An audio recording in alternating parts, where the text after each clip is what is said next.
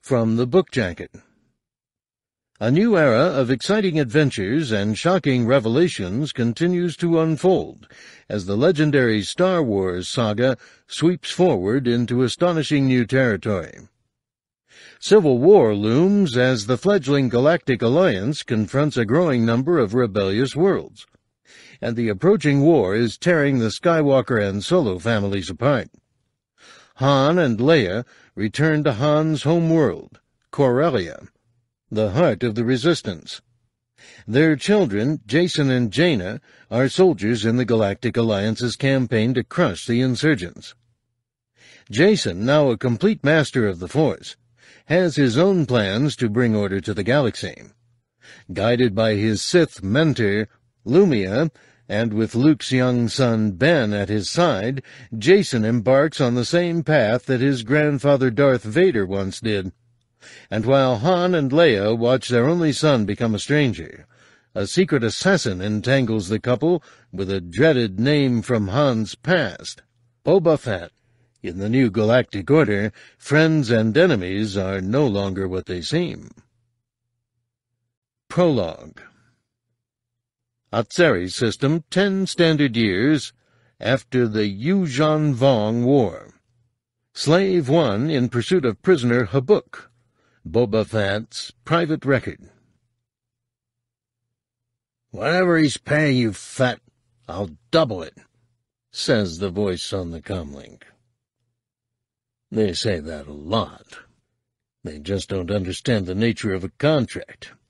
This time, it's an Atzerri glitterstim dealer called Habuk, who's overstepped the mark with the Traders Coalition to the tune of 400,000 credits.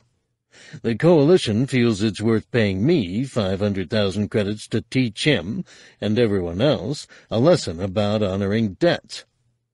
I agree with the Traders Coalition wholeheartedly. A contract's a contract, I tell him. Slave One is close enough on his trail for me to get a visual on him. I swear he's flying an old Z-95 headhunter. No hyperdrive, or he'd have jumped for it by now and no wonder he's surprised. An old, old Firespray like Slave One shouldn't be able to catch him on sublight drive alone. But I've fitted a few more extras recently. The only completely original part of Slave One now is the seat I'm in. My laser cannon's armed, says Habuk, breathless. Good for you. Why they always want a conversation, I'll never know. Look, shooter, shut up. I know you'll have to come about to target me with that cannon. And in that second or two, I'll take out your drives anyway. The galaxy's a dangerous place. The headhunter executes a neat turn to port with its aft maneuvering jets, and the slave's laser locks on to the headhunter's drive signature, matching its turns and loops with no need for guidance from me. His engine flares in a ball of white light. The fighter begins an uncontrolled roll, and I have to gun it to get the tractor beam locked and haul Habuk in. The grapple arms make a satisfying chunk-unk against the headhunter's airframe as I secure the fighter against the casing above Slave's torpedo launcher. The sound of that reverberating through your hull, I'm told, is just like a cell door closing behind you the point at which prisoners lose all hope. Funny. That would only make me fight harder. Habuk is making the noises of panic and pleading that I hardly notice these days. Some prisoners are defiant, but most give in to fear. He makes me offers all the way back to Atzerri, promising anything to survive. I can pay you millions, the contract is to deliver him alive. It's very specific. And my stock holdings in Kuat drive yards. I think it's the silent routine that gets to them in the end. Fett? I have a beautiful daughter. He shouldn't have said that.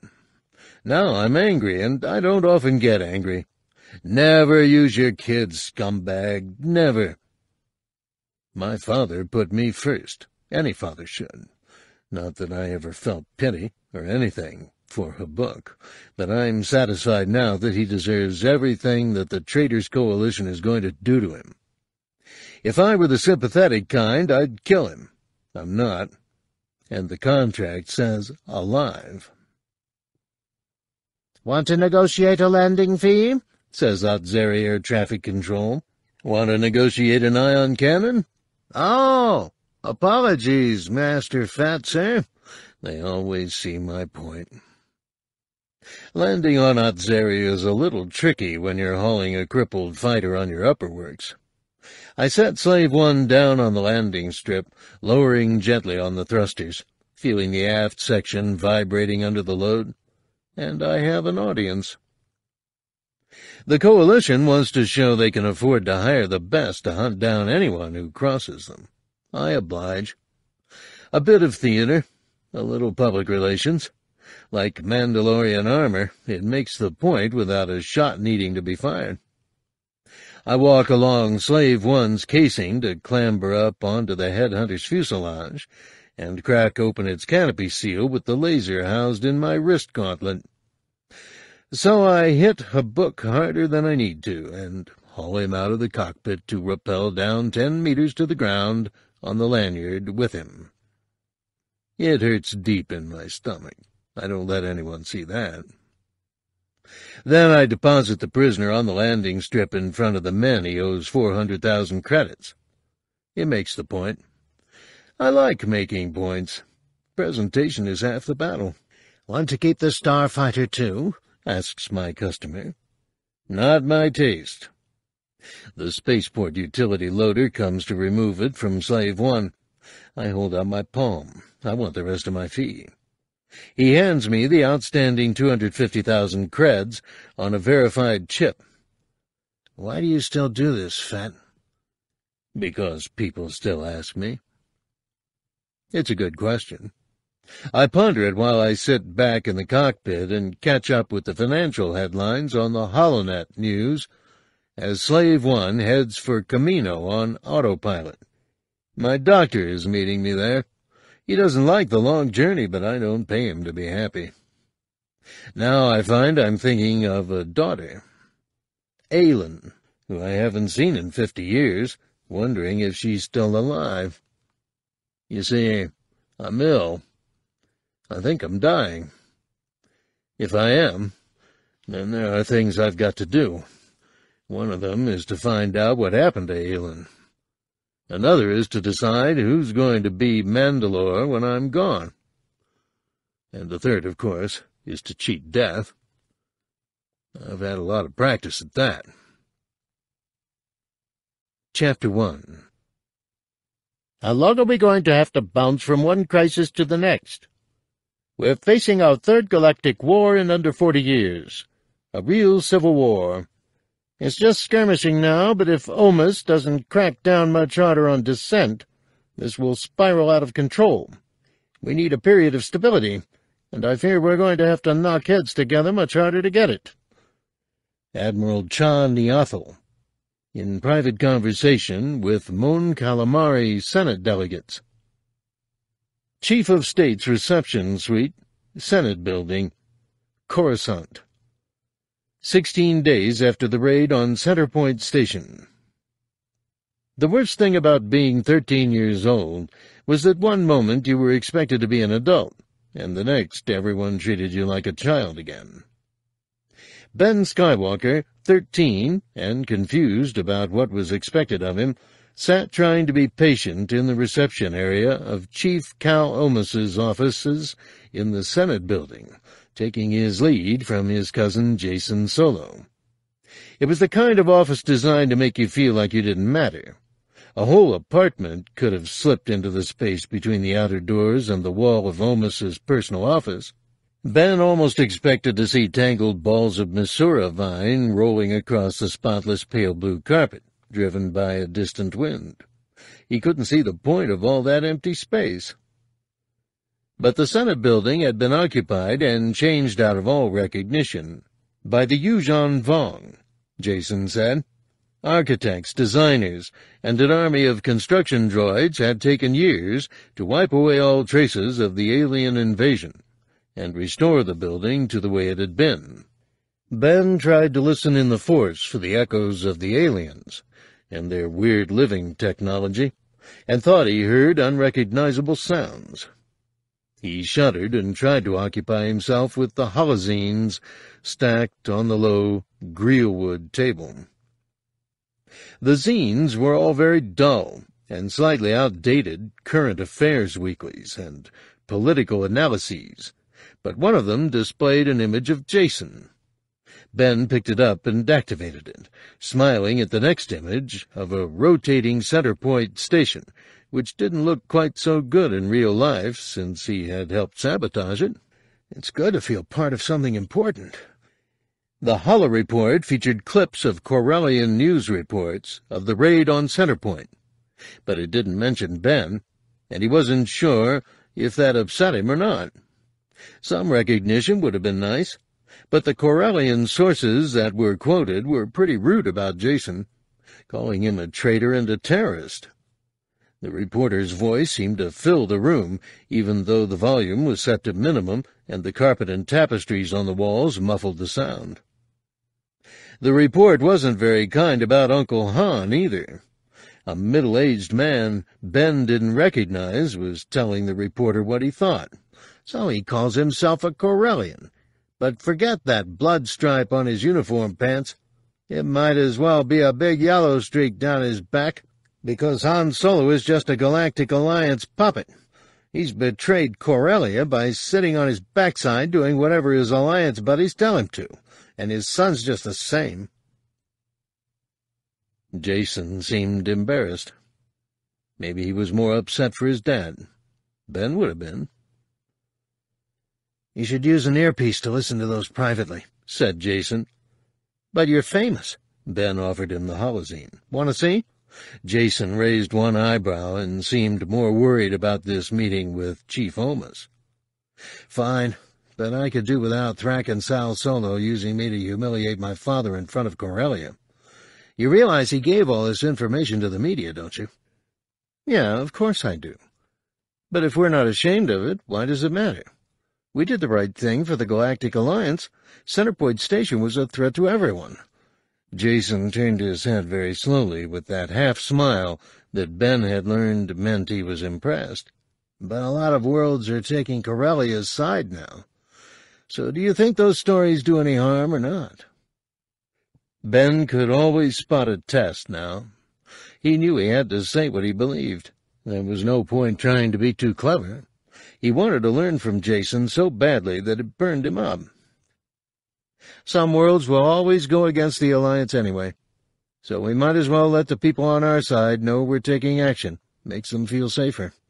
Jacen nodded approvingly, and Ben felt a little forced touch somewhere in his mind, as if Jacen were patting him on the head. That's very perceptive.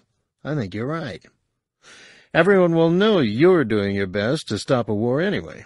Ben put the holozine back on the table and glanced at the rest of the titles.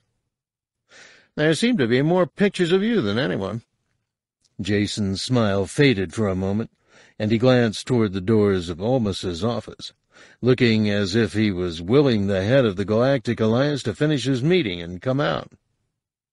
Ben began to pick up what had caught Jacen's attention. There was a definite sense of conflict, of people arguing, and it was almost as clear as hearing it if you knew how to listen in the Force. Ben did now. Jacen was a good teacher. Ben concentrated on Jacen's face. He looked a lot older lately. Sometimes he looked almost as old as Dad. What's happening? Heavyweight politics, said Jacen, barely audible. He put his fingers almost to his lips, a very discreet gesture. It wasn't obvious to anyone else, Anyone else in this case being only the aide at the desk outside Omas's grand double doors. But Ben took the hint. Be quiet. He was suddenly worried about letting Jacen down. Chief Omas wasn't a stranger. The man knew his father, and Ben had been brought to meet him at a state celebration. Pretty much all Ben remembered of that affair was feeling very small in a sea of tall people having conversations he didn't understand. But Ben wanted to be seen as Jacen's apprentice, not as Luke Skywalker's son. the heir to the dynasty, as one of the guests had called him. It was hard being the son of two Jedi Masters, whom everyone referred to as legends. Ben had lost count of the times he had felt invisible. Chief Omas won't keep you, Jedi Solo, said the aide, tilting her head slightly toward the closed doors of Omas's office itself. He's with Admiral Niathal at the moment. I'm invisible again, thought Ben. He composed himself and sat down with his hands folded in his lap, a mirror of Jacen's own posture. He tried to count the number of different species of animal depicted on the huge tapestry that covered part of the wall opposite. What he had first thought was just a mass of random color was actually thousands of overlapping images of every animal he could imagine from across the galaxy, across the whole galactic alliance. Eventually the doors parted, and Niathal strode out, radiating annoyance. Chief Omas appeared in the doorway behind her and forced a smile. "'Ah, Jacen,' he said. "'I'm sorry to keep you. Won't you come in? And Ben, I'm glad you could make it, too.' Niathal glanced at Jacen as if she didn't recognize him. He acknowledged her with a slight bow of his head. Admiral, he said, smiling, a pleasure to see you. Niathal turned a little more to the side, the equivalent of a very frank stare for a Mon calamari, a species with side-set eyes, and scrutinized both of them. You did a very fine job at Centerpoint Station, sir. And you, young man. My name's Ben, but he had learned a little diplomacy now. Thank you, ma'am. Omas beckoned Jacen forward, and Ben followed meekly. Omas did not make the tired comment that Ben had grown since he'd last seen him, nor did he look past him when he was talking to Jacen. The chief met his eyes. It was both unsettling and exciting to be treated as an adult. Ben concentrated hard on what was being said. Omas sat behind his desk rather than in the chair opposite them, as if he were taking cover. So what brings you here, Jacen? I have a proposal. Go ahead. Crippling Centerpoint Station only bought us time with Corellia. We might have a few months at most before it's operational again. And then we're back where we began, but with a much more aggrieved Corellia that's gathering more support. Is this an extrapolation from what you see in the Force, Jacen? No, it's just obvious to the point of inevitability. Ben felt Omas teeter on the edge of reacting. It was as if the two men were having an argument without any sign of it in their words or their voices. Go on, said Omas. Now is the only time we'll have for preemptive action, before any real opposition to the Galactic Alliance has a chance to organize. Corellia, Commenor, and Chasen need complete dissuasion. Very public dissuasion to make a point to other governments about the need for unity, and a complete neutralization of their capacity to fight a war, the destruction of their shipyards. Ben was glad Jacen had said destruction. It was the first clue he'd had of what dissuasion actually meant. This, said Omas slowly, is not unlike another conversation I've just had. The way he said conversation made it clear what he'd been arguing about with Niathal. So she wanted to take action exactly as Jacen did. We slapped Corellia and made a martyr to a cause, said Jacen. An armed martyr to an armed cause. But Corellia has seen what we're made of, and that'll make them think twice. And we've now seen what they're made of, said Jacen, and I have thought twice. If you give me command of a battle group, I can destroy the main shipyards and put an end to this now. If Corellia can be brought to heel, it sends the message that no single planet is bigger than the Alliance. You're asking me to declare war, Jacen, and that's something I'd never get Senate backing to do. And I know where the Jedi Council stands on this. War's coming anyway. If you draw a weapon on a Corellian, you'd better be prepared to use it. We drew it when we took out Centerpoint. Omas was doing a good job of disguising his fear, but Ben could feel it. It didn't feel as if he was afraid of Jacen. It was more a vague and formless dread, as if events were drowning him.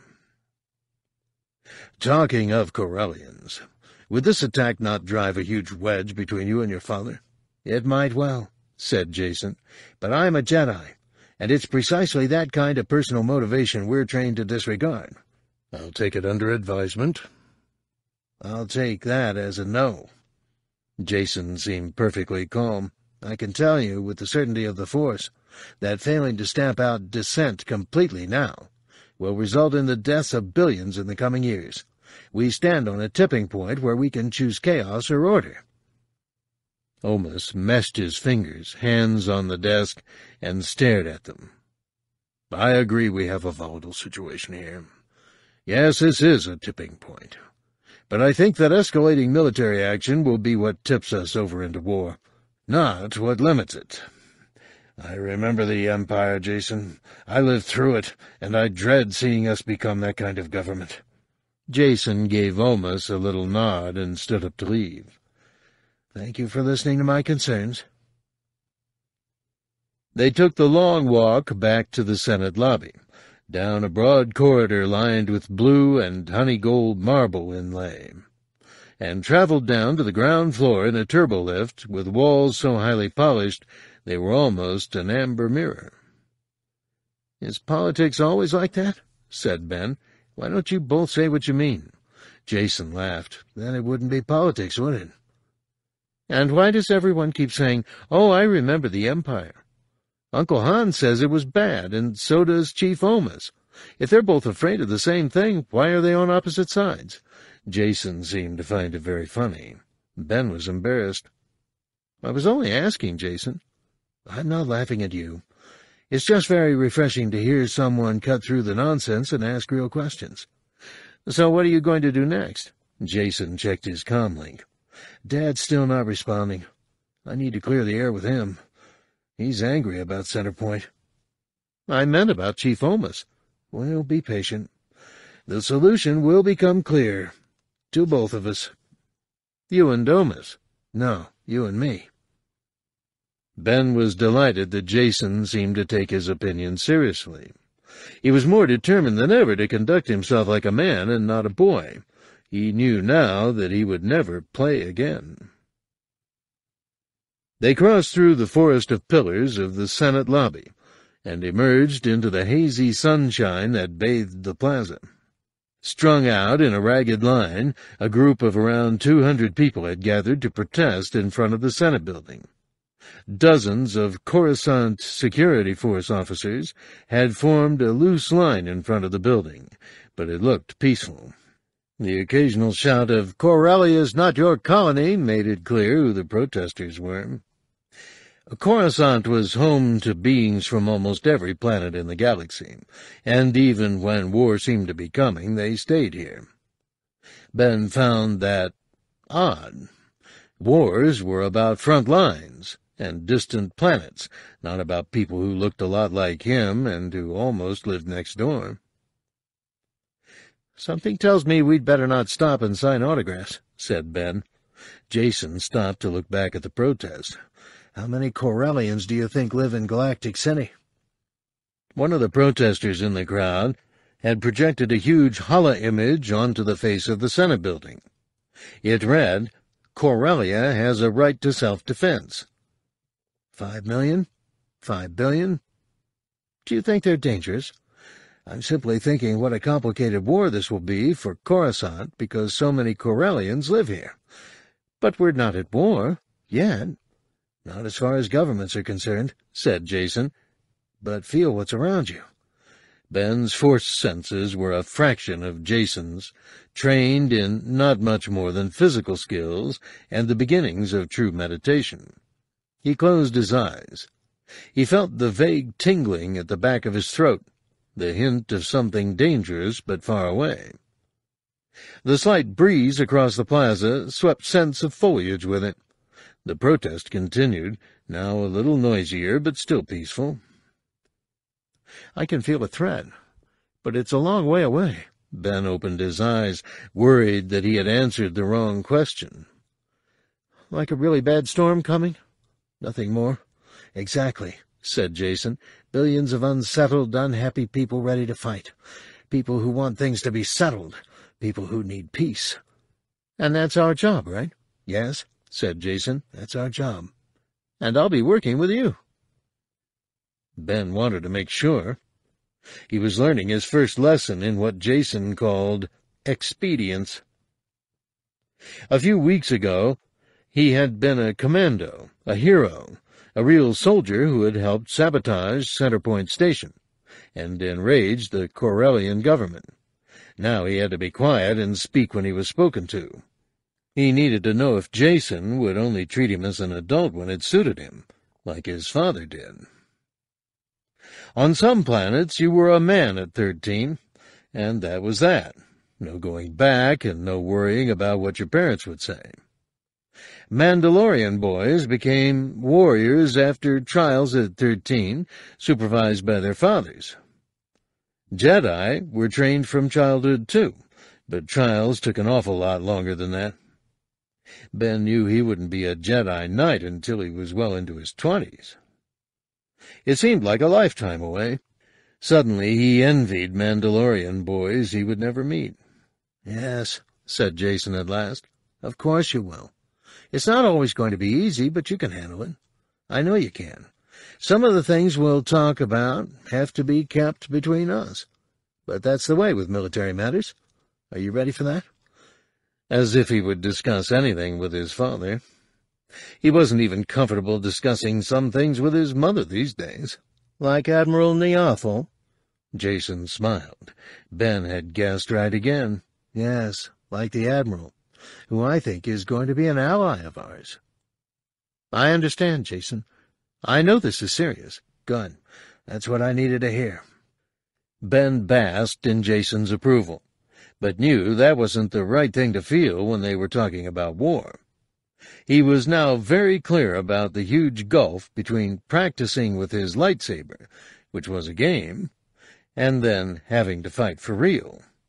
People had already died. More would die in the future. Once the excitement of battle had worn off, he had thought about that a lot. Right then, he wanted to know what had really happened to Brisha, the strange woman he hadn't much liked on first sight, and the Jedi called Nelani, whom they had traveled with. Jacen would say only that they had been killed. No details, no explanation. But Ben recalled none of it, even though he was certain that he had been somewhere with them. Did Jacen tell Dad and not me? It was eating at him. He hated not remembering things that felt important, and this did feel serious and worth remembering. Something's bothering you, said Jacen as they walked away, leaving the Coruscanti protest behind them. Yes. Brisha and Nelani. But Ben decided that part of growing up was knowing when to do as you were told, not like a child who didn't know any better, but as a soldier who understood that sometimes there were things you didn't need to know. Nothing important, he said, nothing at all. Minister Koane's office, cloning facility, Tipoca City, Kamino, Ten standard years after the Yuuzhan Vong War. You're dying, said the physician. Boba Fett could see the man's reflection in the wall-wide sheet of transparisteel as he stared out over the choppy seas. Light beige coat, white blonde hair, ashen face. He must have wondered why Fett had summoned him all this way to carry out more tests. Because I think I need the Kaminoans' special medical expertise, not just yours, and I'm right. Tipoca City was a sad ruin of the minimalist elegance that it had been in his father's day, but its few crippled towers were still more of a haven for Fett than Coruscant would ever be. He concentrated hard on the dark surface of the sea, and waited a few moments to see if the aiwhas were gathering in pods again then took in the doctor's words and digested them. They tasted familiar, inevitable, and yet were a ball of ice in his stomach. He resisted all movement in his facial muscles and presented a mask to the doctor that was as impenetrable as his Mandalorian helmet. Dr. Beluine was one of only a handful who had ever seen him without it. Doctors could handle disfigurement a great deal better than most. Of course I'm dying, said Fett. I'm paying you to tell me what I can do about it.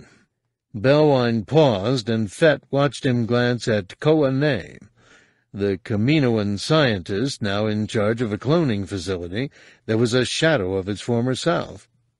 Perhaps Beluine feared telling a professional killer that he had a terminal illness. Or perhaps it was the pause of a good doctor trying to tell his patient the bad news as kindly as he could. Fett turned from the huge window, thumbs hooked over his belt, and raised his scarred brows in a silent question. Beluine took the clue. Nothing. You give up easy, Doctor. How long? You have a standard year or two, if you take it easy. Less if you don't. Don't guess. I deal in facts. Beluine's eyelids fluttered in a spasm of nervous blinking. There are always uncertainties in prognosis, sir. But the degeneration of your tissues is accelerating, even in your transplanted leg. You have recurring tumors, and the medication isn't controlling your liver function any longer. It might have something to do with the unusual nature of your background. That I'm a clone, you mean? Yes. I'll take that as a don't know. Beluine, Coruscant-trained, very expensive, very exclusive, had the look of a man on the brink of making a run for the door. It's understandable that you'd want a second opinion. I've got one, said Fett. Mine. And my opinion is that I'll die when I'm good and ready. I'm sorry to give you bad news. I've had worse. If I had access to the original Kaminoan laboratory records, then perhaps... I need to talk to Koa-Ne about that. Show the doctor out. The Kaminoan politician, all politely unfeeling grey grace, indicated the doors, and the doctor slipped between them before they had fully opened. He was very anxious to leave. The doors hissed shut behind him. So where's the data? said Fett. And Taun We? Taunwi has left. Well, that was a surprise. Fett knew Taun We as well as anyone could, any human anyway, and she'd seemed solidly loyal to her own kind. She'd looked after him as a boy when his father was away. He'd even liked her. When? Three weeks ago. Any reason for the timing? Perhaps the galaxy's current political instability. So she bolted in the end. Just like Ko-Sai? I admit that some of my colleagues have shown a willingness to accept employment elsewhere. Kaminoans weren't exactly keen on travel. Fett couldn't imagine anywhere they'd find tolerable beyond their own closed world. And they took your data with them. Koa-Ne seemed hesitant. Yes. We have never located Ko-Sai's original research. So what's Taun We taken? Apart from her human developmental expertise, a great deal of minor data. The Kaminoans had lost their reputation as the top cloning technologists of the galaxy more than fifty years earlier, when their scientists defected but nobody had ever equaled their quality since. Anyone who could assemble that knowledge again would make a fortune, enough to boost a whole planet's economy, not just a bank account. If he hadn't been dying, Fett would have been sorely tempted to grab the opportunity. "'Are you not concerned that Beluine might talk?' asked Koa-Ne. "'He won't talk any more than my armorer or accountant would. Fett was looking for aiwhas again, letting the distraction order his thoughts, instinctively prioritizing the actions he now had to take. They get paid for silence. So what if he tells the galaxy that I'm dying? I've been a dead man before. It creates instability. For who? Mandalorians. You don't care about us. Koane, like all Kaminoans, didn't care about anything except Kamino, whatever impression the polite facade created. Fett's ambivalent view of Kaminoans veered more toward dislike the older he became. They were for hire, just as he had been. He'd taken a fee for some dubious causes himself in his time, but there was still something less than admirable about a species that grew others to do their fighting for them. We have always had a special regard for you, Boba. He didn't like Koane using his first name. Have you still got any of my dad's tissue samples? Still planning to make some use of him? No, you couldn't keep the material intact that long, could you? No point hunting Taun We. Even the leg she cloned for me is degenerating. Spare parts won't help. We have a use for that technology. I don't. Taun We may yet be useful to you. She is most skilled. Maybe you should have hired me to hunt Kosai a few decades ago rather than go after Taun We now. We have reason to believe someone found Kosai, but we had sufficient expertise left to continue cloning without her, even if we had lost the original research on control of aging. If anyone found it, they never tried to sell it. Who would sit on merchandise worth that much? Nobody I know. It was probably Kosai's research that Fett needed now, but that was a trail that had gone very cold more than fifty years ago. Even he would have a tough job tracking it down. But someone had it. Kosai had defected somewhere. There was always an audit trail to follow, as his accountant called it, and Taun We might be a lead to it. Maybe she had taken the same route out. Maybe she had the same paymasters. Top-class cloners were rare. We both have reasons to recover as much data and as many personnel as we can, said Koane. If the minister had been human, Fett suspected he would have been smirking. Will you help? Making the most of me while I'm still alive? Mutual benefit. Benefit costs. Fett turned away from the window and picked up his helmet. I don't do help. He wondered if Koane ever thought of his father, Jango, and knew that if he did, that it was purely in terms of his utility to the Kaminoan economy. He shouldn't have been offended that another professional viewed life so dispassionately. He did, after all. But this was his father, and that wasn't a subject he reduced to credits or convenience using clones of his own father to defend Kamino against the clone army of the Empire, had always stuck in his throat. It was the ultimate exploitation. His father would have shrugged it off as an inevitable part of the deal, he knew, but he suspected it would have angered him deep down. One of Dad's friends used to call them aiwha bait. I remember that. We can pay, Okay, dead or alive? Alive, of course. A million to bring Taun We back alive with the data. Two million to recover her. And an extra million for the data. Three million. Excessive.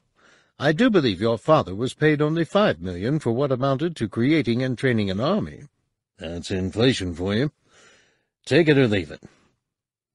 The thought left a staccato trail in his mind like skipping a stone across water, joining up previously disjointed ideas. When the Kaminoans had last given any thought to Jango Fett, there had been hundreds of thousands, no, millions of men like him, and now there were none. Fett lowered his helmet over his head again and settled into the reassurance and identity of its confines, as so many of them would have done, inhaling the deflected warmth and scent of his own breath in the brief moment before the seal closed and the environmental controls kicked in. Had the men been deployed for the good of Mandalorians, the galaxy might have been a very different place today. But that wasn't his problem. A year left. Time enough if I concentrate everything on it. He had no idea why he had started thinking so much about the long-distant war lately. Perhaps it was because he had known what news Beluine would break to him. I'm really going to die this time. You need this technology as much as we do, said Koane. One million. I'll find it. And it's still three million if you want me to hand it back to you when I've taken the data that I need. The most satisfying part of negotiation was knowing your walkaway point. He'd reached it now. A professional's worth his fee, Koane. Take it or leave it. I'll find someone able to pay a lot more than you can, just to cover my expenses, of course. But what use is your wealth to you now? In a human, it would have been cruel mockery of a dying man. But Kaminoans didn't have enough emotion in them for mockery. I've always got a use for it. Koane was right. He didn't need any more credits or any more power and influence either. Politics really didn't interest him. He'd served too many politicians, often in their machinations against each other, and he didn't even relish being the Mandalore, leader of the scattered Mandalorian community. So why do I care at all? He was the head of a rag bag of scattered Mando'ade. There were farmers and metal workers and families scraping a living back on Mandalore. And there were any number of mercenaries, bounty hunters, and small communities in diaspora across the rest of the galaxy. It was hard to call them a nation. He wasn't even a head of state, not in the way Corellians or Coruscanti understood it. In the wake of the Yuuzhan Vong War, he had just a hundred commandos to call on, but they were still doing what Mandalorians had done for generations, eking out a grim existence in the Mandalore sector, defending Mandalorian enclaves, or taking on the wars of others. He had no idea how many more people who thought of themselves as Mandalorians were spread across the galaxy. A hundred Mando warriors was still a force to be reckoned with, though. And every Mandalorian was still a warrior at heart, man and woman, boy and girl. They all still trained from childhood to fight. I'm going to be dead within two years. I'm seventy-one. I should have another thirty in me at least. Fett? No. Three million. I'm not finished yet. Two million credits. To find Taun We and bring her back. That is my best offer. I am my father's son. Death is a risk, not a certainty. Not if you use your fear for focus. I'm rebuilding your economy, Fett said. Koane might have been offended. It was hard to tell with Kaminoans. Don't insult me with small change. You talk as if you have no emotional attachment to Taun We at all. This is business, even if I'm dying. Take the bounty, and we will give you all our intelligence on him. And if you had enough of that, you wouldn't need me. Three million. Remember that even you cannot succeed alone. They always say that, said Fett. This was where he walked away for good. When I find Taun We, I'll auction the data to cover my expenses. Start saving. Fett expected Koane to run after him onto the landing platform, like stubborn customers always did when they saw sense. But when he glanced back behind him, the platform was empty. Maybe that's all he could afford. Too bad. This is either my last hunt, or it's the start of a new fortune. He liked the odds. Yes, he felt he had a fighting chance. A year was a long time for a bounty hunter. He slid into Slave One's cockpit and lowered the canopy. He'd spent a fortune restoring her for the third time, and adding modifications his father Jango would never have dreamed of. Sitting in her pilot seat, looking out on an endless storm-locked ocean, he was a nine-year-old child again, delighted to be allowed to fly a mission with his father. This had once been his home. He'd been at his happiest here. He'd never been that happy since. They said your past flashed before you when you were dying. But then people said a lot of things, and he never took any notice of them unless it paid him to do so. Fett started up the drive and lifted Slave One into a standard escape trajectory. He needed to get on Taun We's trail, but Koane was right. What use would his wealth be to him now? Other men left empires. Other men had families whose futures their wealth would protect. He checked his highly illegal and very reliable COM scanner and set it to watch for unusual share trading in bioengineering companies. Taun We had something to sell, and she would sell it, and the ripples would spread far enough for him to detect them sooner or later. You've only got sooner. There won't be a later for you, not unless you find the data. Even his father had wanted more than credits from the Kaminoans.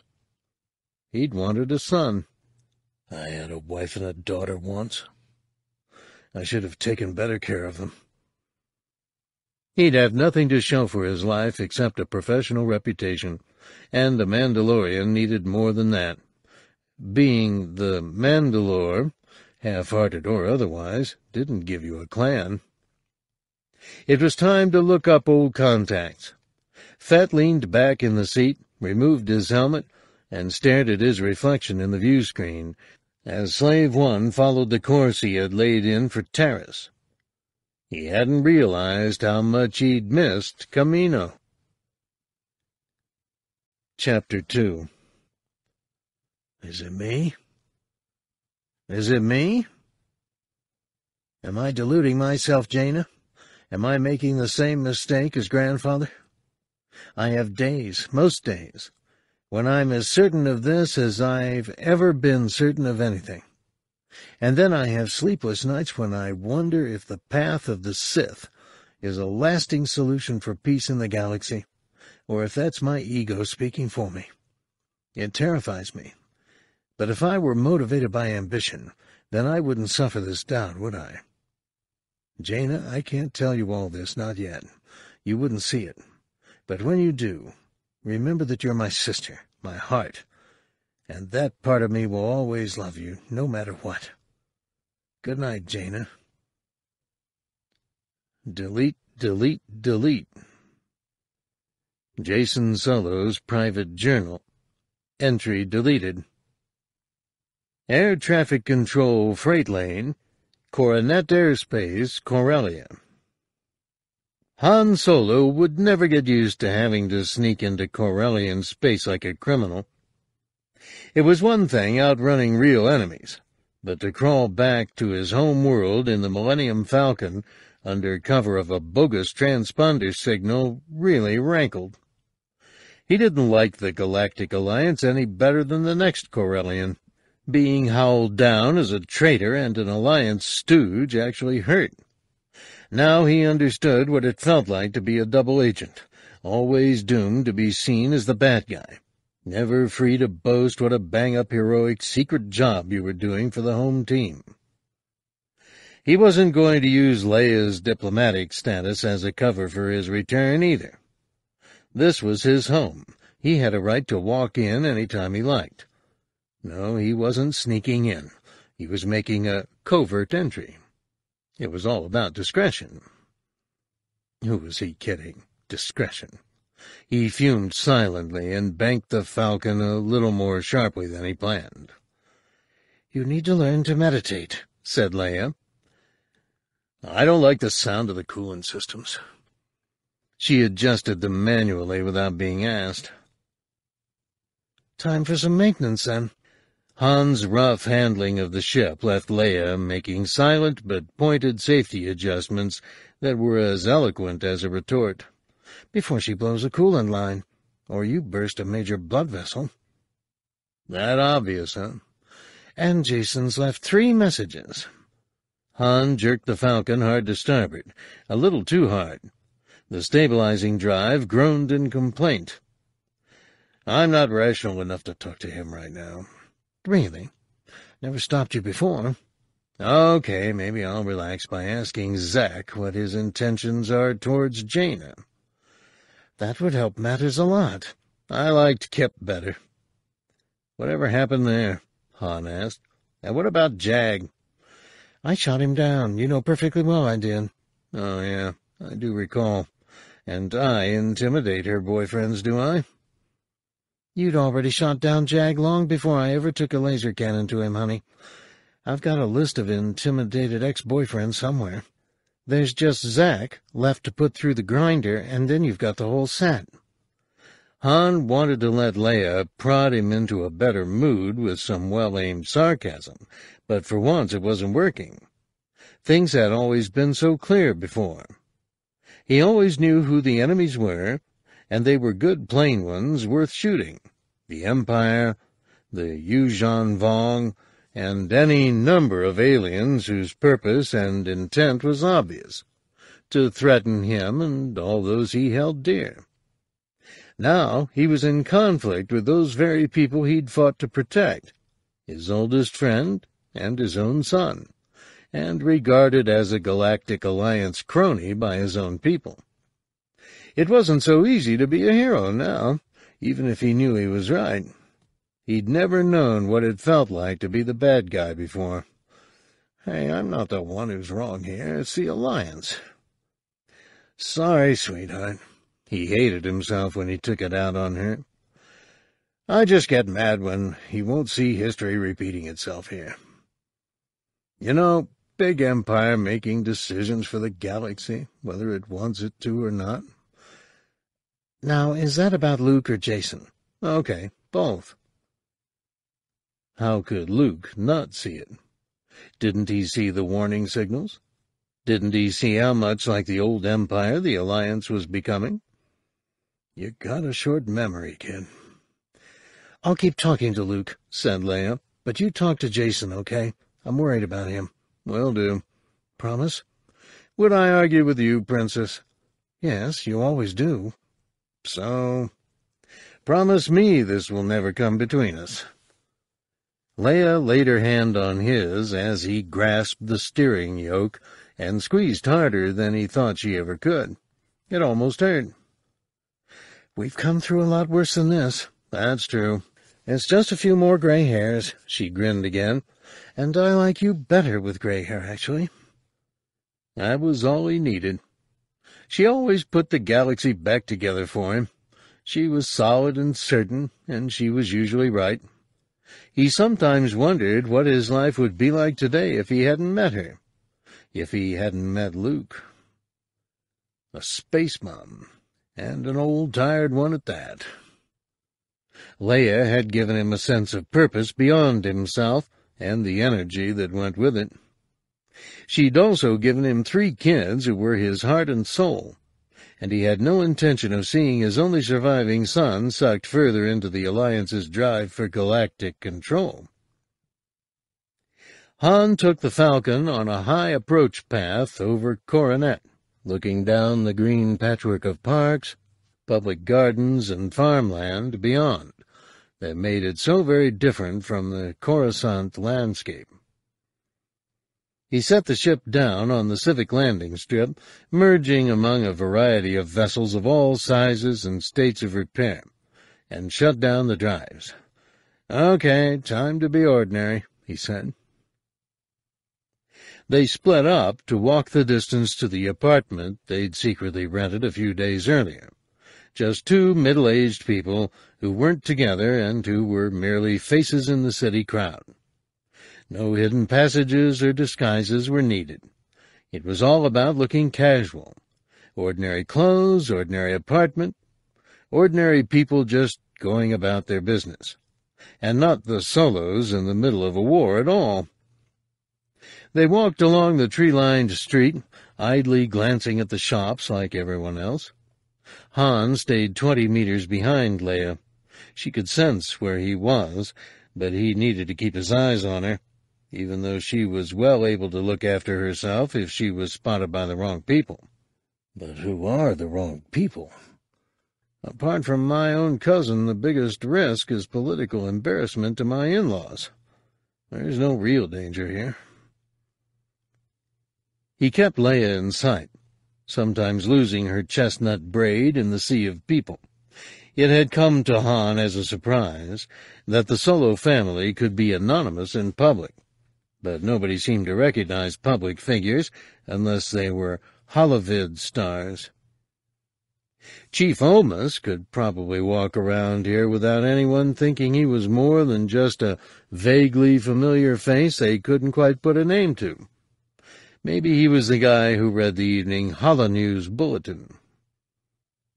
Han slipped into the lobby of the apartment building a little behind Leia and found her waiting at the turbolift. It was seedy compared with the apartment back on Coruscant. Seedy was just fine right now. Now, what's the first thing you're going to do when we get in? she said. Call Jacen. Good. You catch on fast. Don't shout at him, okay? The lift doors opened onto the 56th floor, and a dull beige-carpeted hall with a few stained patches. Leia took three strides toward their apartment door and paused, left hand held out to her side to stop Han in his tracks. The fact that her other hand slid into her tunic and emerged holding her lightsaber prompted him into drawing his blaster. "'Hear something?' he whispered, confused. They approached the apartment door with slow, careful steps. "'Felt something,' said Leia. "'Threat?' "'No, but something isn't right.' They stood to either side of the door and looked at each other, sharing a thought. Who knows we're here? Leia ran her palm down the door frame, not quite touching it, and shook her head. Nobody inside. Stand clear. But somebody's been here. Booby trap? I can't sense any immediate danger, just a feeling that someone was very nervous when they came here. Han touched the entry pad, blaster ready. Maybe they knew what a warm welcome we give uninvited visitors. The doors slid open, and they paused at the entrance, seeing only the apartment as they had left it days before, and hearing nothing except the faint sounds of the environment controls. Leia looked down and bent to pick up something from the carpet. "'That's nice,' she said, examining it, and then handed it to Han. "'Nothing like a happy family reunion.' It was a small sheet of flimsy. Someone must have slipped it through the gap under the doors, and that took some doing. A strange way to leave a message, but it was one that could never be traced electronically. Just a few words scrawled on a surface that was rippled, as if someone had struggled to force it through the gap. Han stared at it. Sal Solo has put out a contract on you in reprisal for your son's actions at Centerpoint. Call me Gejjen. Leia raised an eyebrow. Has your cousin threatened to kill you before? Formally, I mean. Random acts of violence don't count. She always made light of things. Han knew that the cooler she became, the more worried she was. He joined in the mutual reassurance. His cousin was to be loathed and avoided, but he refused to fear him. Thrackan hasn't got what it takes, Princess. He's all talk. But Han's stomach still churned. It wasn't the prospect of assassination that worried him. He reckoned he could handle that. It was realizing that they were being watched by someone, and not knowing how and where. And I don't know any Gejjen. So how does anyone know we're here? Leia took the flimsy from his fingers and smoothed it out between her palms, as if she was trying to sense echoes of whoever had written it. Different names. New ID, no droids, no Noghri. Are you sure you don't remember the name? Should I? Maybe not. I knew a man called Nov Gejjen, who was very active against the Human League. He loathed Sal Solo. She referred to Thrackan as she would a total stranger. It was touchingly diplomatic, but he'd be long dead now. He had kids? I don't know, but it's time I found out. Gejjen didn't bother to include his contact details, so he thinks one of us will know where to find him. Or her. Okay, or her. I'll see what I can find out while you call Jacen. Life used to be so clear-cut. Han missed clarity. He opened his comlink, entered a code to conceal the origin of the signal, for all the good it had done, and waited for Jacen to answer. Another contract out on me. I thought I was done with Thrackan, but he just keeps popping back up. Sometimes he almost missed Boba Fett. Fett, at least, had no family axes to grind. It was just business. Thrackan would send Fett. Han just knew it. Coruscant. The Skywalker's apartment. The shrouded man wouldn't leave Luke alone now. The image of the man, cloaked, hooded, anonymous, intent on evil, intruded on his dreams more frequently, not in the way of normal nightmares, but as a clear vision in the Force, and that was worse than any nightmare. It had the potential to be real if it wasn't already. He couldn't see the man's face. In his dream, he was chasing him, trying to grab that hood from his face, but he always woke up at the point where he felt his fingers close on the fabric. It felt like lightweight bantha wool. His fingers clutched again. Both the robe and the man dissolved, and Luke woke heart pounding, fighting a feeling of overwhelming despair and anger at himself for not seeing what was close enough to touch. He decided he wasn't going to get back to sleep and got up as quietly as he could to avoid waking Mara. With the light that spilled from Galactic City's 24-hour activity and his own force sense, he didn't need to switch on the lights to pour himself a glass of water. There were messages on the com board, the routine fretting of C-3PO, informing him that Mistress Leia and Master Han were well, and that the Noghri were becoming most agitated at the separation. And was it really necessary for the droids to remain at the Solos Coruscant apartment when they might be needed elsewhere? Luke managed to smile, something he was finding increasingly hard to do lately. He had long suspected that droids had something in them far beyond their programming. C-3PO was as anxious and protective as any human relation would be of his family members, and it always gave him pause when anyone said, just a droid. Yes, my friend, he said aloud, because the last thing they need is a big gold-plated droid advertising their presence, wherever that might be. Nobody ever said Corellia. But it was very hard to misplace your sister and your best friend in the Force. Luke wished them some kind of peace. He knew how hard it was to find peace when the front line ran through the heart of his own family, even if his misgivings over Jacen's influence on Ben were a little way short of a full-scale feud. Luke drank while he watched the constant movement of lights from the window. His discomfort over Jacen was definite in some ways. The lengths his nephew seemed prepared to go, the ways he used the Force, but vague in another way, a far deeper and more troubling one. He feared for Jacen.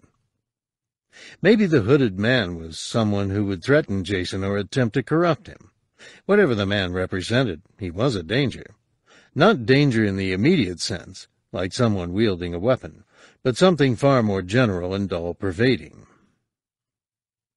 Luke didn't deal in words like evil, but that was the only word that felt as if it fit.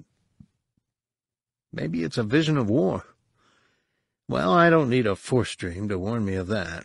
Nobody does.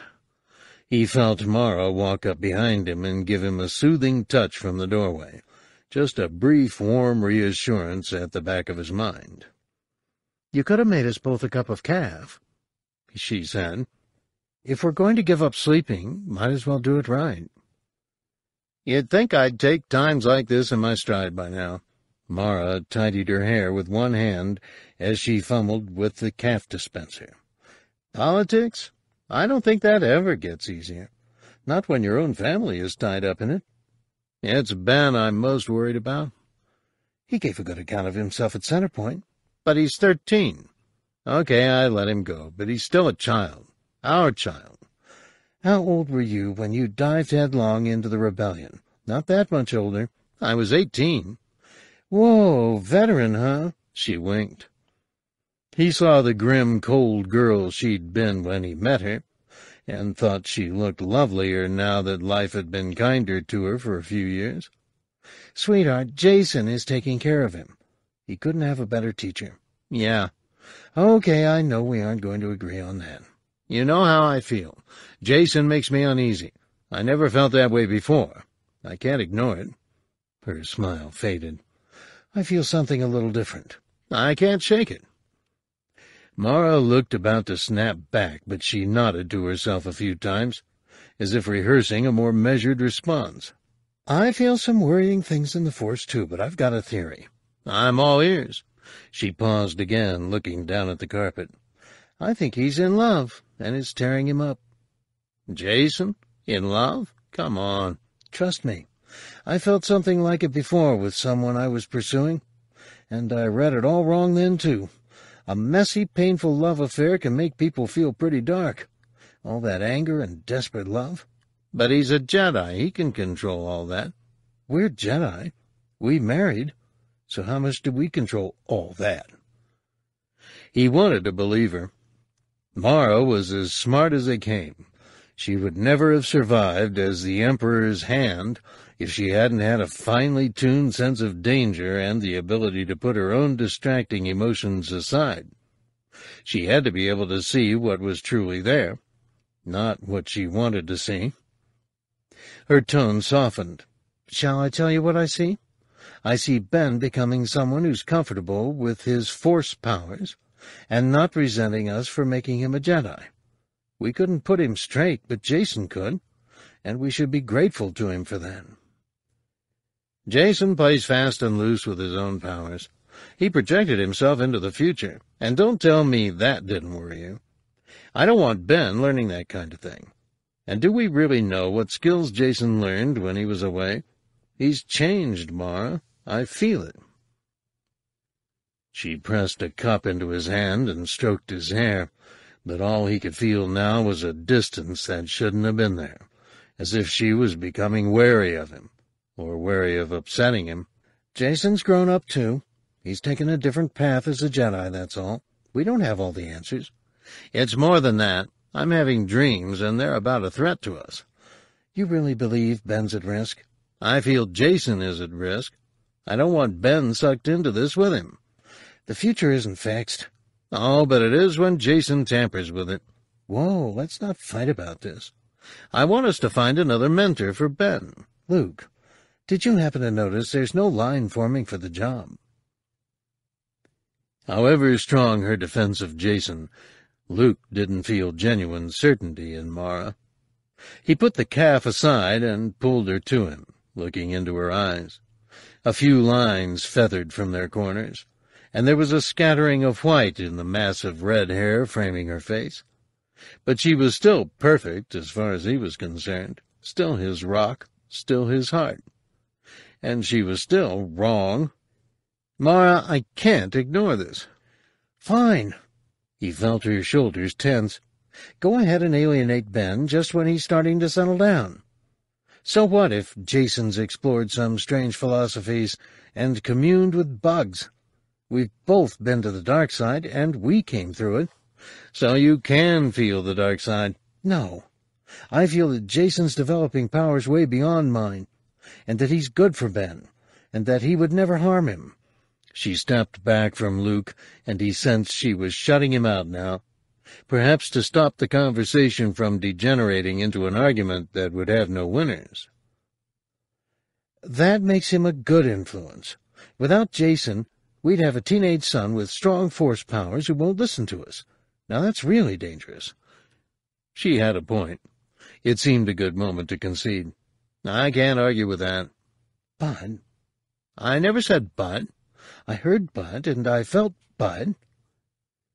But I'd be neglecting my duty if I didn't put some effort into finding out who or what this is in my dreams. Mara pursed her lips for a moment, looking to one side of him, and then managed a smile. She knew when she couldn't shift him from an idea, and he meant it. The dreams were too strong and insistent to ignore, even if it meant causing friction with Mara. She would come around in time. If he ignored his instincts, the consequences might be far worse than a few silent breakfasts and black looks. Then the smile became broader, as if she knew that. I'm going to get some sleep, and so should you. I'll finish my caf. Later. Luke took a long time draining the cup. He sat staring out the window, focusing on the bright green light of a distant illuminated sign, to be sure that he was meditating and not dreaming. He tried to reach for the hooded man to make him show his face. The green light wavered and filled his field of vision. There were shapes within it, a feeling of familiar things in different guises, and somehow unrecognizable but the figure in the hood remained elusive. And it was getting light now. Coruscant's towers and spires were silhouetted against a pink and amber sunrise. Of all the dreaded things that came to Luke in those dreams and visions, the one that plagued him most was the feeling of familiarity. He had felt something like this before. He just couldn't pin it down. Jacen Solo's private apartment, Coruscant. I wish you were here. Jacen could reach out and touch Tenel Ka in the Force, and at that moment he would have given nearly anything to see her and his daughter Allana again. He closed his eyes and saw Tenel Ka, the same smile as when he had first left her, cradling the baby, and let his presence expand and merge gently with hers. He felt the warmth spread up from his stomach into his chest. She had felt him and returned the touch. Baby? Allana was four now. She was a little girl, walking and talking. Every time he sneaked a visit to see her, she'd grown a lot. Did she ask about her daddy? No. She was Hapan royalty, and even at that age she would have been schooled to remain silent about her parentage. How tall was she now? Was she aware of her force powers yet? He had endless questions, the kind that a father who saw his daughter daily never had to ask. I'm not there for her. I'm not seeing her grow up. I don't even have a holo of her. It was much easier to reach out when he levitated like this, legs crossed, hands in his lap without the sensory distraction of a seat beneath him or the fabric of the chair against his hands, he could focus totally on the ebb and flow of the force around and within him. He let the warmth fade before it became a lasting beacon for... him. He wasn't sure yet. But Tenel Ka would understand that he had to be discreet even in the Force these days. He drew his touch back to the here and now. It felt like a final goodbye. Jacen wasn't sure just how much Lumiya could detect, and his secret family had to be protected. But the person he most wanted to have at his side, then, was his grandfather, Anakin Skywalker, a man he had never known, but who had stood where Jacen stood now, on the threshold of becoming Sith. Once crossed, there was no return. It wasn't one of his explorations of Aing-Tii flow walking or some other arcane force skill that he could dabble in and withdraw from when it suited him. It was everything he had been raised to reject.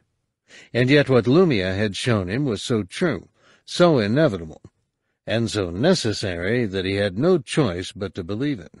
But can I believe Lumiya? Her skills were prodigious. He'd been taken aback by the force illusion in her asteroid habitat. Lumiya might well have been a true Sith follower fighting to prove to Jacen that history was a one-sided story written by the Jedi.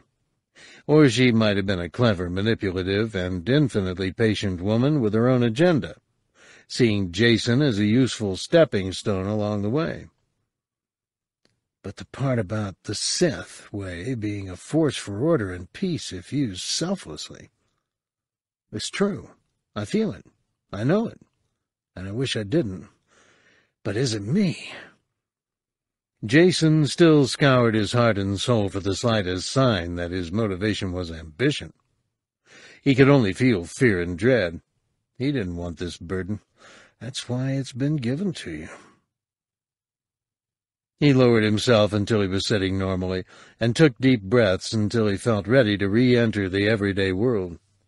But given the choice right then between a chance to be with Tenel Ka and a moment to speak to Anakin Skywalker, yes, he would have opted for the latter. Just a few minutes to ask this one question. Did you feel the doubt and reluctance that I feel before you crossed that line? You had a secret love, too, didn't you? Jacen's state of reluctant acceptance was punctured all too often now by wondering if he was falling into the same trap as his grandfather. He needed to know if it was different, because the outcome two generations ago had been disastrous for the galaxy. He just needed to be absolutely sure. Many other beings in the galaxy's history had believed they were the chosen one of their particular culture born to create order, and all of them had clearly been wrong. Jacen never forgot that. But while he was wondering, events weren't waiting for him, and the war was coming closer. He needed to talk to Admiral Niathal. She was a hard-liner, ample proof that you couldn't judge every member of a species by its general reputation. For a peace-loving people, the Mon Calamari had produced an awful lot of tough naval officers. But you couldn't maintain peace without the capacity for war. Everywhere he looked, Jacen saw the certain truth of Lumiya's words. The Sith way was neither evil nor dangerous in the hands of the sincere. He just wasn't sure about her sincerity. And he had to be sure of his own. Ben was still asleep in the suite next door. The boy had done a lot of growing up in the last few weeks, and Jacen saw the man he would become. Strong, but measured and able to control his passions. But today's work was for Jacen alone. He summoned an air taxi and headed for the Senate building. The taxi dropped him in the plaza, where a few people were already entering and leaving the huge domed structure. Senate delegates kept odd hours. There was always activity in the building, always a debate or a select committee or some business in progress twenty-four hours a day. The Mon Calamari started their day early, and Jacen wanted to simply run into Niathal without arranging a meeting, and so attracting attention. And he could do that. He knew where Niathal was. When he had seen her the day before, he had formed a lasting force impression of her as someone who wanted to talk to him very badly. She wanted Omas's job, although she was going to have to go through the office of Supreme Commander first. Admiral Pellaeon, new in the post but a veteran in the world of military politics, was not about to cede his office yet. Of course she wanted to talk to Jacen. Word of his willingness to solve problems decisively had obviously reached her. So he could feel her now. And when he walked into the building and made his way along the marble public corridors and then along the carpeted ones accessible only to those with accredited identicards, he was tracking her. Am I scheming? Jacen was ambushed by the thought, no, I have to know who I can rely on, if I ever need them. He didn't need to influence her to get her to walk his way. He simply found the offices where she and the other Mon Calamari had gathered, and found somewhere to sit where she would pass him sooner or later. He settled on a padded bench in the lobby and watched the doors, A naval officer tied to a desk. No wonder she's frustrated. Jacen wondered how she would handle high office if she got her wish and took Omas's job. Politics were the ultimate frustration. He thought of Lumiya while he waited, and Ben had asked if he was going to tell Luke about Brisha and Nelani. Hello, Uncle, Lumiya's back. Thought you'd like to know, for old time's sake. No, it wasn't news he felt he could break to him. Jacen felt the ripple of disagreement and counter-argument around Niathal and her resistance as she stood firm. Sometimes he could almost see it, like a faint ghost image of color and shape and movement as the emotions ebbed and flowed. Niathal was all certainty. That was something he sought, too. He heard doors part, and the muffled sound of voices. Admiral Niathal appeared in the lobby in a white uniform, very formal, and had no choice but to spot him. He was facing the doors. She had to acknowledge him. Jacen stood. No use of the Force. Let's see where this leads. Jedi Solo, she said, giving him that sideways stare. He felt her caution. Are you here on business? Just passing. I'd like to hear your account of the raid on Centerpoint. It would be very helpful. Jacen bowed his head politely. Would you like to continue the discussion outside this building? Niathal began walking toward the exit without answering. That didn't take any persuasion at all. They didn't speak until they were outside and crossing the plaza. Niathal was not one for small talk, and Jacen liked her forthright manner. How far back have we really set Centerpoint Station? she asked. They headed for the public landing area and got into one of the waiting air taxis. Cayenne Club driver? That was a very exclusive officers' club that Jacen had never visited. Useful. He closed the partition that separated the passenger cabin from the cockpit to ensure privacy. Six months, he said, no more. Then, said Niathal. that's how long we have until a full war breaks out. She left the Stark analysis hanging on the air, as if she was waiting for Jacen to fill the silence. I don't feel the galaxy can take another war so soon after the Yuuzhan Vong invasion, he said. It'll be the fourth major war in a century, yes. Poor odds. I'd like to be able to look forward to a century without war. And I'd like to be forced to look for another job, Jedi Solo. Jacen thought for a moment that she was being brutally open about her political ambitions. But the way she rolled her head slightly and looked at the battle honor ribbons on her uniform made him realize she meant an end to any need for war. Perhaps the two were the same thing. My own family is divided over this. Most Jedi never have families, Niathal said. We've had an interesting relationship with what we call attachment. Was she checking out his loyalties? My duty as a Jedi is to consider trillions of other lives. If we continue to botch actions like the Corellian engagement, then we could be in for a long war. I've thought about how successful an attack on their shipyards might be, Jacen said. I doubt the political will could be bent to more than support for a blockade. Ties up a lot of resources. So do assaults on multiple fronts. It was one of those conversations that was test and counter-test, but Jacen didn't blame Niathal for being wary of a Jedi's political will, given Luke's indecisive approach. The taxi headed south from the Senate, through a city of people beginning the day, and others returning after a night at work.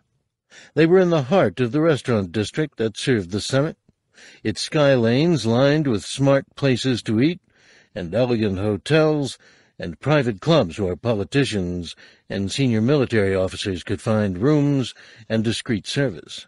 I prefer my club to having a home here, said Niathal as if Jacen looked curious. He was just feeling distracted by something that began nagging at the back of his mind. Now perhaps we can give further thought to this blockade. So... Jacen jerked his head around, suddenly seized by such a powerful sense of immediate danger that his instinct was to fling himself on Niathal and wrap the taxi tight in a force shield.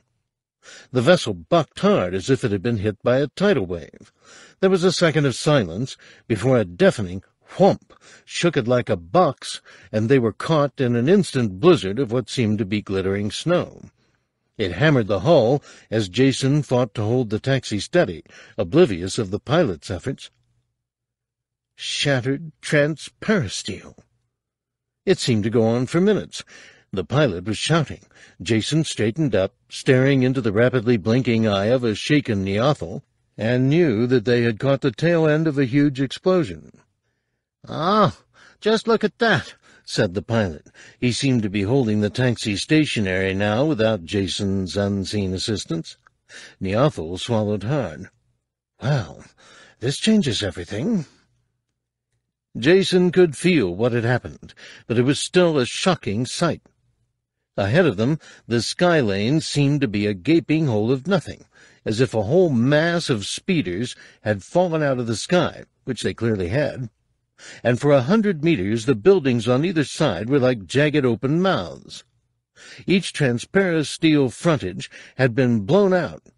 The force was torn with anger and fear and shock. The unnatural silence was broken by emergency klaxons and echoing shouts. Jacen realized that taxi's screens had collapsed into the cabin, although still in one piece. And Jacen felt anger, real physical anger. This was mindless, indiscriminate violence, and the galaxy might destroy itself in a billion more acts like this if order didn't prevail. He abandoned his Jedi self-control for a moment and dared to savor his own outrage and his pity for the inevitable victims. Corellians, said the pilot. His voice was shaky. He'd reached an instant conclusion that didn't even allow for the possibility of an accidental explosion. So would many other Coruscanti. Like Niathal, his first thought was that a bomb had been detonated, and that the skirmishing had escalated into something that would harden everyone's stance. Terrorism had returned to Coruscant. Through the gaping rear window, Jacen saw air speeders backed up behind them.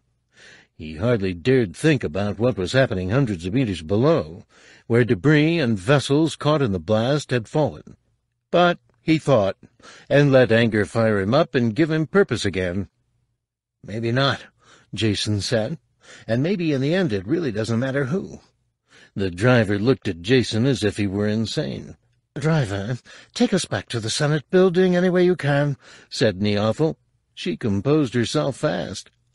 It probably took a lot to rattle an admiral who had seen action. She was already tapping codes into her comlink and calling aides to get information from the security forces. Jedi Solo, I need to talk to our senator.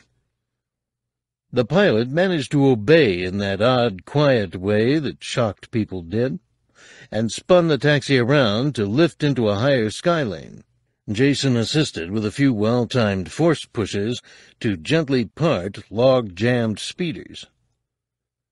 Yes, Corellians. I really wanted to be wrong about the war. This is going to get ugly very fast, he said. Going to take some strong, reassuring action, then, said Niathal. What about the damage to my taxi? said the pilot. Neither of them answered. Jacen's mind raced ahead. This was perfect timing for Lumiya's purposes, unnaturally so. The fact that he couldn't feel her hand in this meant nothing. She seemed to be capable of deceiving him. But that almost didn't matter. Events had been unleashed that would have a life of their own. He was needed more than ever. He could avert total anarchy. And that was a dangerous thought. But he thought it anyway. Somebody had to, and somehow he needed to test Lumiya. Chapter 3 Aliit ori'shya tal'din. Family is more than bloodline. Mandalorian proverb. The Skywalker's apartment. Coruscant. 0800 hours. Mara almost dropped her cup and steadied one hand on the table. What's wrong? Luke caught her shoulder and leaned over her. She began mopping spilled caf with her napkin, distracted. Honey, are you okay? Jacen, she said. Luke sought Ben in the force immediately. He was there, with no hint of concern or danger. Jacen, though, was not. There was nothing of him to detect. He just blinked out, said Mara. She opened her comlink.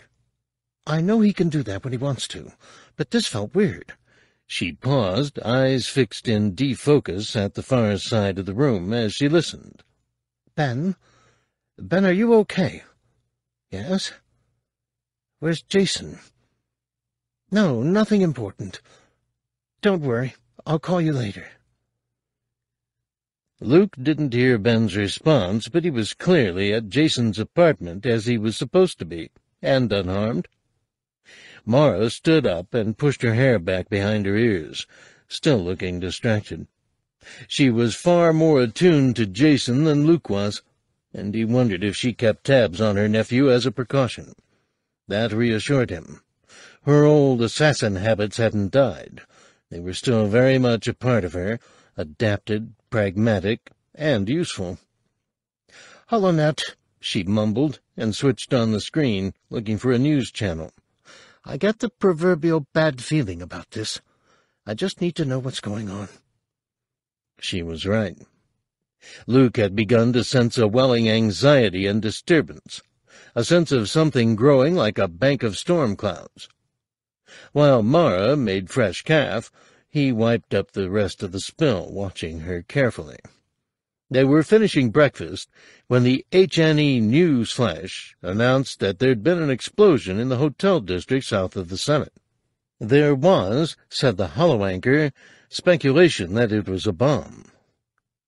Mara opened her comlink instantly, face set in blank concentration, and waited. Jacen's not answering, she said. It was easy to add two and two and reach a completely wrong total. Luke put his arm around her and squeezed. There'll be a simple explanation. It's a big planet, and the chances of his being caught up in that are remote. I tend to plan for worst scenarios, she said, and returned the hug. And right now I've got no idea whether we should be looking for him or not. Like all people used to being in control and taking action, Mara had that instinct to do something in a crisis even if there was nothing obvious for her to do. Luke shared it. We can't stay out of it even if we don't know what it is. The Force didn't take a day off. If that really was a terrorist bomb, said Luke, then we'd better head over to the Senate, because Omas is going to want to discuss the implications. Mara's blink rate had slowed right down, and she had gone quiet. He thought of it as her sniper mode, assessing, planning, coolly rational. He was always impressed that she could salvage the beneficial parts of her past life as an imperial assassin and discard the darker aspects. But he was still glad they were on the same side. She grabbed a jacket, not one of her usual fashionable ones, but something gray and functional, as if preparing for combat. I hope nobody jumps to conclusions too fast, it's one of those things that could tip people here into doing something rash. Luke wasn't sure if she meant politicians or citizens. Perhaps it didn't matter. One would trigger the other either way. He gestured toward the landing platform. I'll drive. You monitor the news. HNE kept using the word explosion, and managed to make it sound like bomb every time. Luke tried to slip the airspeeder through the increasingly congested skylanes as traffic backed up from the scene of the explosion. It didn't take much to gridlock a crowded city that depended on tightly controlled transport. He glanced at Mara. What if it's not a bomb? People jump to conclusions. If they want to believe it's a bomb, facts won't get in the way. I can't imagine Corellia resorting to planting bombs in civilian areas. Corellia, Mara said. See, we all do it. I thought of Corellia, too. We've got a thousand species on Coruscant, and most of them have their dingbat element. It could be anybody. Perception usually overrides fact. You said it, sweetheart. The speeder had slowed to a crawl in the traffic, as sky lanes above and below them backed up too. Luke considered force-pushing his way between vessels, but there was simply no longer the maneuvering room to do that safely. He found the next public landing area and set the speeder down to continue the journey on foot. In theory, a pedestrian could cross the whole planet via walkways and streets. In reality, it was slow going. But it was useful to be close enough to people to get a sense of what they were feeling, and the overwhelming taste in the Force was mostly anger. It wasn't the political anger that emanated from Senate delegates. It was the personal, focused, fearful anger of people whose lives had been directly affected by a conflict on another planet. Coruscanti had been used to feeling safe for millennia. They were just getting used to being safe again, after the Yuuzhan Vong had been defeated, and now that fragile security had been shattered. It felt like a volcanic fissure opening the dark side. The air seemed charged, the object of that anger, whom people hated, whom they blamed, would affect the course of the conflict with Corellia. As Luke and Mara walked toward the Senate, the public holonews display screens were surrounded by people staring up at the unfolding news, grim-faced. The display showed which parts of Galactic City had now been sealed off, and harassed fire service officers explaining that they still hadn't reached the seat of the blast or assessed the total number of casualties. Luke paused behind them. Mara carried on and disappeared into the crowd. Nobody recognized them. That might have been a blessing. Has anyone claimed responsibility yet? he asked. A young man in a delivery pilot's yellow coverall half turned to him. No, but they don't need to, do they? They? The man's gaze darted back to the screen. Corellia. Retaliation for Centerpoint, isn't it? Obvious. Luke bit back a response and simply carried on walking. He caught up with Mara, who was waiting in a doorway and talking to someone on her comlink. She looked up and shook her head at him. One hundred and five dead so far, and rising. Three hundred injured. I just called Omas's office. They've declared an emergency. Must have been a big device, judging by the damage. You don't need much to do a lot of damage in a crowded city made of towers. Transparisteel blown out like a million blades, speeders falling thousands of meters, shock waves concentrated on buildings by the canyons. Luke could guess at the details. The force around him felt in turmoil, but most of it seemed to be coming from the people nearby. He took Mara's arm and pressed on through the crowds. It took them half an hour to reach the Senate, and Omas had already left the chamber to visit the Emergency Response Command Center deep below ground level. Luke and Mara walked into a huge room that appeared to be one large holodisplay, packed with uniformed officers. The sign above the doors simply said Strategic Center. This was where Joint Galactic City authorities managed the longer-term effects of an incident, planning for what was needed in the days that followed, while the minute-to-minute work went on at the tactical and operational command centers down the chain. When Luke concentrated on what he had walked into, he realized that every branch of the city's emergency services had personnel there. He recognized Coruscant Security Force, Fire and Rescue, Air Traffic Control, Med Center managers, and the City Authority. Omas stood talking to a young CSF captain in front of a data display. When Luke walked up behind them, he saw they were looking at a changing list of casualties. The entire wall was a mass of status boards, from lists of sky lanes that had been rerouted to which med centers were receiving the injured. Omas turned to Luke and Mara and shook his head. We can rule out an accidental explosion, he said. CSF picked up traces of commercial-grade detonite. Mara maintained her detachment. Her gaze tilted up and down the casualty list. Mostly unnamed, just descriptions, and Luke wondered if she was looking for Jacen among them. Where was it placed? Luke asked. In one of the hotels, said the CSF officer.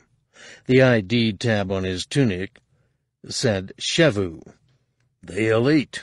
There's no obvious motive for the location, but it looks as if it detonated in a guest room. Might have been an own goal. Own goal? Blew up while the terrorist was handling it. So we have a room to go on. Then we ought to have an identity for the guest. We're checking that out. We can't afford to guess at this. Captain Chevu looked down his nose at Luke, polite but clearly irritated by the suggestion. I don't guess about anything, sir. We're working with hard information that's coming in from tactical and operational. And where there are gaps, they stay as gaps until we have data.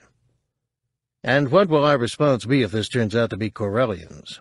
Omas seemed to take exceptional interest in a status board showing the list of premises affected by the explosion with red points of light, indicating whether they had been checked and secured yet. If this isn't shown beyond doubt to be the responsibility of the Corellian government, then our response must be to treat it as any other crime. I think Master Skywalker means the less formal response, said a voice behind Luke. He hadn't even felt Jacen enter the room. The fact that Jacen could startle him was disturbing. Mara turned too, and even though Jacen was standing there in front of them, Luke couldn't feel him and, judging by her expression and her little flare of anxiety in the Force, Mara couldn't either.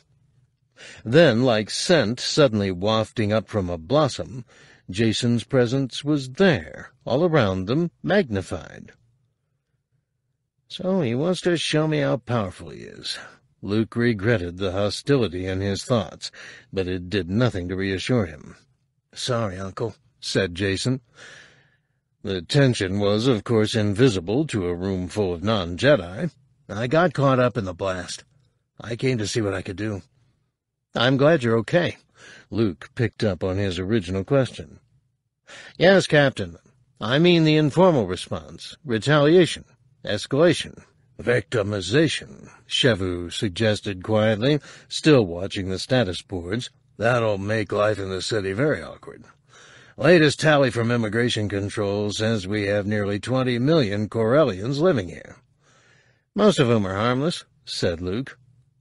And not easy to identify except by ID docs, said Jacen. They look just like us. They are just like us. Omas put his hand on Jacen's shoulder and steered the conversation into calmer waters with the ease of a professional statesman.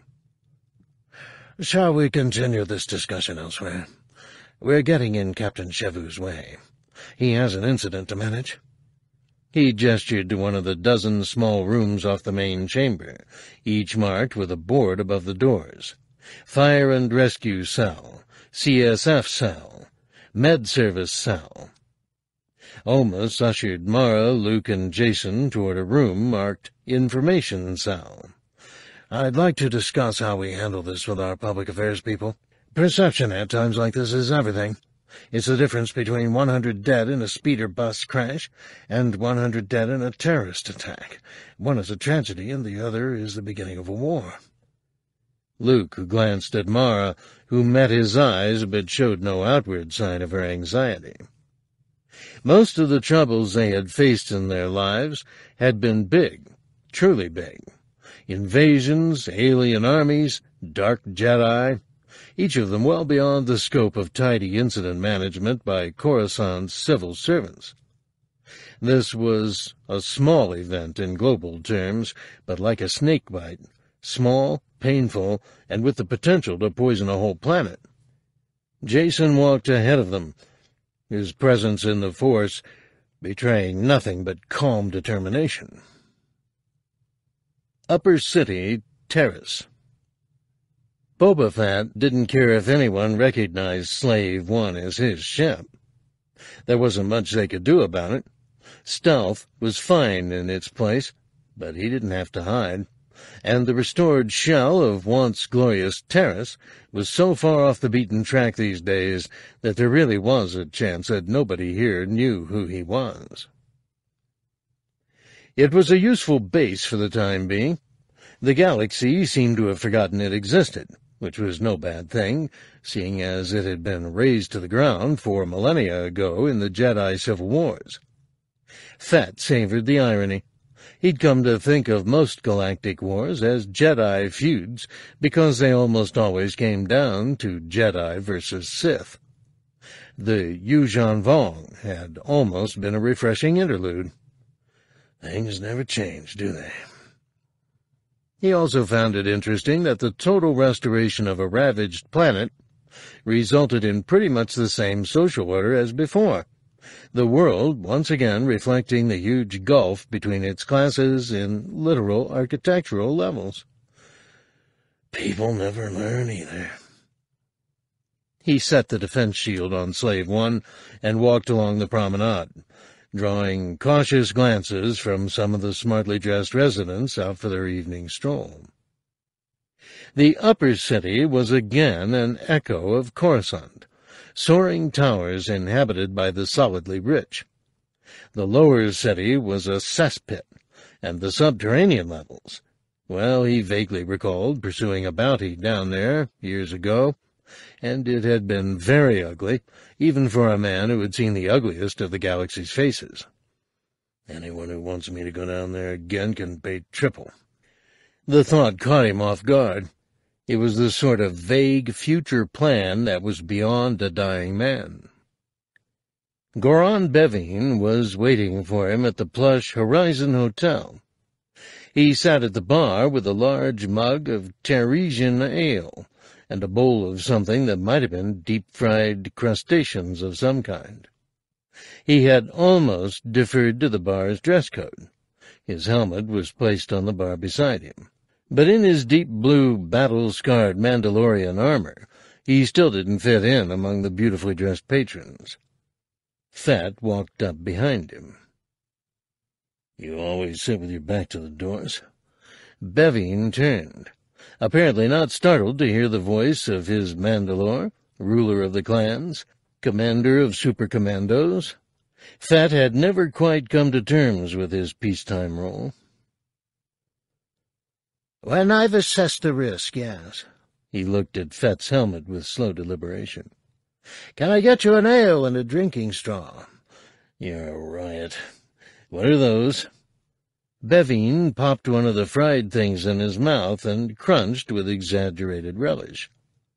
Coin crabs. Reminds me of those happy days we spent frying Yuuzhan Vong. Sentimentalist. Beviin gestured around at polished wood and expensive upholstery. This is pretty comfortable. I always think of Taris as a dead world. Maybe that's why I feel a kinship with it. What?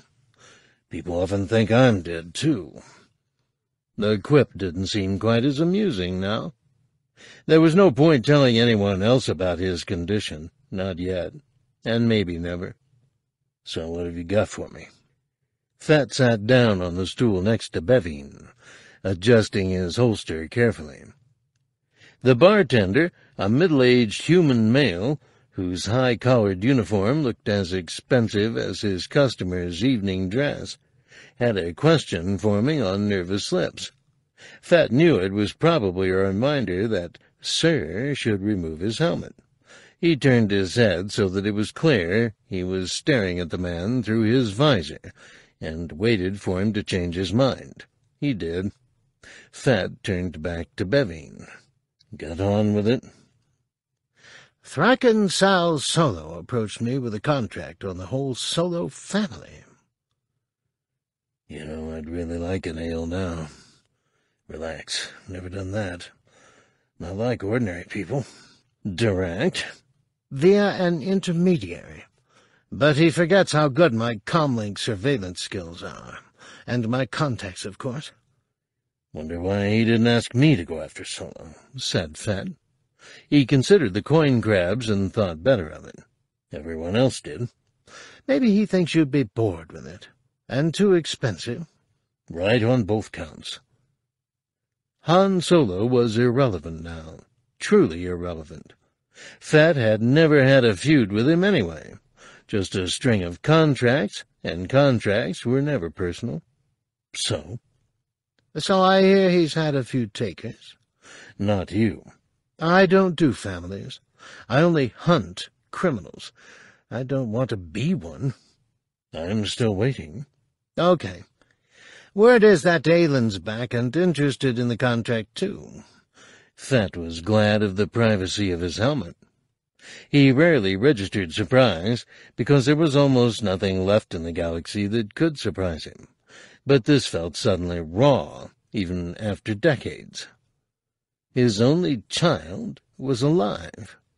He'd heard nothing of her since the Yuuzhan Vong invasion, when billions had lost their lives. How old would she be now? Fifty-four, fifty-five? Somehow I knew she wasn't dead.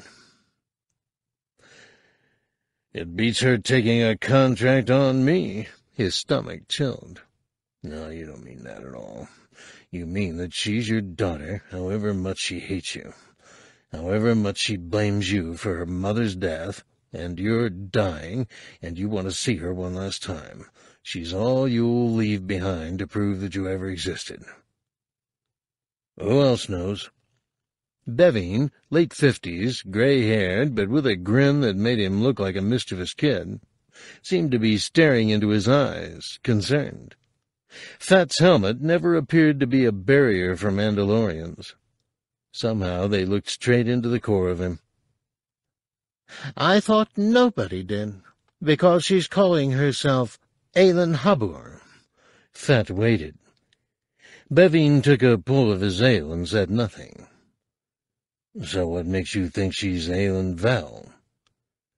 My source tells me she's about fifty, has a Kiffar facial tattoo, and flies a KDY assault ship that I think you'd recognize but I don't think that means much to anyone else these days.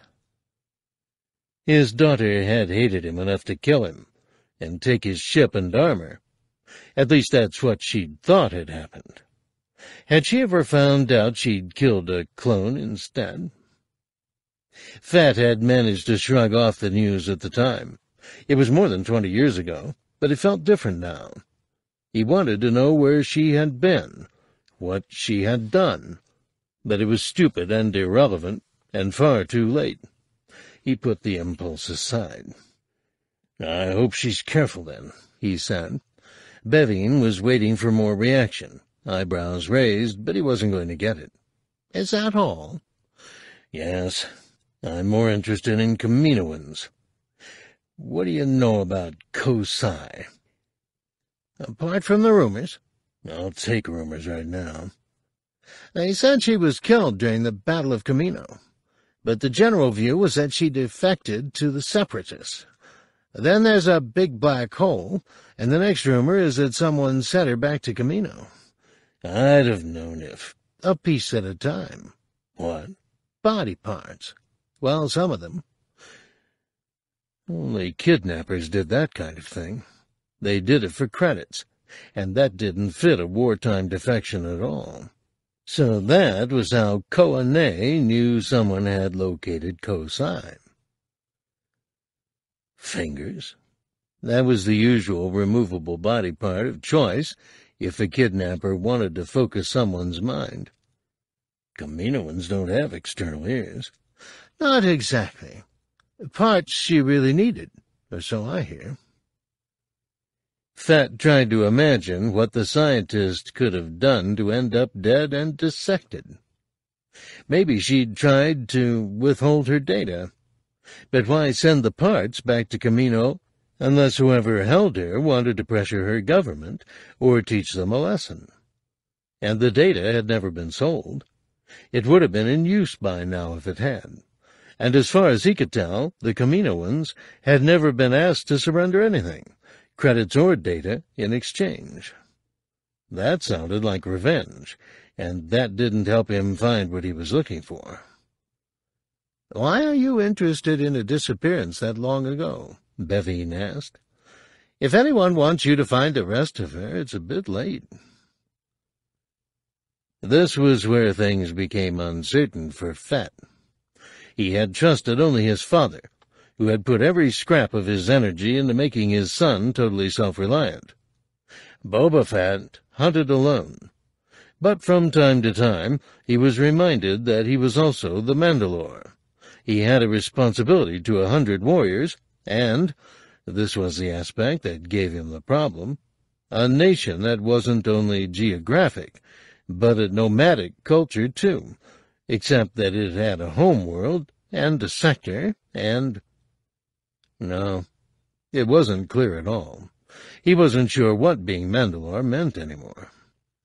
And he wondered if he thought of himself as Mandalorian first and bounty hunter second. He didn't. Ver'd ori'shya beskar'gam. Beviin took a pull at his ale. A warrior is more than one's armor. Fett rounded on him. What? Ailyn. Wearing your armor. Flying your ship. No substitute for a fighting spirit. Beviin never appeared to fear him and never called him sir. A traditional Mandalorian never would, of course. You still don't speak Mando'a, do you? Basic and Huttese, that's what I do business in. Maybe we need a little less business and a little more Mandalore. Bob'ika. Bob'ika. Some of his father's associates had called him that as a kid. His father never had, but he ignored the overfamiliar form of his name. I'm busy right now. Nothing else you want done? No. I'd better be going. Just call if you have orders for me. Beviin drained the last of his ale and scooped the uneaten coin crabs into a napkin to fold them up and pocket them. You're my Mandalore, after all. It might have been sarcasm. You sound very tribal these days. Spirit of the times. Seems to be catching on. Fett hadn't visited Mandalore or the surrounding sector for a couple of years. There was no reason why it should feel like home in the same way Kamino did. We don't even know how many Mandalorians there are in the galaxy. You don't need an ID or a birth certificate to be one of us. Beviin replaced his helmet and walked out without a backward glance. Without a drink in front of him, Fett had no reason to sit there any longer either. He slid off the stool, to the visible relief of the bar staff, and wandered back to Slave One, taking in the sights along the way. There was a share-dealing shop on the walkway. Upper City was full of them, open all hours to catch trading on the thousands of trading floors throughout the galaxy that made up the Interstellar Stock Exchange. Share dealing had become an entertainment for the wealthy on this forgotten world. Fett paused and walked into the vividly lit lobby to stand in the constantly shifting interactive holodisplay of the various markets. Coruscant's CSX, its domestic stock index, had taken a sudden dip since he'd last checked the markets on his inbound journey. The little red line was still edging down against the top million ISE index. Something must have spooked the traders. It didn't take much. A bantha could belch and wipe billions off stock prices if the market was nervous enough. Fett stretched out a gloved finger and touched the index that read Biotech. A cascade of sub-indices tumbled out in a table, and he ignored Select Company to choose Volume Share Movement. That brought up the ranked list of companies where most shares had been traded over any given period. He chose one standard month. Three companies topped the list. Santech, Arkanian Micro, and Arumed. Arkanian Micro share prices hadn't shifted more than 10%, though, and they were always among the top-priced shares. It was Arumed that caught his eye. The green icon beside the name told him it was small and relatively new, but someone had bought a 25% block of its dirt-cheap shares in the last week. Let's see what looked so appealing to them then. Fett checked the database that fed through to his helmet's internal display, but found nothing remarkable at all about the company's activities. Arumed had been trading for a year and specialized in genetically tailored pharmaceuticals, and no dramatic new product seemed to be on the horizon to warrant speculative share buying. Unless this is insider trading.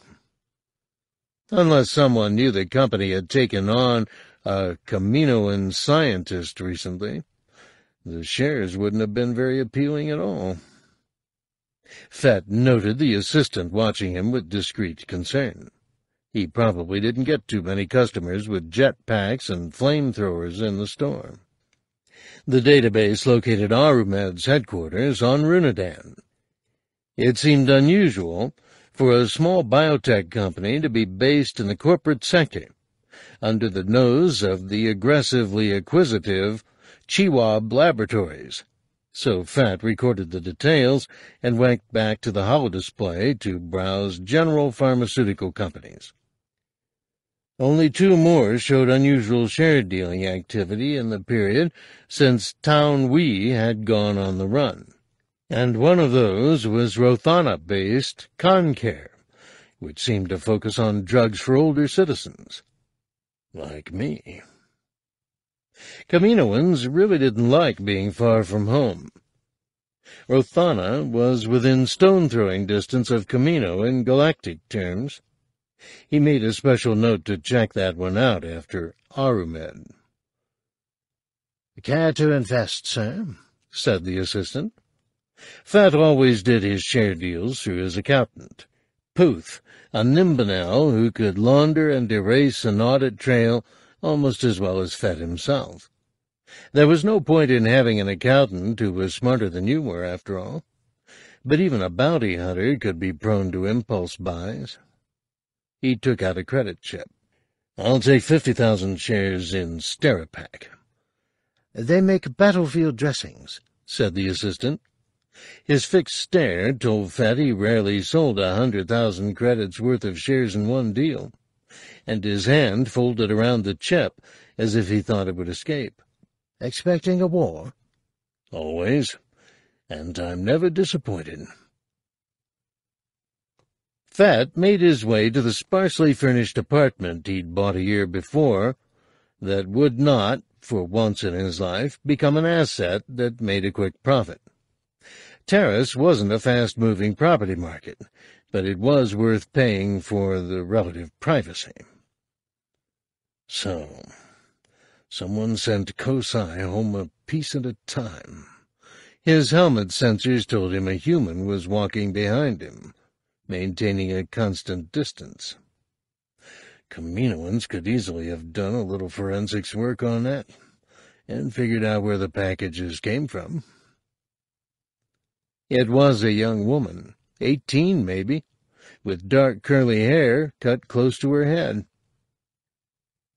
He could see the image in the HUD of his helmet, relayed from the rangefinder's rear view. And while she had a blaster holstered on one hip, who didn't go around armed these days, she looked neither local nor hostile. She was wearing gray body armor, basic chest and back plates like a Mandalorian, but without colors or markings. But she's following me. I know it. So, if the Kaminoans knew who had grabbed Ko Sai, they had a very good reason for not going after them and her research had never resurfaced. Fett was troubled when he couldn't spot motives. Everyone had a motive. Tomorrow he'd set off for Runadan and give Puth a call. He needed to get his fortune in order in case he lost his race against time. What am I going to do with it? He always thought he'd know one day, until that one day was overtaken by bad news. Behind him, the girl quickened her pace and caught up with him, close enough now to reach out, take two quick steps, and touch him.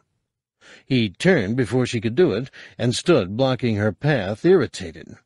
She didn't seem startled. She stared into his visor much as Beviin had, which was unusual in itself. "'You're Boba Fett,' she said. You passed your eyesight test. I need to talk to you. Whatever it is, you can't afford me. But can you afford me? Fett thought for a moment that he'd really read her completely wrong. But she held out her clenched fist, palm up, and parted her fingers to reveal a flat disk of opalescent stone, gold shot with red, blue, and violet. A leather strip was threaded through a hole drilled on one edge. It was a heart of fire gemstone. He knew, because he had given one like it to Sintas Vel when they were married. It was from her home, from Kiffu. He'd been just sixteen, Sintas not much older. No. He had given this very stone to her. This was the same gem. He could see the carved edge, like rope. Four lines of a Mandalorian marriage vow that we didn't understand. A stone that she said had some part of my spirit and hers held in it forever. Forever amounted to three years. They'd split up before Ailyn was two. Sintas had gone bounty hunting when Ailyn was sixteen and never returned. That's why my own daughter was ready to kill me. Where did you get this? he asked as calmly as he could. It was clear that the girl knew he would recognize it. There was no point bluffing. He didn't need to. From the man who killed your wife, she said. Your daughter owes me a bounty, and I know exactly where she is. Cards Tapcaf, Blue Sky Boulevard, Coronet. It was how you behaved that made the difference, Han decided. He sat in the tapcaf facing the window and watched for Leia through the rain-streaked transparisteel.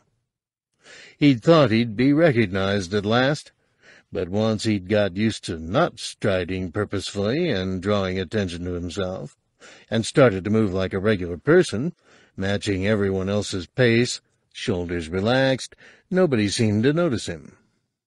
He became just another Coronet citizen having a caf and whiling away the time on the boulevard.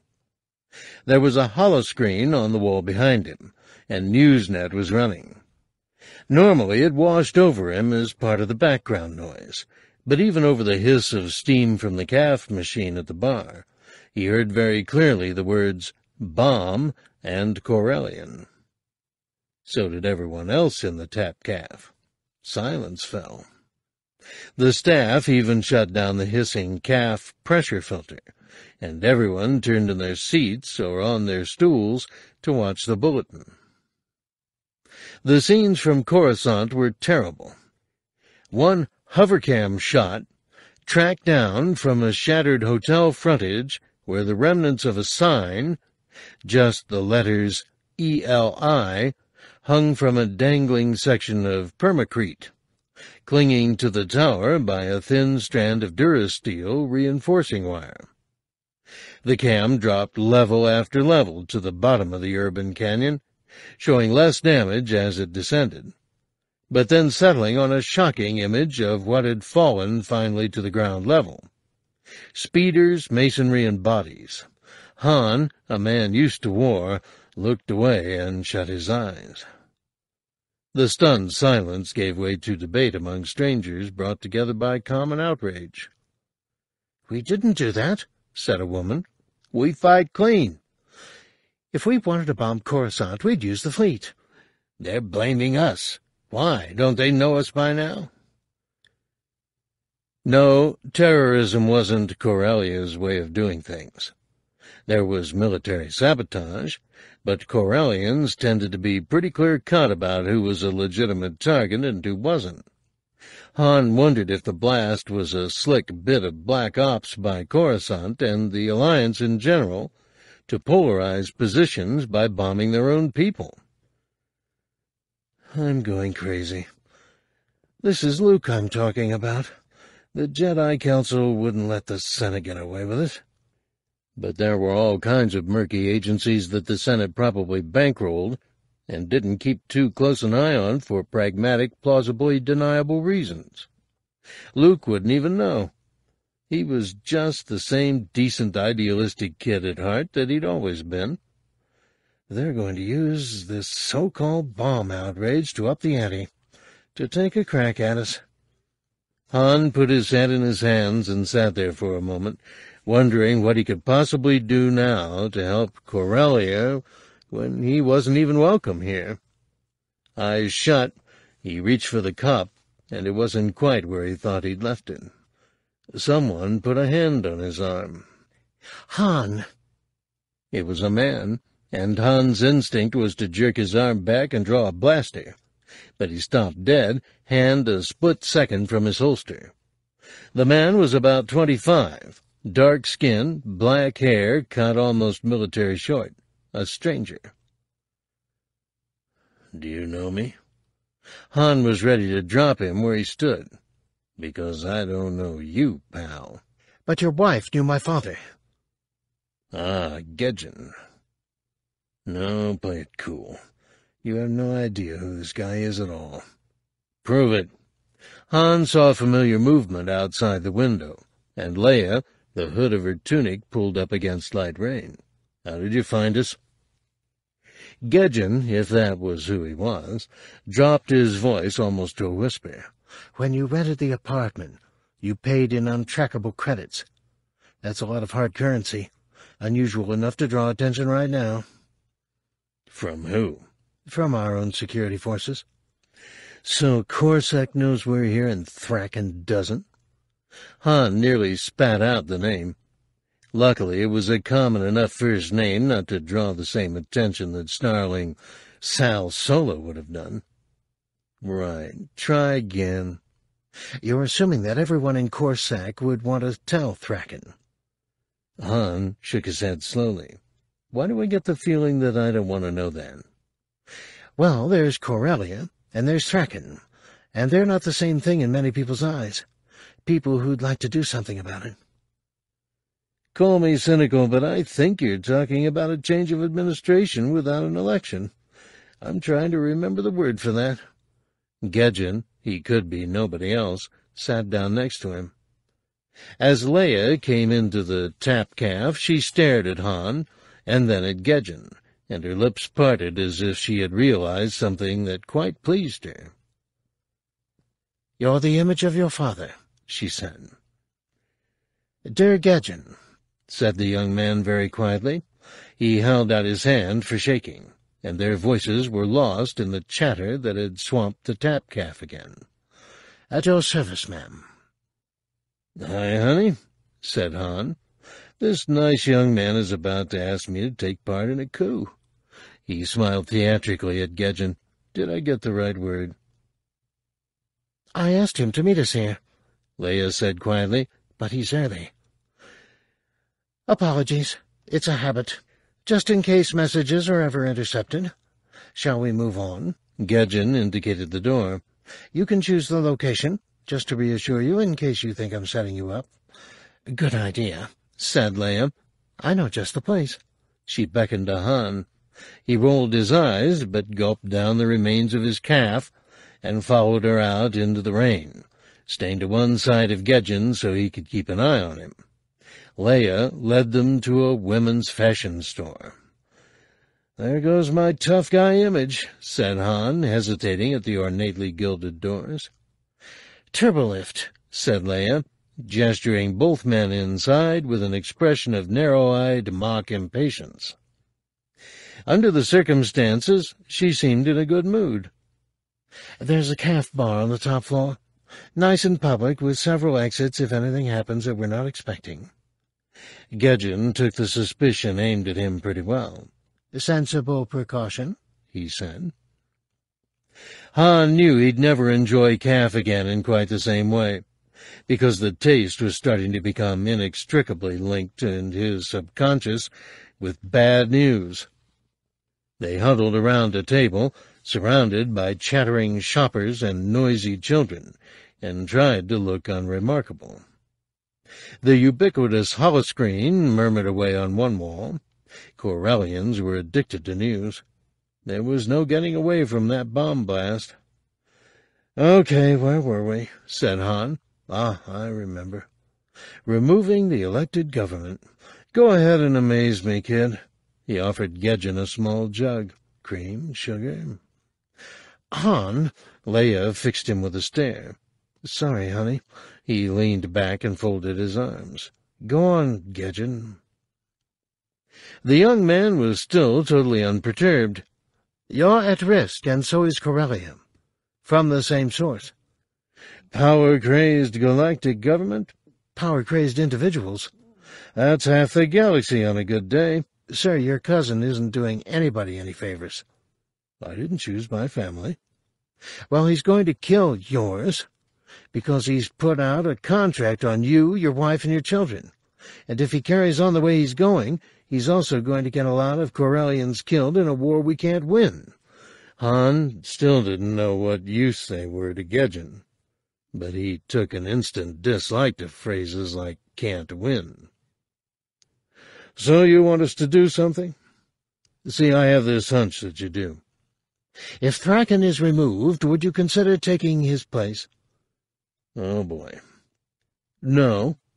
Even Leia looked taken aback. Absolutely not, she said. Yeah, I already said that, honey. Gejjen managed a nervous smile. I didn't mean to embarrass you, sir. I'll do anything for Corellia, said Han, and I agree that Thrackan's conducting his own war for his own ends, like he always does. But there's a real threat out there from the Alliance, and it is going to take a united Corellia to stand up to it. Just give me a blaster, not an office. You're not going back to Coruscant, then? Why should I? We're not running from Thrackan. Han slipped his hand under the table and caught Leia's hand. She gave it a squeeze that threatened to numb his fingers. And we're not going to live in hiding on Coruscant either. Might as well be here. I understand. Fine. The good news is that Thrackan seems to think you're on Coruscant. Well, that's another good reason for staying put, isn't it? When we find out who's taken the contract, we'll warn you. Gejjen stood up and shook their hands. He had a mature, solid air about him, an elder statesman in a young man's body. If you'd like to help relocate, you know where to find me. If we could track you, so might others. I think I already know who'll find me. Han watched Gejjen leave. When he was sure the man had disappeared into the turbo lift, he turned to Leia. Well, you didn't say much for a hot-shot diplomat. It's not appropriate for a Jedi to discuss political coups. Yeah, I can understand how that might be a sensitive area. How did you trace him? I looked up Gejjen in the comlink directories. Han laughed out loud. A large woman in a bright orange suit that really didn't do her any favors turned to look at him for a second. Funny, we always think this is cloak and dagger stuff. Gejjen doesn't need to hide. He's an elected representative of a legal political party, the Democratic Alliance. They have a lot of seats in the Corellian Assembly now. With the Corellian Liberal Front, they actually form the largest block of votes but Thrackan's still hanging on. If that dirtbag comes anywhere near you or the kids, I'll kill him, I swear. You think he's got a chance, taking on three Jedi? He won't. Contract, remember? You think it's going to be Fett, don't you? Yeah. No, not Fett. Why would he? He saved us from the Vong. Because business is business, maybe. Han could feel something rising in his chest and it wasn't the effect of way too much caf. It was something animal and irrational, something that was making his pulse pound in his temples. It was anger and fear, not for himself, though, but for Leia, Jaina, and Jacen. Thrackan's done some dirty things, but he never went this far before. Not hiring hitmen. That changes everything. He had a thought, and it was one that almost made him recoil. I'm going to kill this scumbag this time. Nobody touches my family. Leia reacted as if he'd said it aloud. No, you're not going to contact Fett, and you're not going to hire him to hit your cousin. That never entered my mind, said Han, and it really hadn't. She could see that, and she could feel it, too. He knew. Unfortunately, he knew he'd have a hard job concealing the fact that he still felt murderously protective. Besides, I haven't had to deal with guys like that in a long time. Maybe you place a want ad in Bounty Hunter Weekly these days. Or call their agents. Yes, so remember we can take care of ourselves, said Leia. I'll just warn Jacen and Jaina. Jacen. Han kept missing him every time he called or returned a message. He really wanted to talk to him now, and not to remonstrate with him. He just wanted to hear Jacen's voice. Whatever insanity had put them on opposite sides of a divide, Jacen was his little boy, and always would be, no matter how old or powerful or distant he might be. Nobody touches my wife and kids. Han Solo wasn't one of the galaxy's natural assassins. He would fight to defend himself, but he'd never gone after anyone with the intention of killing them. There was always a first time. This would be his. Lost in his thoughts, Han stirred the remains of his caf with a spoon, wondering how they got the foam to last that long, and then was jerked out of his trance by the one thing guaranteed to get anyone's attention, his own name. The words Han Solo cut through the hubbub of voices and children's squealings, as if the tapcaf had fallen into total and complete silence for a moment. In a statement issued by the Office of the State, President Sal Solo has declared Han Solo and his family to be enemies of Corellia, following the attacks on Centerpoint and Reladier, and he's ordered their arrest, said the HNE holoanchor. Han tried not to swing around in his seat or curse at the screen. He raised his head very slowly, caught Leia's eye, and focused on the screen as if bored. No, he wasn't bored at all. He was furious and a little scared. He wondered how good an actor he was, but nobody seemed to be looking at him. It was probably because the image on the screen was of a younger Han, a man still with brown hair and relatively few lines. The picture of Leia was way out of date, too. I think we'd better be going, said Leia. Some urgent laundry. Right behind you, said Han. He didn't like running, and there was nowhere safer to run. Coruscant wasn't going to welcome him with open arms either. Either way, they were fugitives. They split up as soon as they left the store, and met up again back at the apartment. Have I changed that much? said Leia. What? The picture of me that they're running. I hope so, said Han. Maybe he should have assured her she looked as good as ever to him but he thought that practical reassurance about her safety was more important than flattery right then. And I'm going to grow a beard, just in case. How about you? Leia gave him a withering stare. I didn't shave today. You didn't notice? I meant change your hair or something. The Aurra Sing look? Yes, it's so mean. I'm glad you've kept your sense of humor. You know what they say, said Leia, and took scissors from the kitchen. If you can't take a joke, you shouldn't have joined. Chapter 4 Vandals have desecrated the Corellian sanctuary on Coruscant. The domed building, a resting place for Corellian dead, was daubed with paint during the night, and marble plaques were smashed. Inside, diamonds set in the dome, formed from the compressed carbon of cremated Corellians, were hacked out of the ceiling. Police are treating the attack as retaliation for yesterday's bombing of the Elite Hotel on Skylane 4467, which left 634 dead and hundreds more injured. Nobody has yet claimed responsibility for the explosion, confirmed as caused by commercial-grade detonite. HNE Morning News Upper City Terrace. My name's Mirta Gev, said the girl. Fett stared at the heart of fire necklace in the palm of his glove, and wanted to clutch it in his bare hand, but he didn't know why. For the first time in many, many years, he felt grief. None of that turmoil showed. He made sure of that and studied her. Strongly built, heavy boots, practical armor, no jewelry, a battered, shapeless bag over one shoulder, and no concessions to feminine fashion whatsoever. Passers-by gave them a wide berth on the promenade. So are you a bounty hunter, or do you just like armor? Mirta, if that was her real name, nodded twice, just little movements as if she was measuring what she was going to say, rather than blurting out a smart answer. She seemed utterly unafraid of him, and that was rare. Yeah, I'm a bounty hunter, she said. Object recovery more often than prisoners, but I've survived so far. Aren't you going to ask me who killed Sintas Vel? No. Why? Because we parted a long time ago. Mirta shrugged and held out her hand for the necklace. I know. You left your wife when your daughter was nearly two.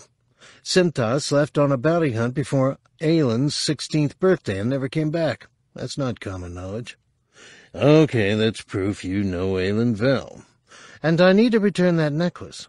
It's all she has left of her mother. Fett hesitated and handed back the heart of fire. He wanted it very badly, but he didn't rob kids like her of their meager bounties. So it's all Ailyn has left. Like all I had of my dad was his armor and his ship. How is she? What? Why am I doing this? How's my daughter? She's okay, I suppose. Angry, but she's surviving. I think you know she tried to kill me. She did mention it. Does she know I'm alive? Of course she does. Ailyn had chased him across the galaxy, or so she thought, and killed a clone she thought was him. If she knew he was alive now and hadn't tried again, then maybe she had changed her mind. No, that was stupid. You left Sintas and your baby and you never looked back. Is that how Dad treated you? No, he was always there for you. So what kind of man abandons his own kid? Every day of his life, Fett had thought of his father and missed him so much that he would have traded absolutely anything, sometimes even his life, for a few more minutes with him, for a chance to touch him and tell him he loved him. Right now it was unbearable. It was as raw as it had been on the day he saw him killed at Geonosis perhaps more so, because the shock had worn off long ago and had been replaced by cold analysis and, sometimes, dull, gnawing hatred. Do you think I want to see her again? I wouldn't even recognize her. She was a baby when I last saw her. Why are you still talking to me, then?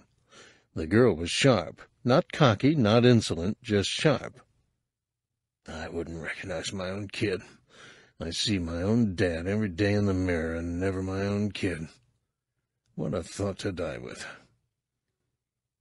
Why do you care if I find her? Because you might pay me. Right answer. I'm just trying to get by in a tough galaxy. How much? She paused. It was the first time he'd seen her confidence waver. She doesn't know how much to ask. Five thousand. It was the cost of a repeating blaster. Done. Payable when I see Ailyn Vel and proof of who she is. He didn't need her as a guide at all. All he had to do was find Han Solo, and he'd find Ailyn hunting him. But that necklace had seized his interest. You got transport? Well, just so you don't skip out on the deal, you come with me. I can keep a good eye on you in Slave One, girl. I'm heading Ailyn's way anyway, so you're just ballast. Take it or leave it. Okay. Let's go. Mirta never said a word. She just followed him. She didn't ask to go back and collect her things, or pose any questions. She was either very cool or very naive, and maybe her whole life was in that scruffy shoulder bag. But she had his wife's necklace, and sooner or later he knew he'd ask how she came by it. and how Sintas died. He'd wait a little. He didn't want to look as if he cared. She could carry on believing that he needed her to locate Ailyn. But you wouldn't recognize your own daughter, just her ship, your old ship. And here he was, a man who trusted no one, chancing himself on the word of a girl he didn't know, when he should have been concentrating on finding Taun We and Ko Sai's data. But he could do that as well. And if the girl turned out to be trouble, he could always shoot her. Security and Intelligence Council meeting room, Senate building. I think you could do this, Mara, said Chief Omas. The enemies we face won't always be conventional armies, or even in a separate theater of war, so we feel we need a separate arm of the Defense Force concentrating on domestic security. Domestic security. Sounds like a lock on the front doors and an intruder alarm. Jacen watched, still concerned by the speed at which events were unraveling. Mara didn't move a muscle. She sat with her legs tightly crossed and arms folded, and Jacen felt her dismay from across the room without even wanting to. He tried not to look at Luke, who was standing by the window staring out at the Coruscant skyline.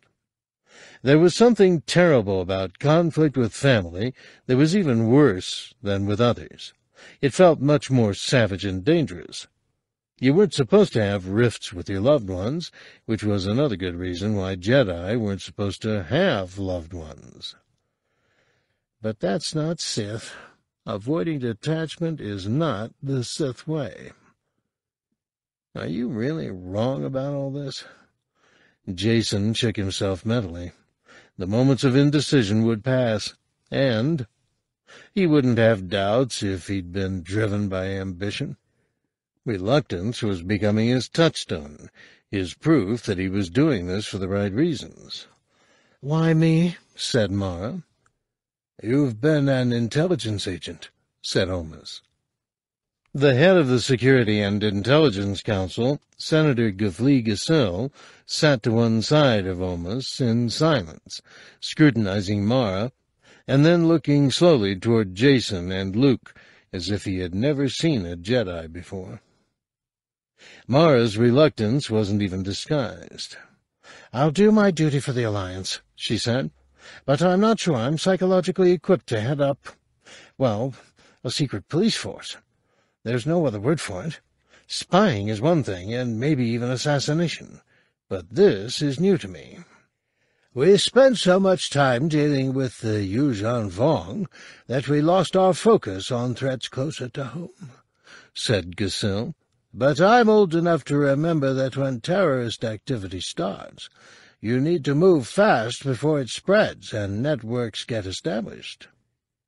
If they aren't already, the world brain tells me they're on the move, gathering, meeting. Let me think about it, said Mara.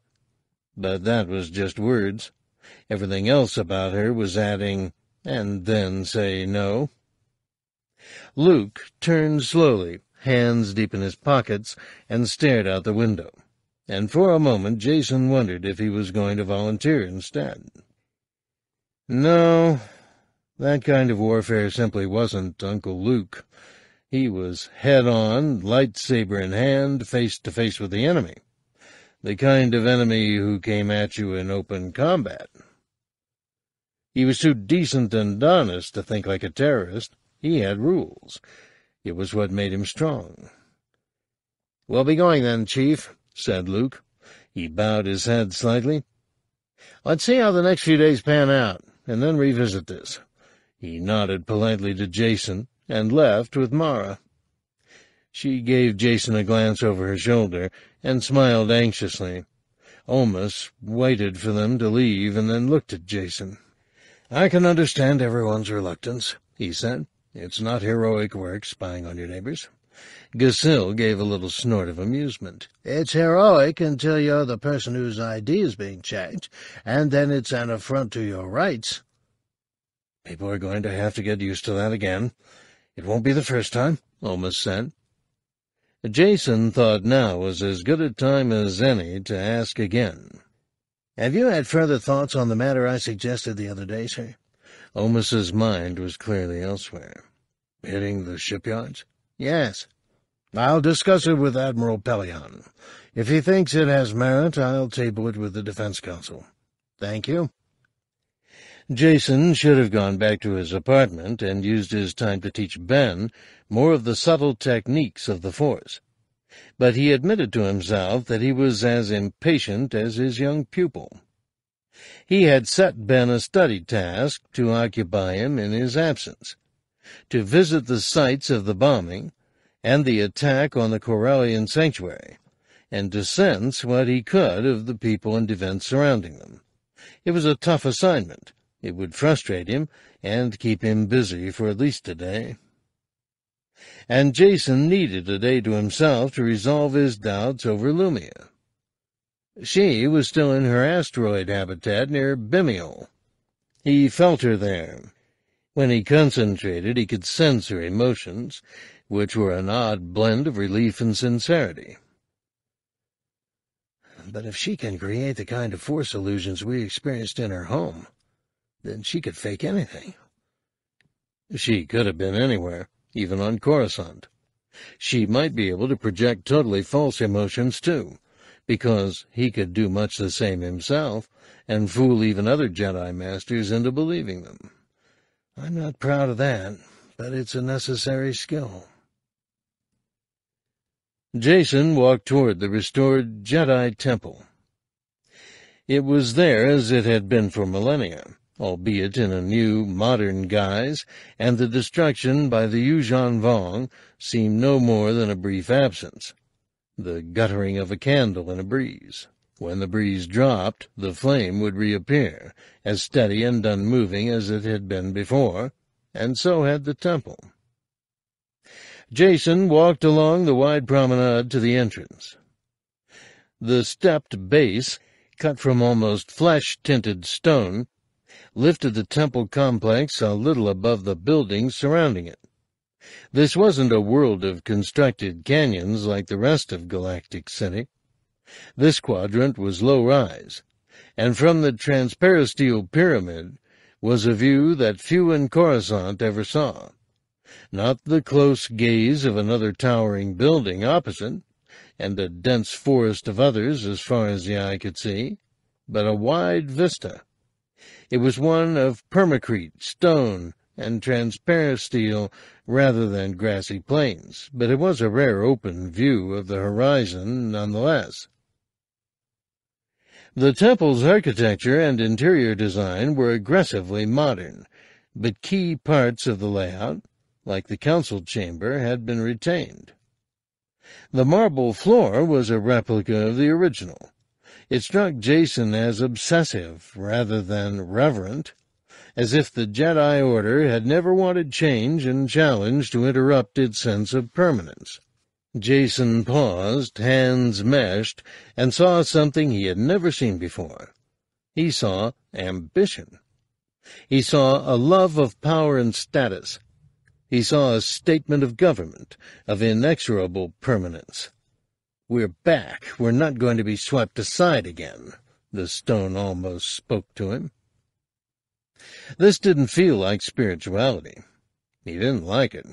No wonder Luke had insisted that the new grand trappings in the council chamber be removed. Jacen shivered at the touch of mundane ambition. And to think he'd been afraid that he was being lured to the Sith way by a lust for power. He lowered his arms to his side and tried again to feel something that would explain the sense of a tightly grasped power that pervaded the building. It almost tingled in his fingers. It moved in his chest like a symbiont that had invaded his body. It might be the ambition and pride of architects, craftspeople, builders. Don't judge so fast. But construction droids had done most of the work. He couldn't shake off the clear impression of the exercise of power, and the love of it, that felt as if it had built up like sediment in an ancient river over centuries. He hadn't felt it before. Marble and pleakwood created an understated, cool interior, interrupted occasionally by faithfully copied busts of great Jedi masters, displayed in niches in exactly the same places as they had been before the Yuuzhan Vong, and before the temple had burned in the purges following Palpatine's seizure of power. Jacen paused again as he walked through the lobby. There had been objections to the cost of the reconstruction of the temple, when so many urgent post-war restoration projects seemed more pressing. Some citizens couldn't see the point. The government insisted. The Jedi Council said it wanted to restore normality. Uncle Luke, this was never the way you saw the Order, was it? How did they talk you into this? Jacen knew exactly where he was now, and it scared him. He had a finely tuned sense of where he was in space. Had he rolled back time fifty-nine years to this exact distance from the planet's core, this exact distance from the planet's north pole, this very point in three dimensions, he would have been walking with his grandfather, Anakin Skywalker. But I can walk back in time. Jacen could time drift. He was almost too afraid to, but he did almost without thinking. As he projected himself into the past and merged with its reality, he saw a young blond Jedi with his lightsaber drawn, flanked by troops in white armor. Jacen was looking at him from behind. He could see the muscles in his jaw twitching as his head turned, seeking something. He could feel his dread and determination. Nobody spoke. They were searching, all of them looking to one side, then the other, aiming rifles and lowering them a little. Something terrible was happening. Anakin? Anakin Skywalker held his lightsaber two-handed, and for a moment Jacen was one with his grandfather's emotions. He was overwhelmed by a dread and reluctance, the same dread and reluctance he had felt himself when Lumiya told him his destiny. Jacen felt, too, a crushing sense of something terrible and deadly about to happen. He hung back. He'd been spotted while time-drifting before, and had been forced to withdraw. But he had to stay with this. He hardly dared think ahead. I might be able to ask him. I might be able to ask Grandfather about his own fall to the Sith. This would be his answer about his own path. He touched Anakin's emotions again, comparing them with his own, and then he felt something that was not within him at all. It was desperate, terrified loss. For a second he couldn't identify it. Then it settled and became clear in the form of a tight sensation in his throat, and the pressure of tears behind his eyes that stung and burned. It was very like the brief misery he had felt when he left Tenel Ka and his daughter. Anakin was facing separation from Padme and was terrified by it. But it wasn't a moment's emotion for his grandfather. It was the whole of him. Anakin had been driven to the dark side by agonized love. The revelation stunned Jacen because it was so narrow and so selfish. Relief flooded him. This is different. That isn't what I feel or what's driving me. And right then he wanted to talk to his grandfather more than anything he could imagine. It was a burst of love for a man he had never known, a man who had helped to bring balance to the force. You're insane. You're going too far. Don't even think about influencing the past. But he had absolutely no idea what the past really was, right up to the point where he saw the younglings approach Anakin, scared but clutching their lightsabers, telling him there were too many soldiers for them to drive off. Anakin stared down at them. Then he drew his own saber, and Jacen tasted absolute grief and shame and duty. He was hunting Jedi. He was killing them somehow, For Padme's sake. His reasoning was vivid and focused. Jacen knew that Anakin had done this, but seeing it, feeling it, living it, was agonizingly new and shocking, because the emotion was so desperately animal in its intensity. No, I'm not feeling this. It's one of Lumiya's vile tricks. I'm not seeing this. Then one of the armored troopers appeared, raising his rifle, and Jacen jerked himself out of time and back to the present, heart pounding. Grandfather? Are you all right, master? said a very young apprentice. The girl had a bright, optimistic face like polished ebonite. She held a datapad in one hand. Can I get you some water? I'm fine, thank you, he lied. Just a little giddy, that's all. The girl bowed her head politely and walked off, eyes fixed on her datapad. Jacen wanted to vomit, but he controlled his shock and revulsion. He now knew things he could never erase from his mind. It was Anakin's moment of madness, his surrender to slaughter even though he knew it was insane. That wasn't the man he had grown to understand through his mother and uncle. Would he go that far for his own wife? Would he know where personal need outweighed his duty? He centered himself with every scrap of effort he could muster, and waited for the turbolift, eyes averted when anyone passed. He felt they could see the horror in his soul. But of course he was now adept at concealing even that from other Jedi. I'm not grandfather, the lift seemed to take forever to arrive. I was meant to see how low he fell. He hit the control with the heel of his hand, fighting tears. Come on, what's keeping you? Two apprentices stared at him, but hurried past. That's my proof. That's my pain. I have to embrace it to understand that I am not making my grandfather's mistake all over again. Jacen knew what it was to love, and he was older and far more experienced than Anakin Skywalker had been then. He could handle what was happening to him now. He would never do another's bidding, and he could become a Sith without fear of being sucked down into something evil. He still didn't relish the duty, but it was a duty, not a delusion. He wasn't repeating his grandfather's mistakes. He was absolutely certain of that now. Relief, unbearable sorrow, and disbelief fought in him. He might have asked his grandfather for his reasons, but that was for his personal comfort, and not for the purpose of peace, so it would have to wait.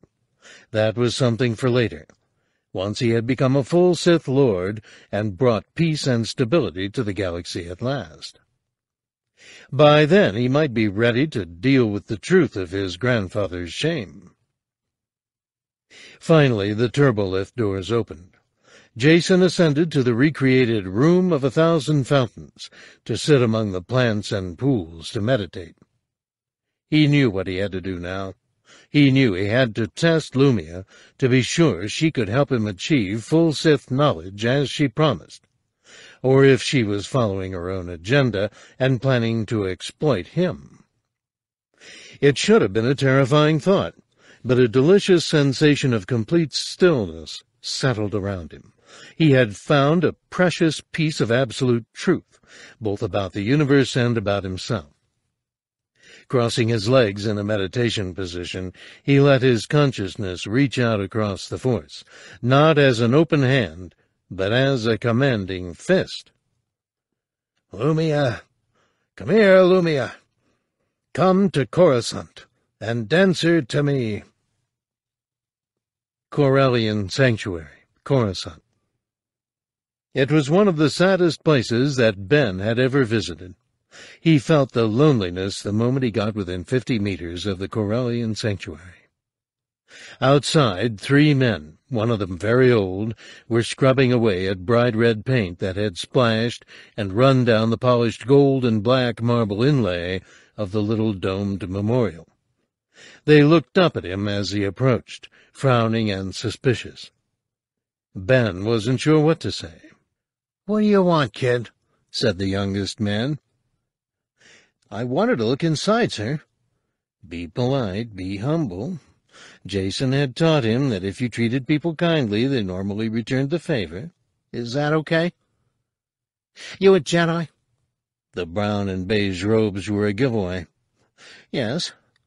Why do you want to see inside? My uncle's Corellian. And it wasn't even a lie. He was genuinely as curious about Corellians as he was determined to complete the task that Jacen had given him. May I go inside? The men looked at him, then at each other. I'll take him, said the old man. Ben hesitated on the threshold.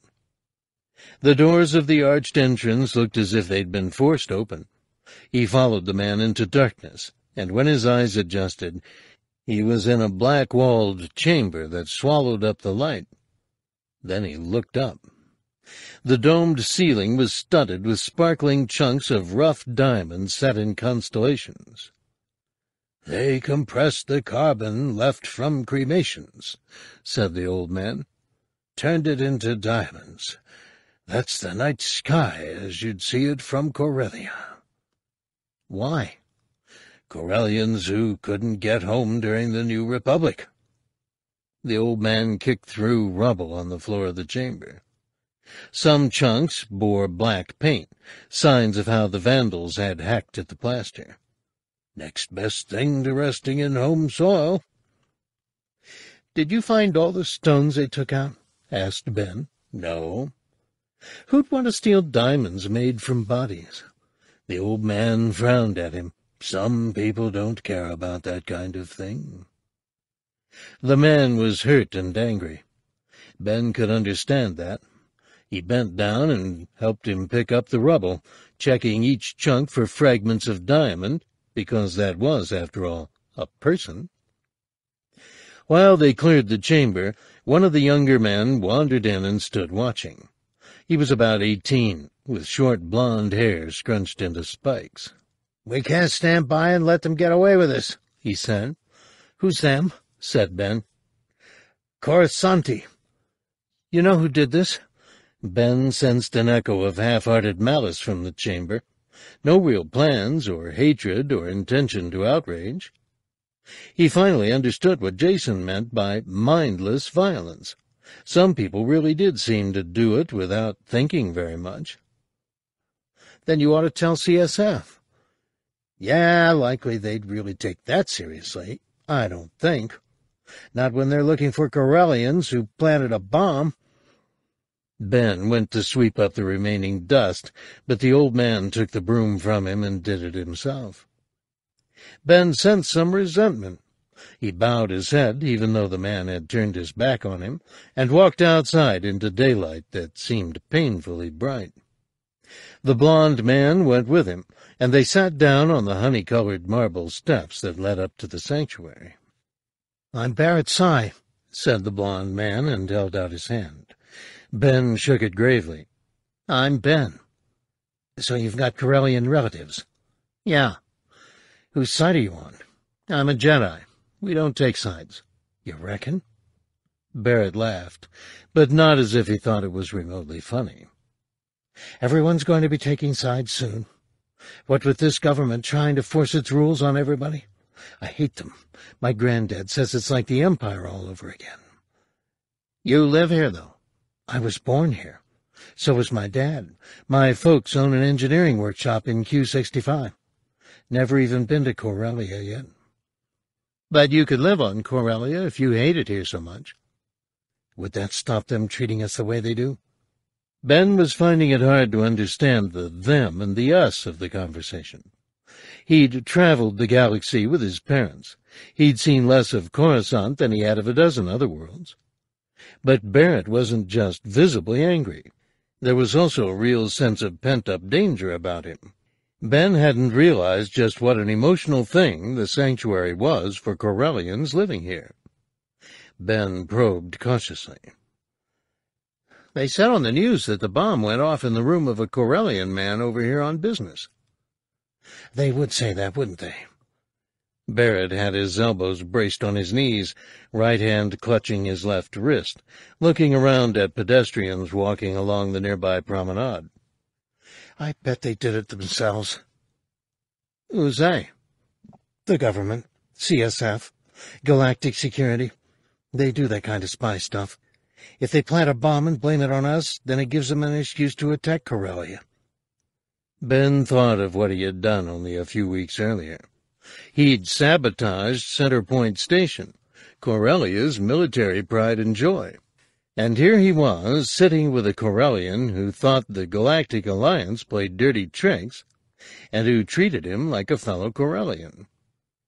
Ben felt a little thrill, the kind that came from having a secret identity, and then he felt pretty bad about it all. But he'd done what he had to do, hadn't he? What do other Corellians here think? Barrett shrugged. There's a lot of us, and enough don't want to be dictated to by the Galactic Alliance. Ben took that to mean that there would be a war after all, just as Jacen had warned, and just as Ben had felt when he sensed the anxiety in the force. So you'll be going back to Corellia to join the armed forces, then? Barrett lowered his voice. Why do that, when we can fight better here? Ben thought about that for a moment. Adults often said things to him that they really shouldn't, seeming to think that he was too young to understand. Sometimes he was, though he always remembered what was said to him. But he wasn't too young to understand Barrett. It's just talk. We all say stupid things when we're angry. Even so, he would remember it. Chapter 5 My fees 500,000 credits each for Han Solo and his son. If you want the Solo women folk and the Skywalkers too, that'll be extra. I remember the Solo kids, but I don't think they'll recognize me again. Ailyn Habuur, a.k.a. Ailyn Vel, bounty hunter, to an intermediary for Thrackan Sal Solo. Municipal Port, Lower Coronet, Corellia. Han Solo had a smuggler's fine-tuned sense for avoiding trouble, but he was a little out of practice after years of respectability, and there was definitely a different skill needed to evade detection in a city in peacetime. He made his way to the Millennium Falcon under cover of darkness to check on the hyperdrive. It still needed work. The distance from the rented apartment to the municipal landing strip was two kilometers. The Falcon nestled among a motley array of vessels, making what should have been an easily recognizable ship just one dented, scraped crate among scores of freighters, modified fighters, speeders, taxis, landing craft, and any number of heavily modified, shabby, and unidentifiable craft. Corellians were eclectic in their choice of transport, so one more vintage ship in a dubious state of repair wasn't going to draw much attention. In fact, the Falcon wasn't even the only ship of her class parked on the apron. There were, as far as Han could see, at least three others. He ambled around the starboard side, pressed the security pad in his pocket, and lowered the ramp to board her. Once in the cockpit, he switched her to tick over, and the array of status lights and readouts flickered into life. This was home. It had been for as long as he could remember. This was where he had spent some of the most important moments of his life, where he had spent time with friends like Chewbacca, where he had found out who he really was. Permacrete and mortar meant nothing to him. The Falcon was more than home. She was family, too, and all the people he had ever loved had passed through her sooner or later. He patted the console bulkhead lovingly. "Hi, baby," he said. "How you doing? Let's make you all better." The hyperdrive was still off balance. The coils and injectors needed a little more care spent on them to make sure that they released exactly the right amount of energy into the drive at the proper rate. Some of the repairs were simple mechanical stuff, like finding the correct gauge of Durasteel for the bolts on the housing, and the shafts that created the fields. However advanced the propulsion system, it still came down to a point where huge forces created by energy had to be transferred to the good old-fashioned Durasteel and alloy parts that held the drive and the hull together. Small vibrations became magnified. Eventually, they smashed whole ships. Han checked the automated system that sent sound waves through the hull to check for stress microfractures in the casing and airframe. There it was, stressing around the drive housing.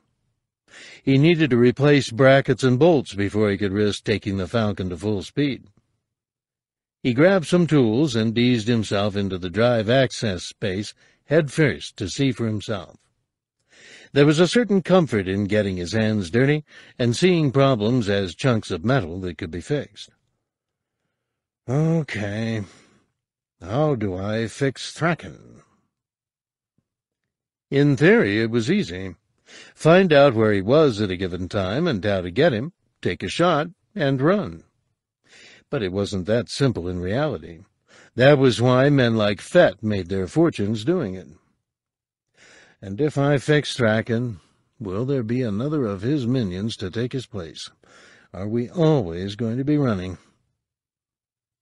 No, it was just Thrackan. It was personal, like it always had been and nobody else could hate you quite as thoroughly and efficiently as your own kin. Han tested the torque on the housing bolts with a hydrospanner and noted the illuminated display on the handle. There was a little play in the bolts, not enough for flesh and blood to detect, but discernible by sensitive equipment.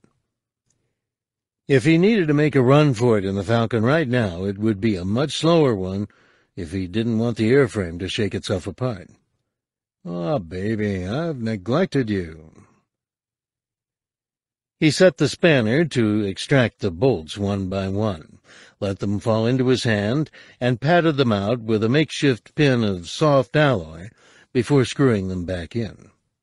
That would cut down on the movement until he could find the right spares. I promise I won't let you get into this state ever again. Touching, said a voice above him and he jerked into a ball instinctively, knees tight to his chest, as the flare of blaster fire hit the deck a handspan away from where he'd been lying. He rolled under the housing and reached for his holdout blaster. Another bolt sizzled on the bulkhead to one side of him. He smelled singed paint and ozone. He was right under the housing now, too far under for whoever it was to get a clear shot at him unless they got down flat on the deck and fired at floor level. Well, it wasn't Fett, that was for sure. He'd have been dead by now if it had been. Han rolled over onto his belly with one elbow braced on the deck of the compartment to propel himself on the smooth surface, and his blaster in his other hand. It was hard to see at this angle, but he spotted movement and knew he was looking at Boots. Come on out, Solo, said the voice.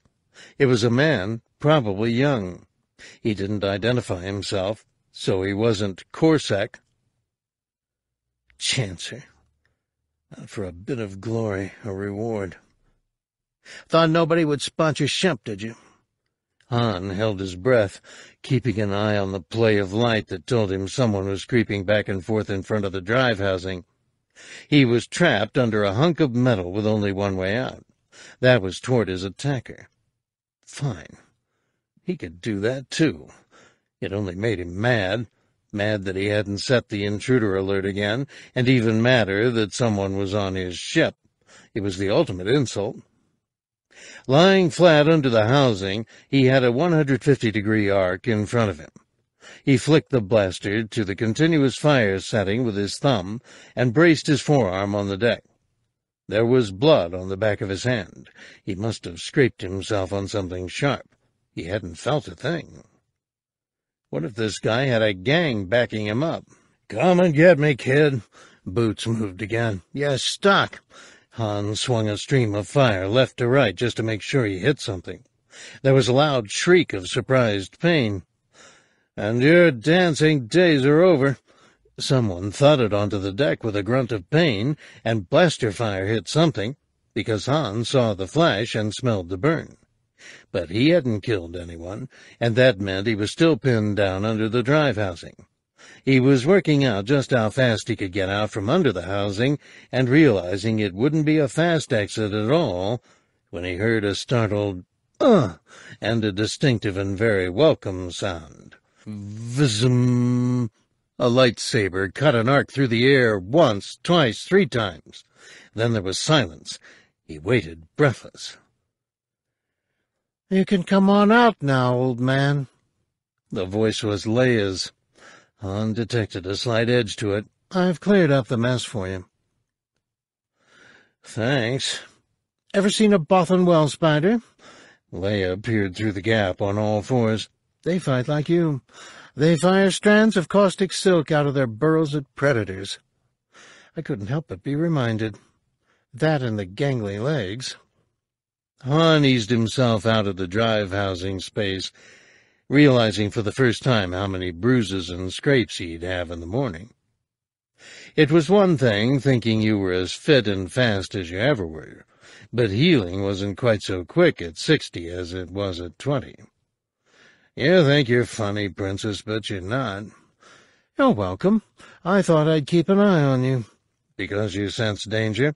That, and I know how you shut the whole world out when you're thinking about this ship. Yeah. Love's blind. Han dragged himself out, catching his scalp on something and cursing. When he straightened up, Leia was standing over what Han could only describe as a dead guy. He was in civilian clothes and looked about thirty. He wouldn't be seeing thirty-one, that was for sure. Leia held the lightsaber hilt in one hand, visibly jumpy. She tossed her head, as if the novelty of having shoulder-length hair instead of a braid almost to her waist was taking some getting used to. "'Suits you,' said Han.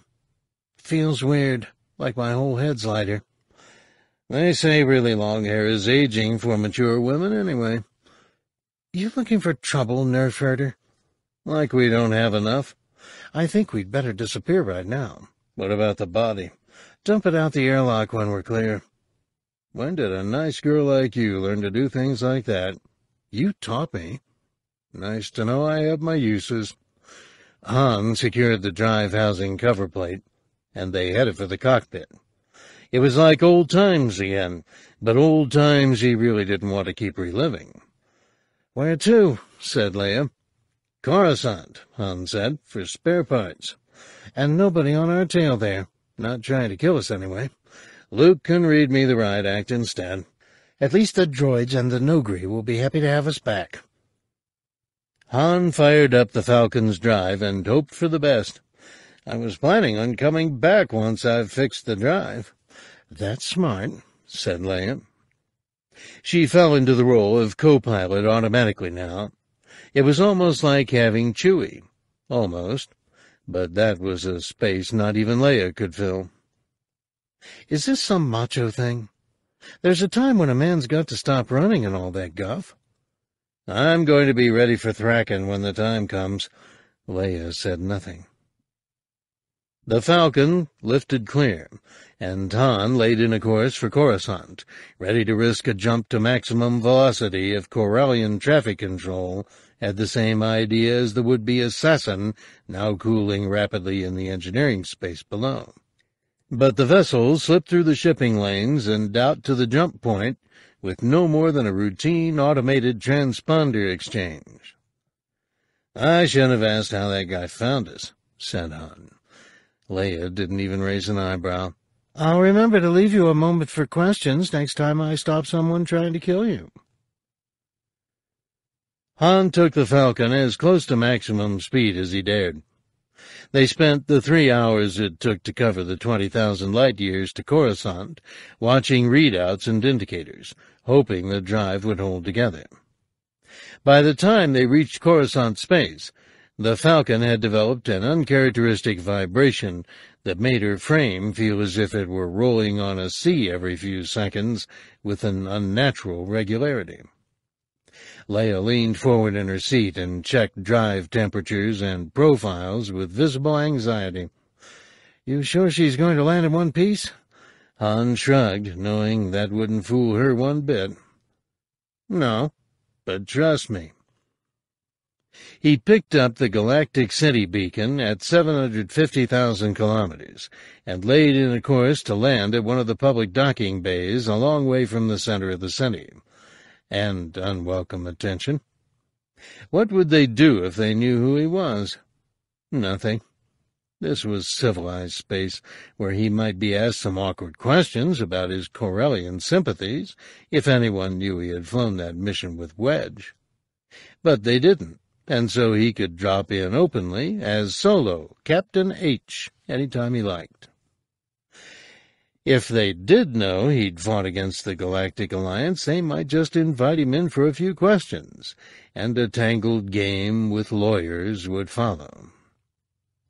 This was Coruscant, a planet run by law and conventions. People didn't disappear here, except in the criminal underworld. But Han was cautious enough to stay with the anonymized transponder that identified the Falcon this time as a Tatooine freighter. There was a time when a visual check or a thermal signature would have betrayed her as a fighting ship, but she was old and any number of eccentric traders flew modified fleet surplus warships these days. They had nice big cargo holds and handy defensive armament, which was just what was needed in some of the wilder parts of the galactic business community. The console computer chatted silently with Galactic City ATC, swapping messages that blurred into streaks of illuminated text and symbols. The screen settled on a comforting message designed for human eyes. Clear to dock at berth BW9842. Time window 1245 to 1545. Okay, prep for docking, said Han. You never say that. I never thought the drive might land without the rest of the ship before. Leia watched the console with a slight frown, white and green lights from the instruments reflecting on her face. Han found he was studying her for signs of dismay, as if her confidence alone would make for a safe landing. The Falcon was vibrating noticeably now. Nothing spectacular, but a regular, barely perceptible movement, like a missing heartbeat every five seconds or so, with a slight murmur of moving parts that a pilot would hear only if he knew the ship as well as he knew his own body. And Han knew the Falcon that well. So did Leia. She glanced at him and winked. It'll be fine. Dropping to sublight. Sublight, said Leia, confirming the helm order. The Falcon murmured again. Han found his knuckles straining white under the skin of his right hand as he clutched the yoke. The more tightly he held it, the more the vibration felt magnified into something to worry about. Engaging maneuvering drive. The drive kicked in with its own distinctive hums and resonance. Come on, baby. Just a regular landing. You've done a million of them. Stay in one piece. Distance 500,000 kilometers. Adjusting angle of approach. Make 24 degrees. Correcting to 24. Holding steady. The navigation display showed a neat grid of lines and numbers with the icon that represented the Falcon aligned on the course that represented a safe approach to the Galactic City landing strip. A rhythmic shiver intruded into the familiar layers of sound and vibration that Han knew without even thinking about it as normal. Don't say it, Leia said sharply. Don't say what? That you've got a bad feeling. Never crossed my mind, Han lied. Crossed mine. Leia didn't even look up from the control console. Because I've got one, too.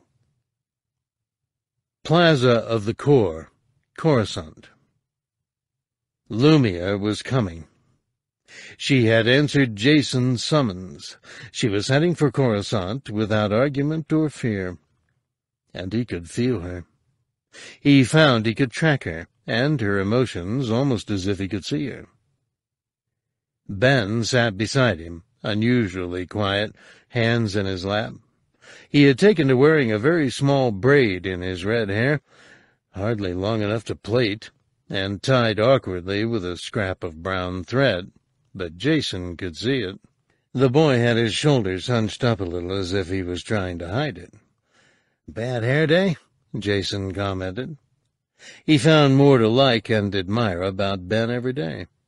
The boy had growth spurts emotionally as well as physically, and the last few weeks seemed to have literally made a man of him. But Jacen wanted him to keep his sense of humor. He'd need it in the years to come. I, er, thought I ought to grow it. Ben's blush almost matched his hair. Does it look stupid? Not at all. But you're not technically an apprentice, so you don't have to wear it if you don't want to. I want to. Fine. Good. Who are we waiting for? I hate fooling him, but it has to be done. A woman is going to do some research for us. Military threat analysis. He took one more risky step, but Lumiya's old name was a common one, unlikely to draw any attention, and it ruled out slips of the tongue. Her name's Shira. You might see her around from time to time. But we could get analysis from the Security and Intelligence Council. I like to have an independent view as well. You can never have too much information. Jacen gave Ben a playful nudge. It helped him bury the shock that kept resurfacing after seeing his grandfather commit an atrocity. Talking of which, you haven't given me your threat analysis. Ben's eyes widened. He wanted to please. Of what, Jacen? I'm waiting to hear your impressions of the locations you visited. I didn't get much from the bomb site.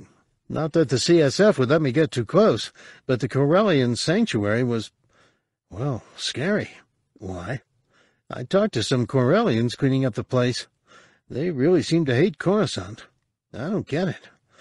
Coruscant has had rifts with Corellia before. But they hate us, and they live here. It's a cosmopolitan planet. Lots of worlds we might end up fighting have communities here. But, Jacen, if they're talking about fighting us here, are they? Well, a guy a little older than me. Probably just bravado. Ben's sudden lurch into sober manhood, unsteady as it was, touched Jacen. It's always interesting to note what sparks wars. It's often something relatively small, but for some reason it just tips the situation into chaos. That's the real enemy, isn't it? said Ben. Chaos. Jacen almost shivered. It was another perceptive, wise beyond age comment of the kind Ben was increasingly prone to. It might also have been the clarity of someone too young to have his thinking muddied and corrupted by convention. It was also almost a Sith sentiment. Ben would make a good apprentice, and for all the right reasons. His sense of duty was starting to become tangible. I reckon so, Jacen said. The galaxy works best when things are certain. Jacen kept an eye on the movement of citizens crossing the plaza. He knew Lumiya wouldn't be so crass as to turn up in her exotic triangular headdress and trailing a light whip. He could feel her coming, and it was almost a game to spot her by eyesight alone. He hadn't warned her that he'd have Ben with him. He wanted to see how she reacted to Ben, and also how Ben reacted to her. Ben still couldn't recall what had happened out at Bimmiel, although he'd stopped asking now. About a hundred meters away, Jacen caught sight of a middle-aged woman in a neat red business suit, plain tunic and pants, that was so dark it verged on black. She had a matching scarf wrapped around her head that covered her entire face. Her eyes were obscured by a gauzy inset of some translucent silk. It was a practical fashion common on arid, dusty worlds, and it seemed to be catching on in the capital, too. He knew it was Lumiya. He magnified his presence in the forest to get her attention, and she changed direction slightly as if she had spotted him like anyone else might. The closer she came, the stronger the sense he had of a Sith making a conscious effort to conceal her presence in the Force, and almost succeeding. "'Is that her?' Ben asked. Lumiya was close enough now for it to be obvious that she had seen Jacen, and was walking straight toward him. She must also have seen Ben, but she didn't react at any level. She stopped right in front of Jacen, holding a black folio case in front of her with both hands almost like a shield. She had a soft, shapeless black bag over one shoulder. He suspected he knew what was in it. Master Solo, she said. Nice touch. And even her voice was different. I'm not a master, but thank you, Shira. He turned deliberately to Ben. This is my apprentice, Ben Skywalker. In an unofficial sense, of course. I'm sure I've seen you before, said Ben. He sounded genuinely baffled, but there was no hint in his emotions that he recognized her as Brisha, the woman he had taken a dislike to at Bimmiel. Nice to meet you, ma'am. You might have seen me around the university, said Lumiya. I'm only thirteen, said Ben. Really? Oh, perhaps not then. She proffered her folio to Jacen, suddenly a very convincing academic. I have assessed the current military capacities of Corellia and worlds most likely to support it. Would you like me to go through the reports with you? Good actress. Lumiya's skill at creating illusions extended into the physical world as well. I thought we might go to the Jedi Temple, said Jacen. Temptation and threat in one package for a Sith. There are quiet areas where we can talk. Ben, do you want to come too? Jacen expected him to insist on coming. He was desperately anxious to learn, even if that meant sitting through meetings that even adults found boring. But Ben dropped his chin slightly, as if about to admit something. Is it okay if I visit Fleet Ops? Admiral Niathal said I could. Jacen hadn't expected that. Of course.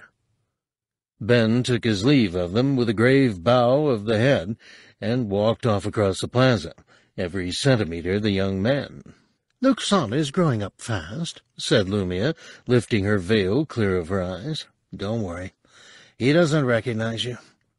Why have you brought me here? I wanted to discuss what we began to explore back in your home.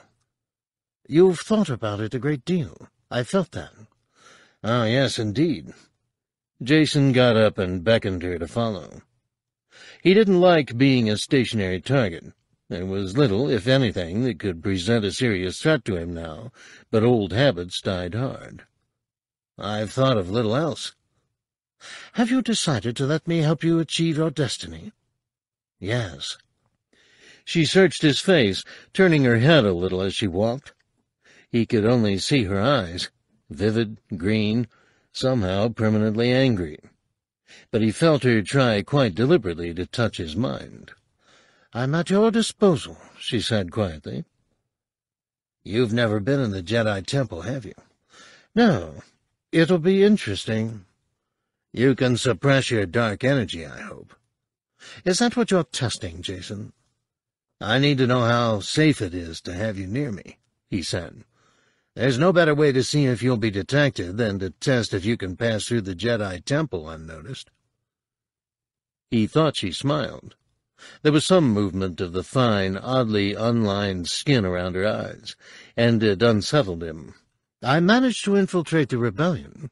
You weren't Sith then. I've hidden for decades. She replaced the veil. I can hide indefinitely, anywhere. This was arcane mysticism on a scale that only a handful of people in the galaxy had ever needed to consider. And yet Jacen found himself hailing an air taxi and getting into it with a Sith master, as mundane and everyday an act as he could imagine. He savored the incongruity of it.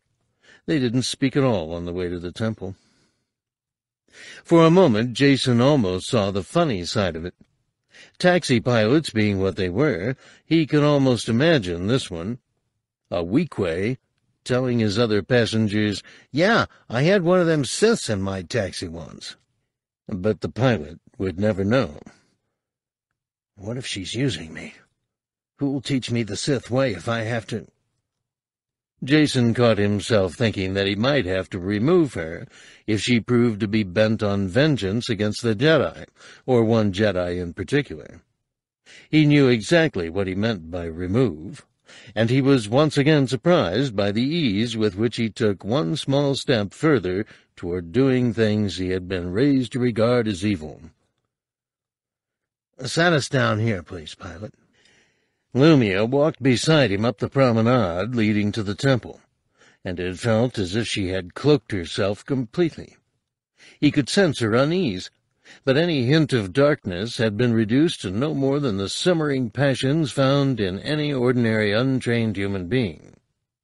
She passed through the huge doors of the imposing entrance and reacted just as any ordinary person with no force sensitivity would.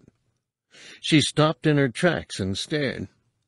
If she hadn't been wearing a full veil across her face, Jacen thought she might well have been gaping, too. It's quite an exercise in material magnificence, isn't it? he said. A statement of power, Lumiya responded, wonderfully ambiguous. Let's see how much temptation you can stand.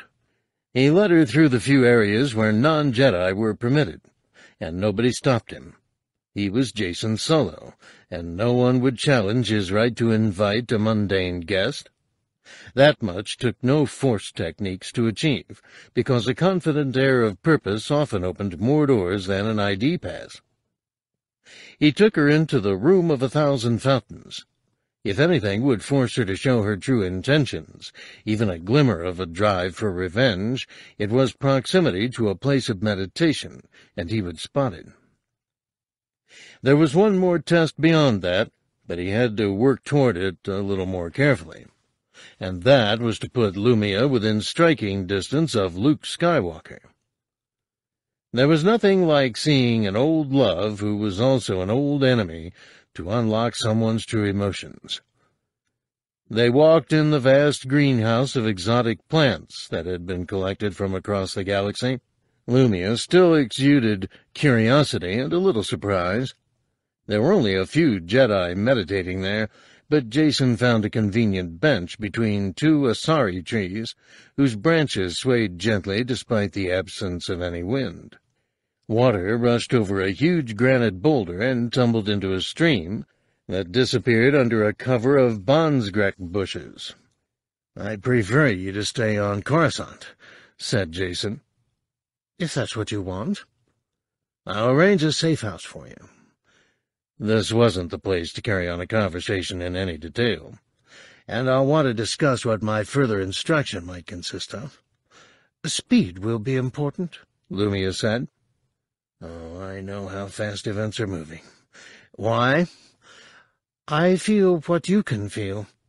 That we're on the brink of another war, and there are some wars from which people might never recover. I don't think there's ever been a time in our recorded history when there wasn't a war going on somewhere. All the more reason for changing the future, then.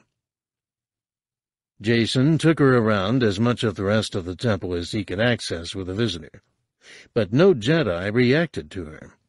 She didn't betray a single emotion that indicated any agenda beyond what she claimed she had, to help him fulfill his destiny as the Supreme Sith Lord. He checked his chrono. A wild idea occurred to him, and he was getting used to listening to those as suggestions from the Force. The scheduled High Council meeting would be ending soon. All his study in a hundred different ways of harnessing the Force had come to a single point of fruition now. The only gaps in his knowledge of the Force were those of the Sith. Sith techniques are just another weapon. And they weren't inherently good or evil. They just existed, like a blaster, and you could just as easily use a blaster to murder as to defend. It all depended on who held it and who stood within its range. That much he knew. All right, how do I change the future for the better?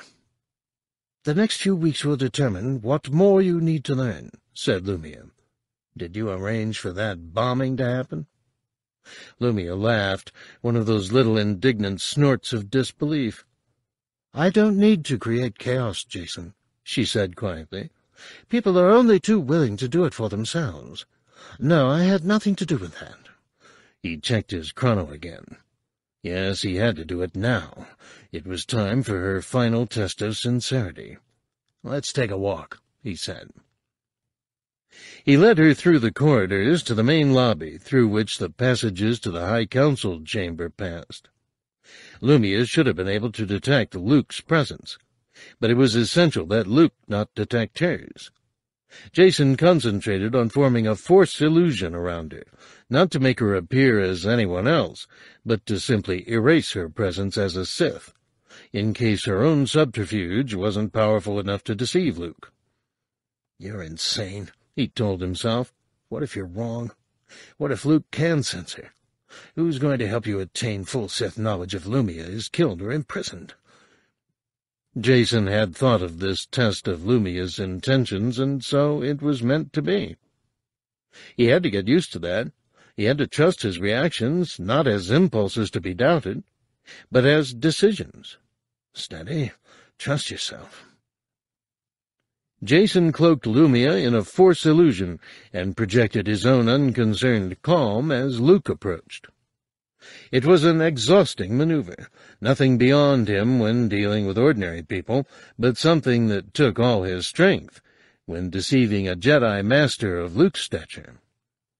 Luke strode toward them and glanced back over his shoulder a couple of times as if someone were following him.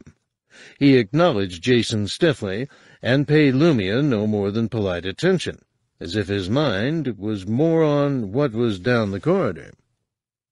Jacen strained to hold the Force illusion steady, like a ball of heat within his chest that he had to balance to keep it from touching his rib cage. That was exactly how it felt. And Lumiya. Lumiya, somehow nestled in miniature within that ball of heat, felt not vengeful or trying to disguise her intentions, but genuinely worried about being discovered before her work was complete. Luke seemed baffled. Suddenly, Jacen realized that it wasn't anything in the office at the end of the corridor that was distracting Luke. He could sense something amiss, and wasn't sure where it was coming from. Luke was sensing Lumiya, but very faintly. Jacen knew it. Good morning, Uncle. Hello, Jacen. Luke's gaze rested briefly on Lumiya, but he concentrated on Jacen. Morning, ma'am. Where's Ben? Admiral Niathal is showing him around the Fleet Ops Center. Jacen knew Luke was in a hurry to see Omas, the way he always was after a council meeting. Have you time for a caf? Luke shook his head, as Jacen expected. Sorry, perhaps later.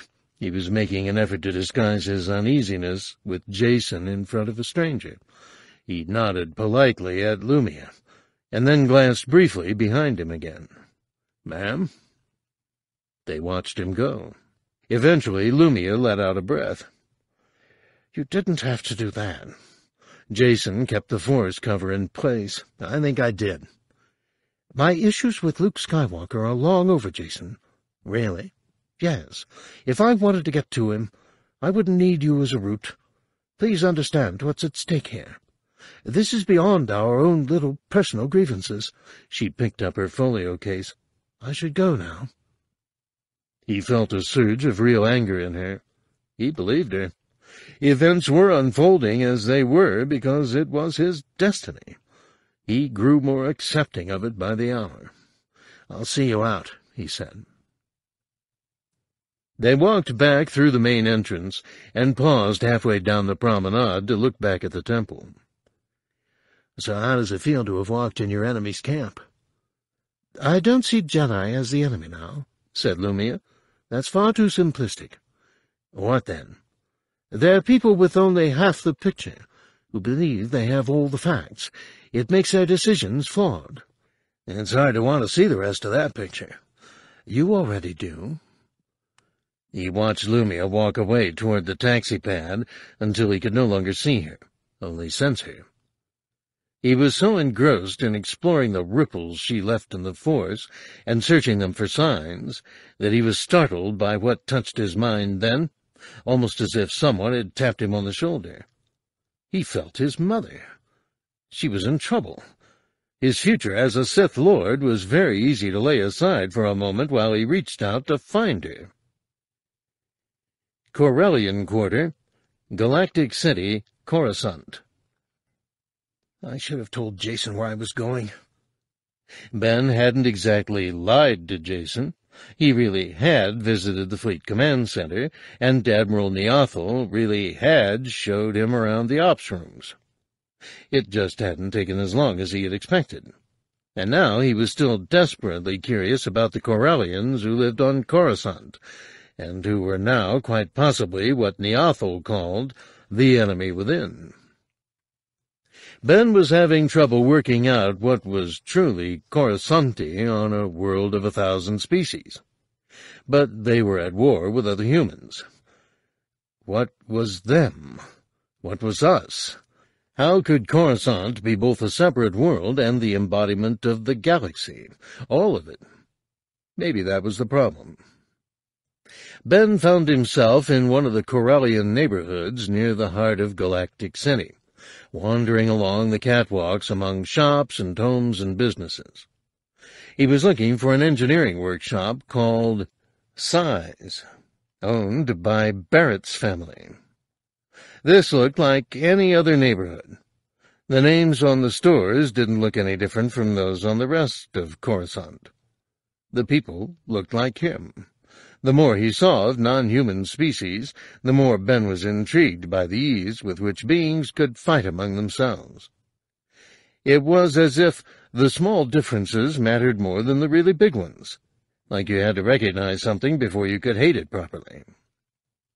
No wonder Jacen wanted to bring a bit of order to the galaxy. Jedi weren't exactly invisible, but there was something about wearing a brown robe that gave you a certain neutrality, as Jacen called it. Ben ambled along the catwalks, taking in the detail, and although people glanced at him with vague curiosity, nobody bothered him. Maybe they're seeing a kid and not a Jedi. Ben was passing in front of a small grocery store when he heard the distinctive thrum of a large vessel behind him. He looked back to see a Coruscant Security Force assault ship the kind the police used for patrols, making slow progress down the sky lane with its side hatches open. Maybe the officers were looking for someone.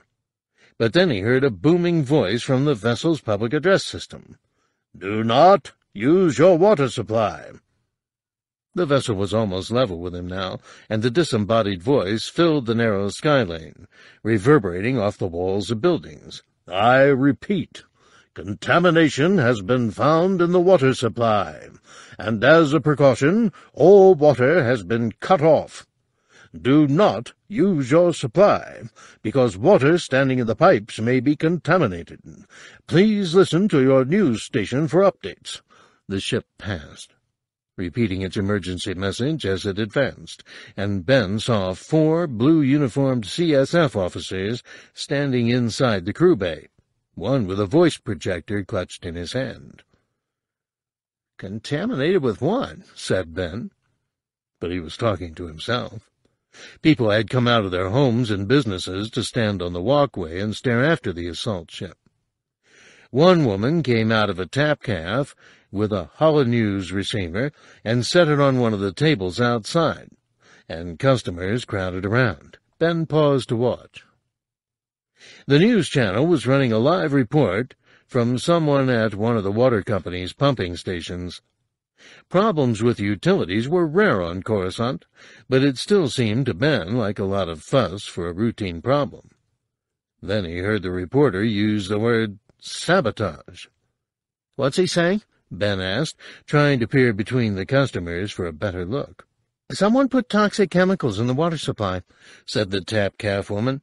They've had to shut down ten pumping stations, and that means half of Central Galactic City hasn't got any water. She slapped a cleaning cloth down on the table, clearly angry. which means I have to shut the caf until they sort it out. If it's sabotage, you know who'll get the blame, said a man clutching a small boy by the hand. Us. Could be anybody. Disgruntled water employee, the tapcaf woman muttered. Maybe the water company screwed up and put the wrong chemical into the treatment plant, said another customer. And maybe it is us, because the government was asking for it. The debate raged. Ben interrupted. Who's us? he asked. Identity was beginning to concern him. Why would anyone living here want to poison their own water supply? The group turned away from the holoscreen for a moment as if they'd just noticed Ben, and the tapcaf woman gave him a sympathetic look. People do stupid things when there's a war on, she said. Don't they teach you that at the academy? But there is no war, said Ben, and didn't admit he'd never been to any academy. He knew what a war was. War had to be declared. Politicians had to get involved. Not yet. Well, there is now. The man picked up his son in his arms and began walking away, whether we want one or not. Ben leaned over the edge of the safety rail on the walkway to see what was happening on the levels above and below him. People had done exactly what the tapcaf customers had. They gathered outside their shops and homes, talking and arguing. He could hear voices carrying. Traffic had slowed to a crawl, the police public address system boomed in the distance. Jacen? Ben spoke quietly into his comlink. But Jacen wasn't receiving. The message service clicked in. Jacen, I'm in the Corellian Quarter, and... He searched for the words, but there was no point alarming Jacen. I'm heading home.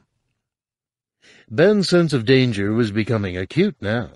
There was anger and violence building up exactly like the pressure before a thunderstorm. He could feel it pressing on his temples, making his sinuses ache, telling him to get away, run, hide at an instinctive level. He hoped he'd learn to read it better one day. Right now it was uncontrolled and animal. He ran back the way he had come, two hundred meters to the nearest taxi platform. An air taxi was sitting on its repulsors, hovering silently over a dark pool of shadow. The pilot, a thin-faced human with a shaved head, glanced up from his holozine and opened the hatch. "'Senate District, please,' said Ben. "'Where exactly?' "'Rotunda Zone.' "'Nah, I'm avoiding the center.' The pilot looked at Ben as if he'd just arrived from Tatooine. "'There's a riot going on over the water contamination. Should you be out on your own, lad?' Ben was beginning to wonder the same thing himself. How close can you take me to the zone, then? The pilot sucked his teeth thoughtfully. The intersection of Skylanes 472 and 23. Two blocks away. Will that do? Okay. Ben sat in the back seat of the taxi with one hand on the hilt of his lightsaber, fidgeting. He hadn't been worried when he'd infiltrated Centerpoint Station. That had been exciting in an unthinking, reflex kind of way, even though he stood a good chance of getting killed. It seemed impossible that anything could happen to him. But now he was among crowds that seemed ready to explode into violence, and although he was home in Galactic City, he was scared. There was something animal about it all, something wild and unpredictable. The taxi slowed and pulled in at a landing platform. Ben could see police speeders ahead at the intersection of the two sky lanes, diverting traffic the hard way. A CSF assault ship swept overhead as he stepped out onto the walkway, and his instinct was to follow its path. So what are you going to do when you get there? It was a good question. But instead of answering it rationally, Ben just headed for where his force senses told him he was needed. Jacen always encouraged him to trust his feelings, and this was as good a time as any. He raced down the walkway in the opposite direction from the rest of the pedestrians, who were doing the sensible thing and moving away from the riot area. When he rounded the corner, he found himself at the back of a mob facing the Corellian embassy. The building was under siege. There was no other way to describe the barrage of missiles smashing against the permaglass front of the building and piling up in its marble forecourt. The embassy was in a plaza, not on a broad sky lane with a thousand-meter drop beneath, making it an easy, close target for anyone hurling missiles. The CSF assault ship hovered overhead. Ben could see officers taking aim with rifles, and then lowering them again. Nobody on the ground seemed to have drawn weapons yet, but the crowd was screaming abuse. You scum! You poisoned the water! Ben dodged a lump of masonry that cleared the heads of the mob in front of him and landed at his feet, sending fragments flying. They should have pulverized your whole planet, not just stinking Centerpoint. The crowd roared and surged forward before falling back again, nearly knocking Ben flat. He was responsible for what was happening. He'd started this with the raid on Centerpoint. The falling sensation in the pit of his stomach stopped him in his tracks. He'd never seen people behave like this. But it was all his fault. He had to do something. Another volley of permacrete shattered on the marble forecourt of the embassy, and CSF officers piled into the crowd with riot batons. But the more they tried to break it up, the more people seemed to press forward. The riot had a life of its own. Ben tasted a communal reflex rage, and it scared him more than anything he had ever experienced. For a split second he almost pitched in, too, his body very nearly overriding his brain. In front of the embassy, a dozen Corellians, Ben assumed that was who they were, braved the hail of permacrete and snatched the lumps up, to hurl them back over the heads of the CSF line. One of the men had a blood-smeared gash across his forehead, but he seemed oblivious to it. A CSF captain moved forward with a squad of officers, and Ben heard the Corellian tell him that they were supposed to be protected here. They were supposed to be safe. And then there was a volley of shots from above, like projectile weapons firing, and the air filled with acrid smoke. It burned Ben's eyes and mouth, Dispersal gas. The CSF must have fired canisters from the assault ship hovering overhead. The crowd should have scattered, but instead people seemed to close in on one another, and Ben was caught up in the panic. He fell. He was being trampled. Legs filled his field of vision, and just as he curled instinctively to shield his head, a gloved blue arm reached out and grabbed him by the front of his tunic, pulling him free. Stupid kid, it was a CSF officer. The man had rescued him. Ben struggled to his knees, eyes streaming. Come on, get out of here. Ben's attention snapped suddenly from his own predicament to a point behind the officer. He focused on a face he knew, a boy with short blond hair. Barrett Sy. And Ben was staring at a blaster aimed not at him, but at the officer's back. He didn't think. He just pulled out his lightsaber with his free hand and saw the bright blue blade collide with a stream of white energy, deflecting it. It took a second, and when he blinked again to clear his streaming eyes, he saw Barrett disappearing into the melee. The police officer stared at his lightsaber for a moment, one hand on his own blaster. It was a rock, Ben lied. Someone threw something at you. The officer pulled him to his feet. His face was streaked with gas-induced tears, too. He hadn't put on his respirator in time. You're fast, kid. Let's get you back to the temple, shall we? I'll call my master. He'll collect me. Jacen wasn't a master, but the small detail of Jedi life wasn't important right then. Ben wanted to get away and follow Barrett. Thank you, officer. Thank you, Jedi. The officer wiped his nose on the back of his hand and coughed painfully.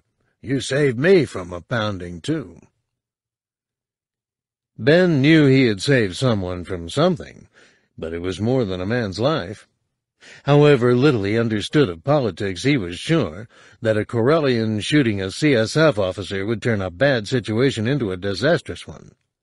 Barrett was in deep.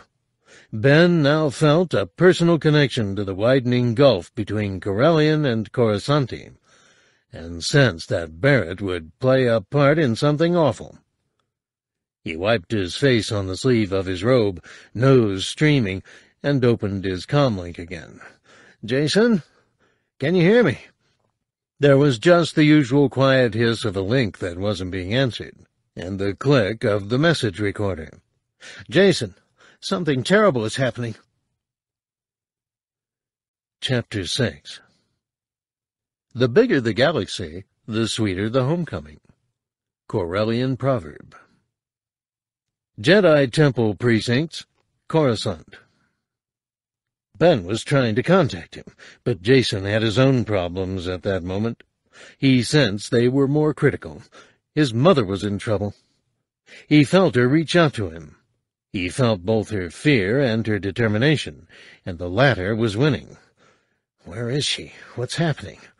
Jacen slipped into an alcove flanked by bushes in square ceramic pots and sat down to concentrate.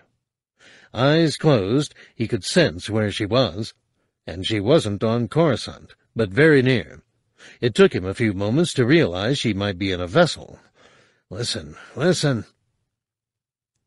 During his studies, Jacen had mastered a Theran technique that let him use the Force to hear remotely.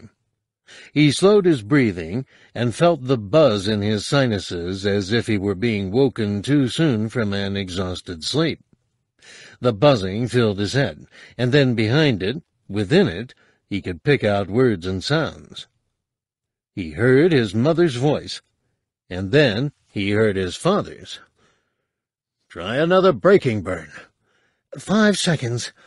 Metal groaned. An engine boomed inside, a rhythmic rising and falling note, and it wasn't a reassuring sound. Jacen reached out with one word, the most that even he could send through the Force. Together. He visualized the Millennium Falcon. In his mind, he could see the plates of her underside and the transparisteel of the cockpit mounted on the starboard flank. He saw her as she should have been, whole and sound.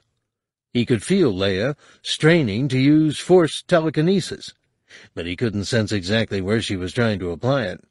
He could only hear the tension in her voice and taste her growing anxiety. And he could feel another presence, too his sister Jaina.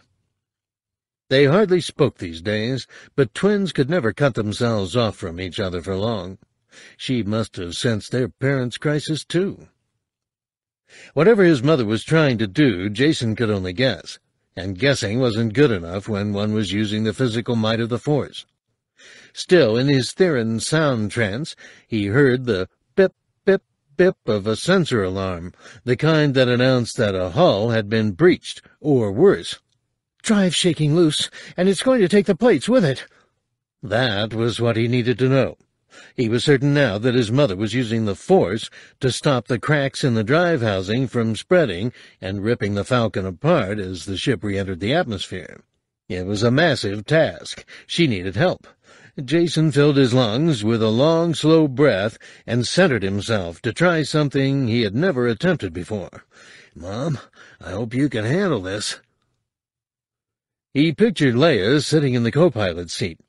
Her emotions and her presence in the Force washed over him, and he visualized himself in her place, behind her eyes, seeing what she saw. For a moment he was simply observing, but then a feeling like a sigh drained out of him, and it was as if he were exhaling an infinite breath into his mother. No, through his mother. Now he was no longer sitting in the alcove between two topiary bushes, but staring at an array of lights and readouts, and at hands that weren't his. Beyond the console, Coruscant loomed in the viewport. If Jaina had joined the effort, she was hardly detectable. He had drowned out her presence in his own mind with the sheer strength of the telekinesis he was projecting. Take this, Mom. Use me. Use the force I'm channeling through you. He heard her say, ugh, as if something had startled her. Then he could feel pressure in his lungs, as if he were running hard and fighting for breath. He had no idea how long it lasted, but he had the sense of clutching something tight to his chest, and an awareness somewhere outside his mind and yet at its core showed him the Falcon enveloped in the Force, the hull around her drive assembly compressed instead of expanding catastrophically. He was sure he wasn't seeing what his mother was actually looking at, because he had none of the images of entering the atmosphere or landing. The scenes inside the Falcon's cockpit were being supplied by his memory. He was simultaneously aware both of that rational fact and that his force power was being funneled through his mother, helping her hold the drive assembly in place by telekinesis.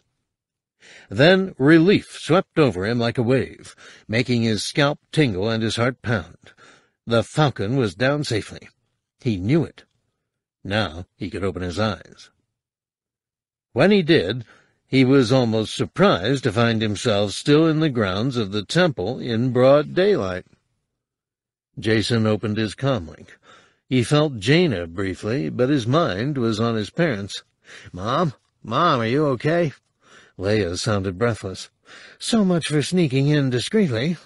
Everything's all right, isn't it? Jacen could hear his father muttering in the background.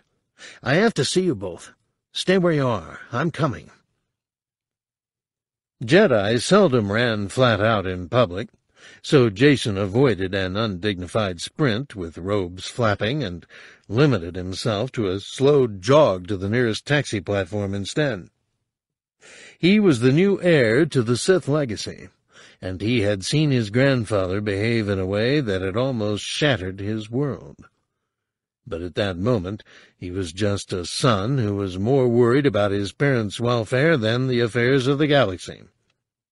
Attachment had its place. Jacen let himself succumb to it and put aside his growing dispute with both his father and Jaina.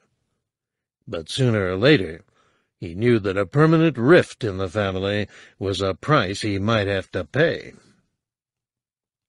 Slave 1 Pre-flight panel check for Runadan. Boba Fett had rarely carried passengers. Not live or voluntary ones, anyway. The presence of this strange girl in his ship, which was more of a home than anything he owned made of stone and permacrete, bothered him, and yet he simply couldn't walk away from her. Mirta Gev had a piece of his past. That mattered a lot when he was running out of future. You normally board ships with total strangers? asked Fett. Mirta slung her bag over one shoulder. Are you going to kill me? Nobody's paying me to. That's what I thought. She boarded Slave One via the cargo hatch and went to follow him through to the cockpit, but he turned to block her path and gestured aft. I don't like co-pilots. Stay put or I'll lock you in one of the cells. Mirta didn't show the slightest dissent. She just paused and looked around, then sat down on a crate that was secured to the port bulkhead. She opened her bag and rummaged in it before pulling out a chunk of something that she unwrapped and began gnawing. Fett stared at her. Dinner, she said. I always carry rations, just in case. Fett fought back a reflex. His instinct was to tell her she was a smart kid. Yeah, I don't do in-flight catering, he said, and swung through the hatch into the main section of the ship. The internal bulkhead shut behind him, because, smart kid or not, he wasn't taking any chances with her. He wasn't quite as agile as he'd been a year before. Just moving around in Slave One's awkward spaces was uncomfortable now. It wasn't pure pain, but he felt that before long it would be. Don't forget you're dying, Fett. He settled into his seat and fired up the ship's drives. Checking the internal cam circuit that gave him a view of each of Slave One's compartments, he caught a shot of Mirta leaning back against the bulkhead, eyes closed, arms folded across her chest, apparently dozing. Nothing seemed to faze her. He approved of that. There were always women in the galaxy, and men come to that, who reckoned they were tough, but seemed to think that was about a smart mouth and a fancy weapon. The truly tough ones, Fett thought, were the ones who could take anything in their stride and finish the job. Mirta Gev showed every sign of being genuinely, quietly tough. Fett didn't like anybody much, but he didn't dislike her, although the thaw didn't extend to having her sit up front with him. He laid in a course to Runadan. His stomach rumbled. Maybe he should have grabbed some of Beviin's coin crabs after all. He whiled away the next few hours watching the stock prices from HNE, and wondered what he might say to Taun We when he finally caught up with her. He had no doubt that he would. Fett dozed, reclining in his seat. When he slept, it was never deeply. The padded rim of his helmet was just soft enough to stop short of cutting into his neck, but too hard for complete comfort when he let it take the weight of his head. Sometimes he would drift in a few seconds of hazy disorientation, half awake, sounds magnified, able to see through a transparent barrier.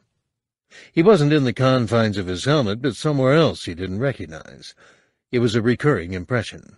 Taun We had once told him it was the legacy of being gestated in a glass tank like the other clones, and that they all had distant memories like that. It was a kinship of sorts. He found his mind wandering, thinking how they must have felt to know their days were numbered, just like his were now. And that was another kinship. I'm dying. Maybe dying feels like this. I ought to know by now. The navigation sensors woke him with an insistent, pulsing tone to warn him Slave One had dropped out of hyperspace, and he snapped upright and alert. His joints hurt. He ignored the pain. In the view screen, the red-streaked crescent of Roonadan grew larger until it was the entire sky. It was another heavily populated planet whose habitable zones were crammed with cities, but at least it wasn't as grim as Bonadan. Fett punched up the local data on his console and began his descent. Roonadan still had a few green spaces and attractive buildings, and even a few wide rivers snaking through the northern hemisphere. It was the kind of place that was home to a mix of the highly educated scientists who developed products, the people whose task it was to make their lives more pleasant, and the majority who worked in the factories and laboratories that produced the goods that the elite invented. It was exactly the kind of place Taun We might be, if she could take the sunlight. Kaminoans didn't like clear skies. Fett disguised Slave One's armaments with a sensor screen and prepared to land. If anything went wrong, he had the firepower of a small warship to get out of trouble. Turbo lasers, ion cannon, torpedoes, and concussion missiles. He'd added conventional armor-piercing detonite ordnance on the last refit, just in case he was ever low on power and stuck in a tight corner. Leaving things to chance was for amateurs. Banking over the capital city of Varlo, Fett thought Slave One should be his final resting place. He didn't want her left behind. He had a sudden vision of setting a course out of the galaxy in his final days, and letting the ship carry him as far as she could on her fuel cells, and then drifting forever where nobody would follow. It was reassuring. Pack it in, you're not dead yet. But if that's not an admission that you haven't a clue what your life's been about, then I don't know what is. He picked up the automated air traffic control and sat down at the first spaceport he could find. Slave One settled gently on her landing struts, the dampers yielding as she sank half a meter, and then came to rest. The drive cooled, sending a characteristic decelerating ticking through the hull that eventually fell silent. Fett? He glanced up at the screen that gave him a complete view of the cargo bay. Mirta had stood up and was stretching her arms like an athlete, pulling one arm across her body, then the other. Are you taking me with you? No. So you're just going to leave me locked in here while you go off? I wouldn't let anything happen to this ship. You're safe as long as she is. He set the intruder defenses and stood up to check his personal weapons. Roonadan didn't have a no-weapons law like its sister planet Bonadan, but it was corporate sector, and so some restraint was called for. And don't mess with the controls back there. You won't like what happens if you do. He waited for an argument, but she just sat down again and started dismantling her blaster. He paused to watch. She was calibrating and cleaning it. The kid certainly took her weapons seriously. Most people just expected their hardware to work properly without maintenance, which was a good way to end up dead. Fett was impressed that she wasn't among them. He stepped out of the cockpit hatch and walked to the terminal building, checking data on the display that appeared in his visor as he walked. The planet was a research and development center. Somewhere there'd be a place where people whose job was to keep an eye on what companies did would gather to discuss business. Fett reasoned that it was a good place to start. And like all commercial planets with plenty of job openings, Roonadan attracted a cosmopolitan population. A man in Mandalorian armor with a jetpack attracted almost as little attention as a Duros but a lot less than the two blue-skinned Chiss who were wandering around the concourse in blue suits that matched their skin exactly. Fett took the opportunity to slip into one of the passport control lanes and select his most benign identicard for presentation to the female official securing the barrier. The woman scanned the readout on the screen in front of her, then eyed his battle-scarred armor suspiciously. She didn't ask him to remove his helmet. What brings you here, Master Vhett? There was a lot to be said for Mando'a, even if he didn't speak much of it. Looking for security work. What kind? Now that was helpful. Pharmaceuticals. Banks and personal protection got too rough. She looked at him warily, as if trying to squint past the visor. I thought you Mandalorians were supposed to be hard cases. I'm not getting any younger. None of us are. She handed him back his bogus ID card. They're always hiring here. Industrial espionage is our national sport. She jerked her thumb over her shoulder. Head into town on the monorail, and you'll find the job agencies on the main route. And if you don't get hired in five days, you're out of here, okay? We don't like vagrants. So she had some knowledge of Mandalorians, but not of him. That was just the pure Mando'a form of Fett. It was surprising how close you could skate to the truth without anyone noticing. He touched his glove to his helmet in what he hoped was a deferential gesture, and strode on. Most of the time, one of his tactics was being Boba Fett and not disguising the fact. When you had that kind of reputation, it did a lot of the work for you. Bounties found it was definitely smarter to surrender to him than to try to run, because there was nowhere to hide from Fett. But he felt a little discretion might get him closer to Taun We a lot faster. Time wasn't on his side. Sometimes, too, it amused him to play a man down on his luck when he was actually one of the wealthiest individuals in the galaxy. But fortune wouldn't be worth a mott's backside if he didn't find a cure. So, when are you going to draw up a contingency plan? You never were much for long-term strategy. There'll come a point where you have to decide whether to go on looking for Ko Sai's data or to prepare for death. So what are you going to do with all those credits? Boba Fett took the monorail into town with a dozen people who didn't have personal transport. They ranged from the obviously poor to the eccentric, and two Rodian tourists studying holomaps of Varlo. One of the passengers, a man a lot taller than Fett, was swathed in a black cloak with a hem that swept the dust and debris on the carriage floor, giving the cloth a permanent gray border. Nobody even glanced at Fett. These weren't people who dealt with bounty hunters. He might have been a household name, but the households where his name was known tended to be those who could afford plenty and were motivated to pay it to solve their problems in a very permanent way. The people here didn't fit the bill.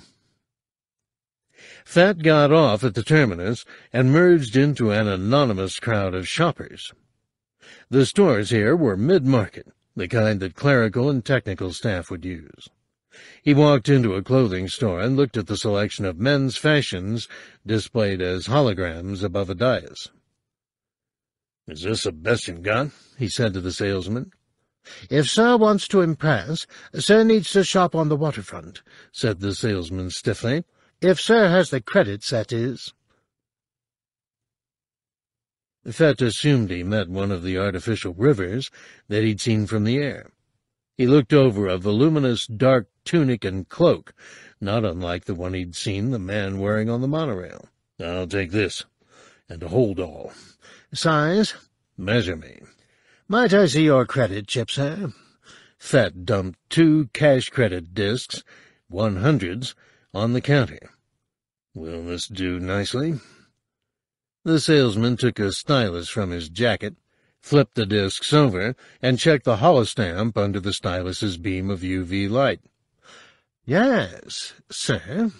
He flicked the stylus with his thumbnail, and the instrument spat a thin beam of red light. If sir would mind removing his armor, then I can measure. Over the armor. Sorry. The armor stays. I'm not the trusting type. The salesman hesitated for a moment, but swept the laser across Fett from side to side, and then top to toe, studied the precise measurements on the stylus's display, and shrugged. Large, he said. I can see you're a professional. Fett took the hold all and the clothing and headed for the nearest public refreshers.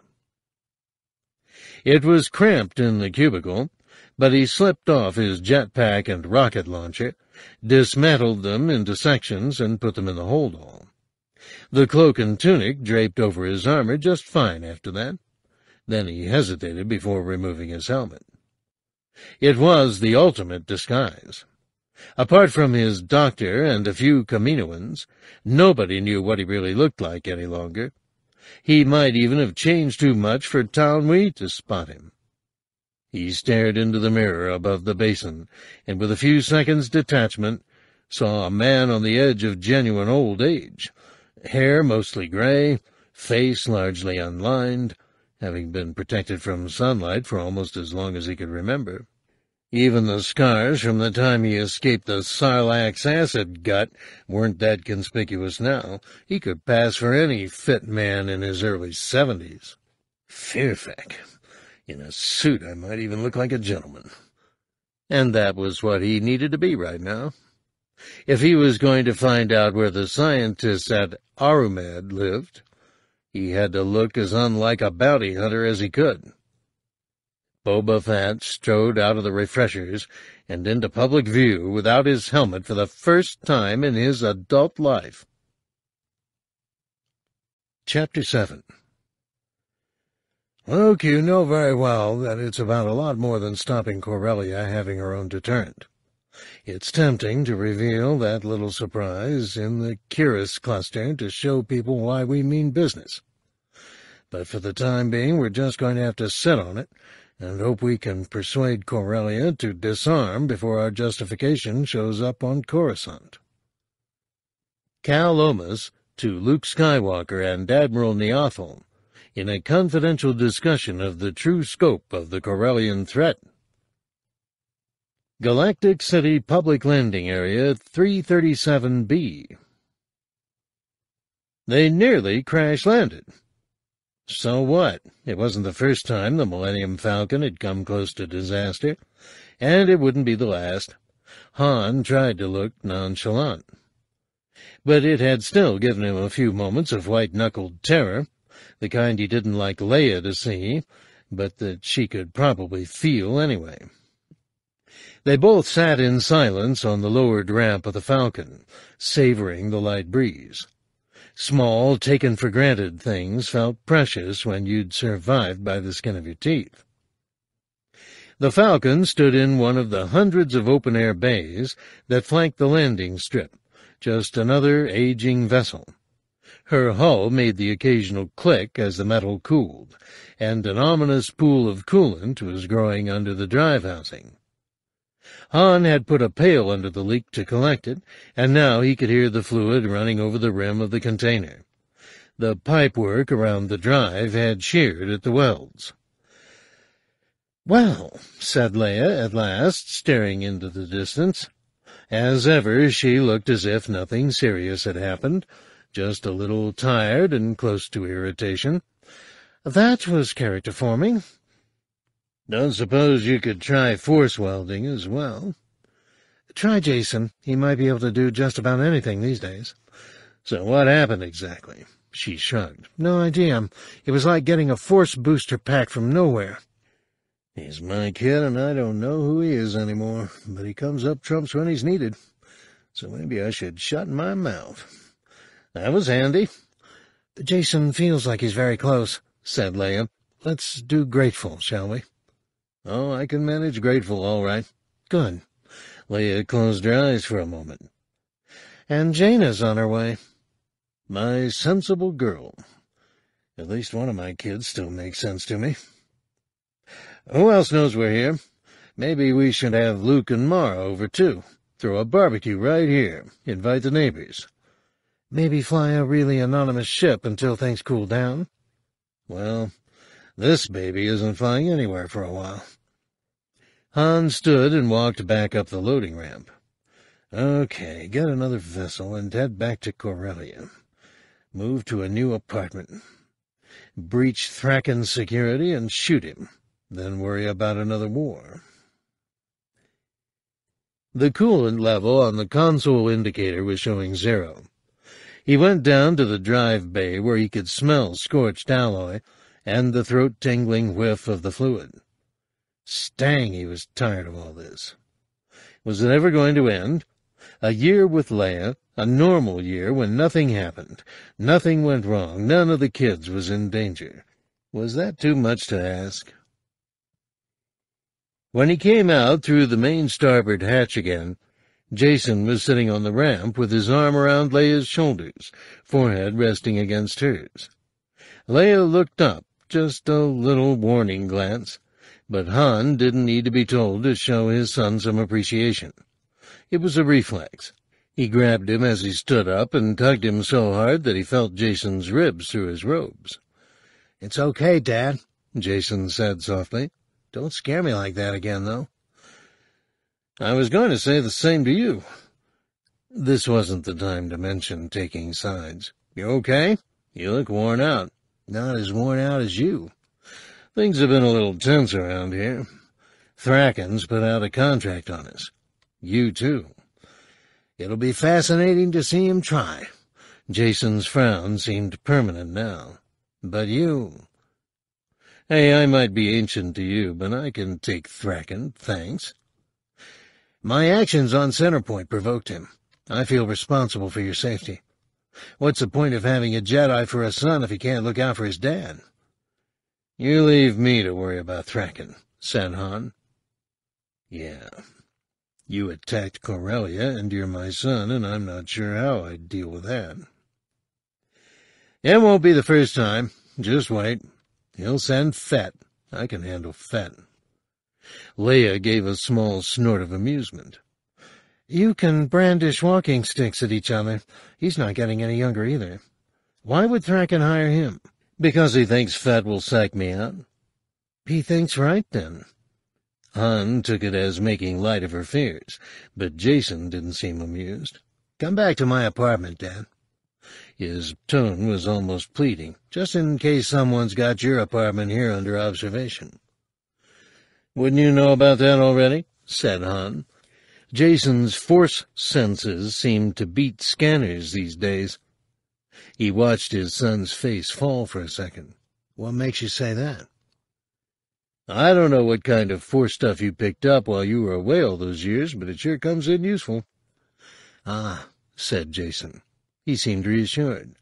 Han wasn't sure what had rattled him. Might as well take every precaution we can.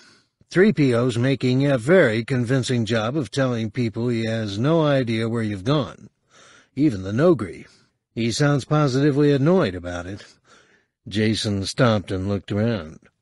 Something had distracted him. Something Han couldn't see or hear as usual. Then Han caught a flash of orange out the corner of his eye and turned to see a Galactic Alliance pilot walking between laid-up vessels on the apron of the landing strip. For an illogical moment his stomach churned, and then he focused on long brown hair pulled back in a tail, and the fact that the pilot had an astromech droid keeping pace beside her.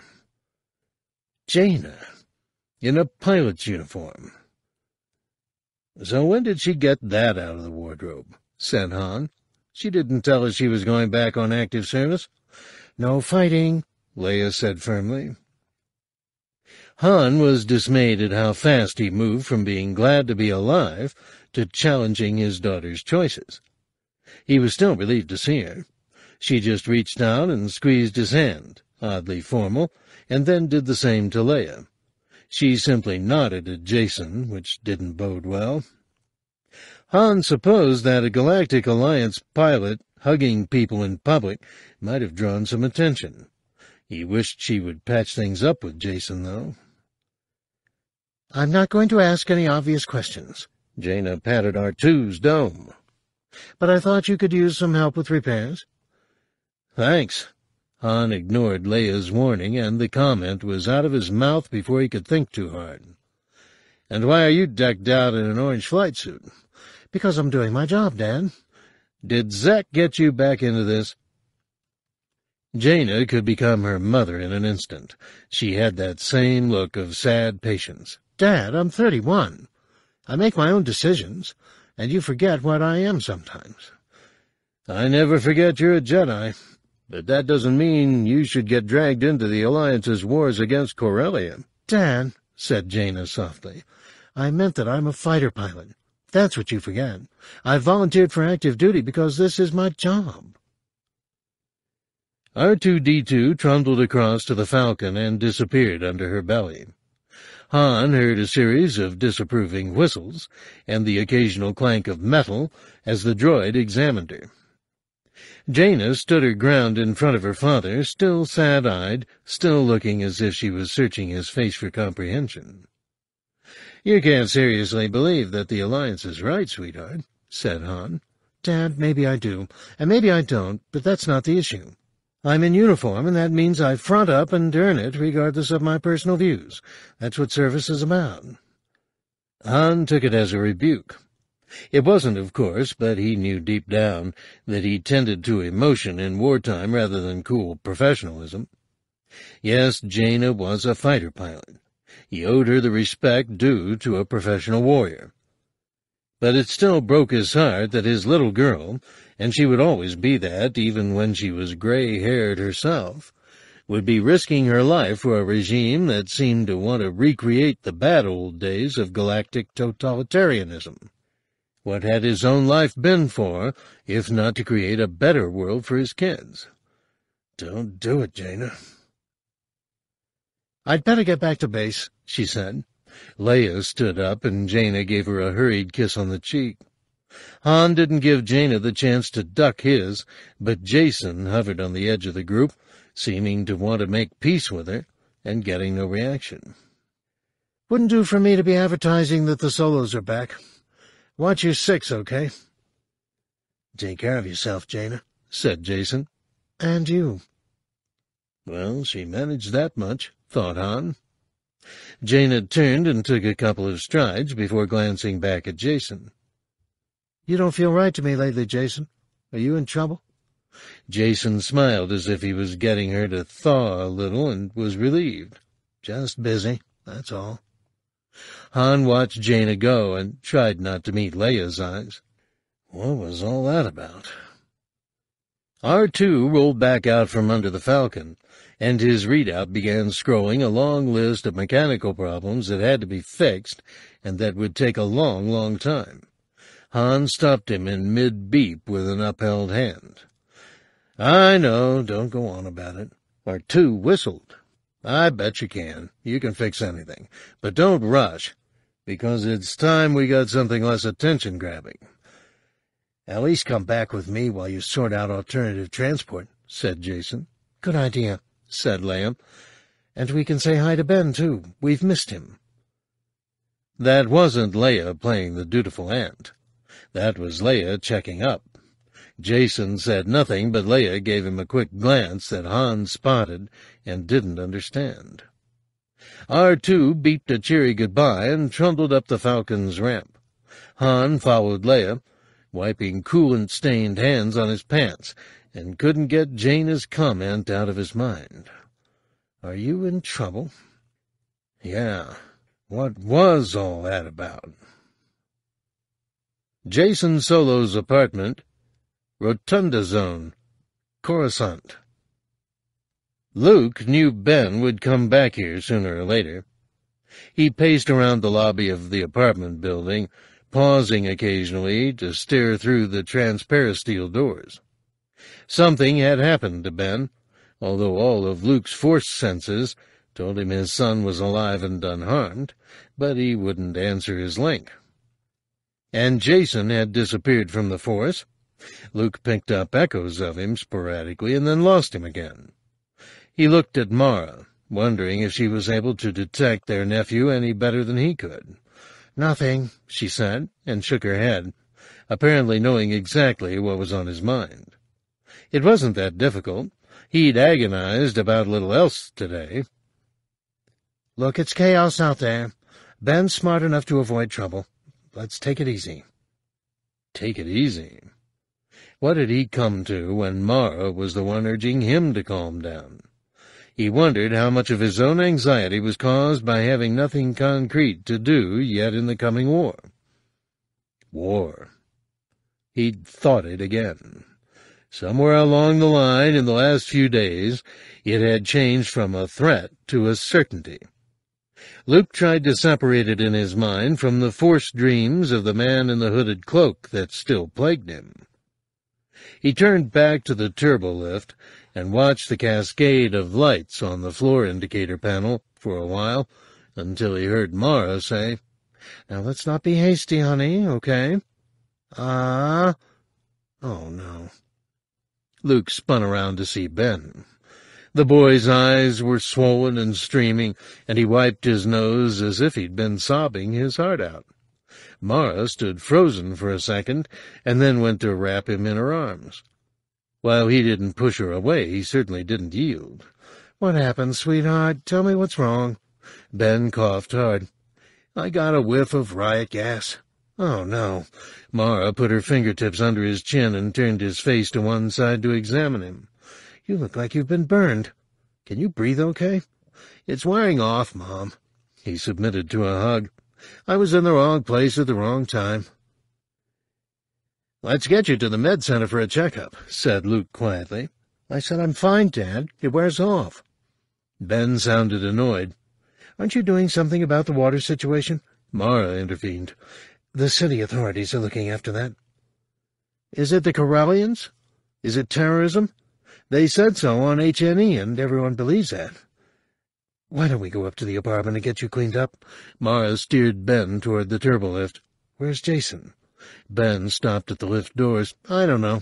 I was coming back from Fleet Comsen.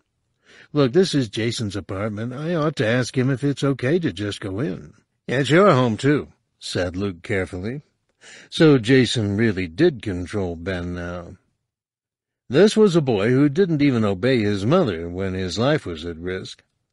It scared Luke, and then he found himself tearing his heart apart to be sure that he was genuinely afraid of Jacen's influence, tinged with darkness, or if he was just hurt that his nephew had more of a paternal relationship with his kid than he did.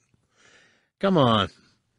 Ben usually sighed and showed dissent, but now he just nodded, resigned, as if he'd suddenly grown a lot older in a matter of days. They rode the turbo lift in an uncomfortable silence, punctuated only by Ben's sniffs and coughs. His robe was dirty, as if he'd been rolling on the ground.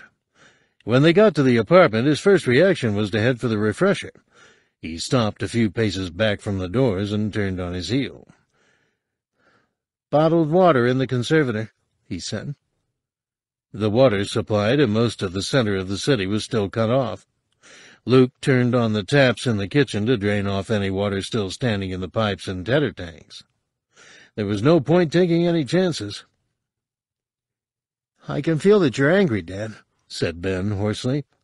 He slopped a bottle of water into a bowl and soaked the washcloth to wipe his face. He flinched when the cloth touched his skin, but he didn't make a sound. But it's not Jacen's fault, it's mine. I decided not to go with him when he had his meeting. He seemed about to expand on that, but checked himself visibly. I've learned my lesson. It's okay. Mara caught Luke's eye as Ben covered his face with the washcloth for a moment. Her expression said it all. Is this the rebellious son we know? Let me get you something to drink. You sound awful. They ended up in the living room, the three of them sitting as far apart from one another as the room would allow. Ben sipped a glass of juice and occasionally broke into a hacking, uncontrollable cough that left him wheezing with tears streaming down his face. His sobriety stunned Luke. Maybe Mara was right. Perhaps Luke was too mired in his own anxieties about where he had lost Ben along the way that he was mistaking Jacen's motives. Apart from his terrible dreams and the darkness that trailed Jacen, he had nothing concrete to lay against his nephew, only evidence that Ben was settling down far better in his care than he ever had at home. But they could sit in silence for a while. They didn't have to talk. Almost out of habit, Luke let himself drift to pick up impressions from the apartment and felt nothing beyond a sense of unease, as if Jacen was having problems. A man having a difficult love affair. Maybe that's all it is. But something told him that wasn't true. What he did begin to feel, though, was his sister somewhere near. And Jacen. The doors opened, and Jacen walked in with Han and Leia. It should have been a family reunion of sorts and a relieved one at that, but the expression on Han's face said otherwise. Luke decided to take the lead. It's okay, Jacen, he said. We made Ben let us in. He got caught up in the rioting. Dispersal gas. I'm fine, Ben sighed. It's wearing off. Well, we've all had a little drama in our day then. Jacen ushered Leia and Han into the room. He radiated only concern and sympathy, nothing dark at all. Mom and Dad nearly crash-landed, and Dad was nearly assassinated. Mara got up to plump cushions around Leia. Sounds like a regular day in this family. We'll be heading back home as soon as we can find a replacement ship. Han barely made eye contact with Luke. The Falcon's not so hot right now. R2's carrying out repairs. Why didn't you let me know? Han shrugged. We were kind of busy, trying not to plummet in flames. If Jacen hadn't projected the force through Leia, you'd have needed a shovel to pick us up at the spaceport. Luke tasted a chance to broker some peace, at least within his own family. It didn't bode well for the galaxy if he couldn't persuade even his own family to stick together. Corellia doesn't have to be home, Han. Come back. You're safer here anyway. Yeah, but there's the small matter of my being Corellian, which isn't fashionable right now. And your buddies attacking my homeworld because it won't roll over and be the Alliance's stooge while it plays at being the Empire again. We should both know better. Han, how long have we known each other?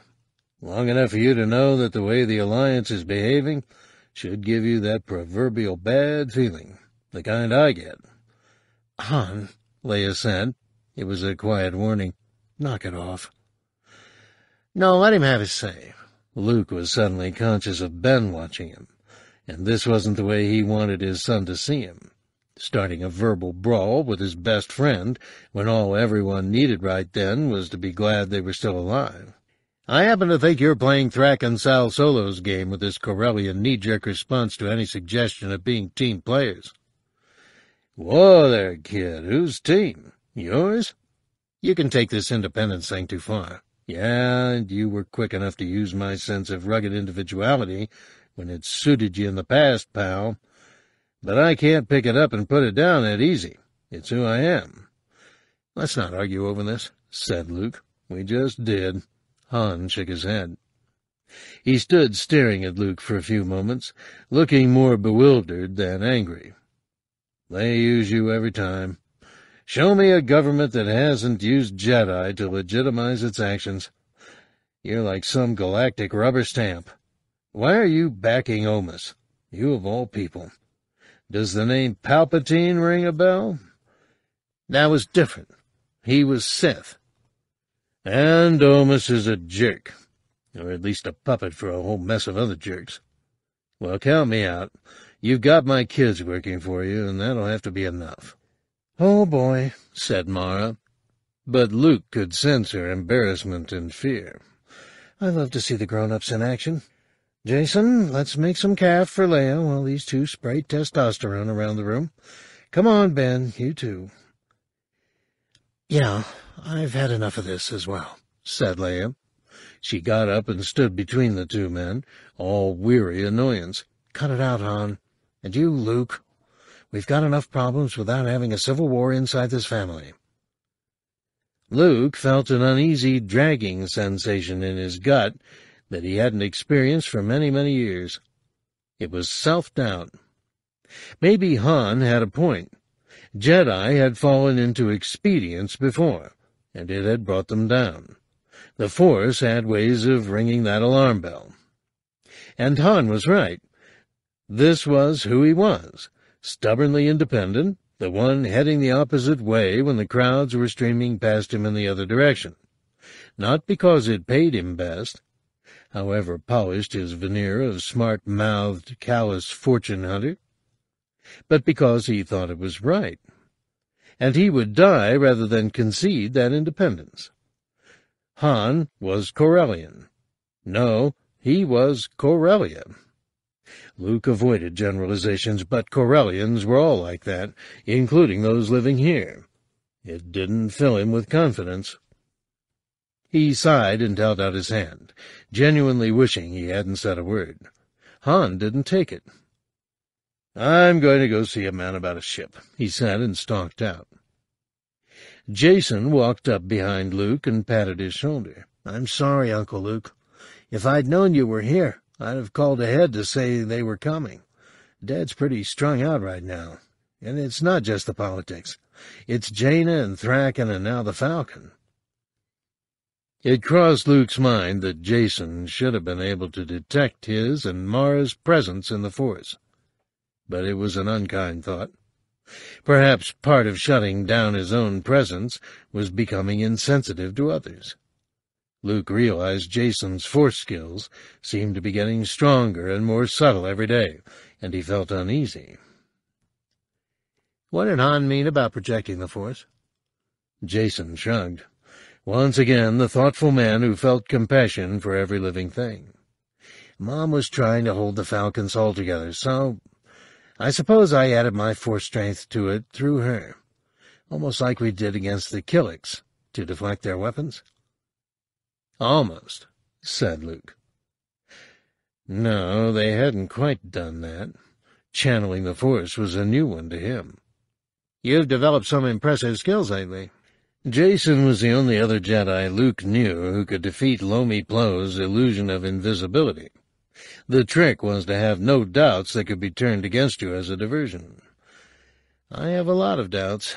I think I have more doubts than certainties right now. But as Jacen turned away from him, Luke caught a very faint touch of something familiar in his mind, almost like a trace of a familiar perfume. It was an echo. It felt ancient. Luke almost opened his mouth to inhale it. Then he realized what it was. He knew who it was. For a moment he thought it was emanating from Jacen, and then he realized it was purely coincidence. The revelation hit him like a body blow. He understood his forced dream perfectly now. I know who the hooded man is. I know now, and it's not a man at all. Luke sensed a barely perceptible trace in the force of a woman who had once loved him. The dark Jedi called Shira Brie, who had degenerated into Lumiya, a Sith who was more cyborg than human, a woman who hated him too, but whom he thought had vanished forever. She was back. She's here. I know she's here. Lumiya is here. Luke tasted the presence of a dangerous, bitter enemy, and knew he had to find her before she harmed him and his family. It was just like her to take advantage of the unrest in the galaxy to cover her movements. Jacen stared into Luke's face. What's wrong, Uncle?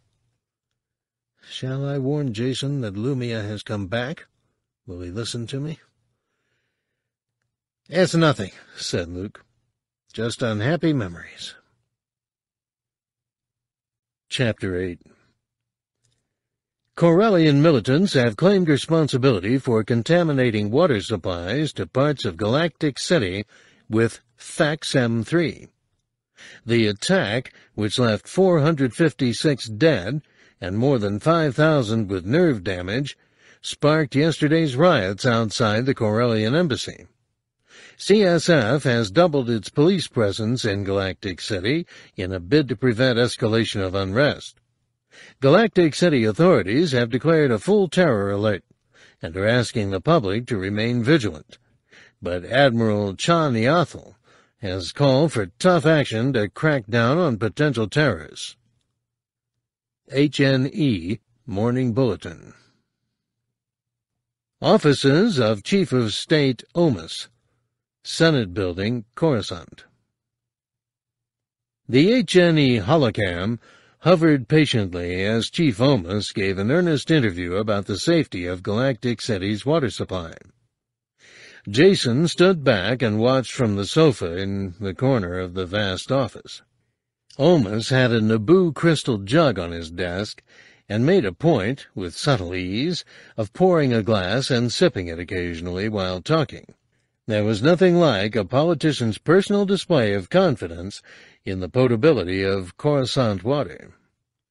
He even offered a glass to the reporter, whose expression told Jacen that he knew he was being subjected to a little spin. The man drank anyway. He and Omas looked as if they were playing a child's game of dare. Extra security measures are now in place at all water company stations said Omas, cradling his glass. Jacen had learned, fast, that meshing your hands on the desk gave the most reassuring image, so the trick with the glass of water would be far from invisible to HNE viewers.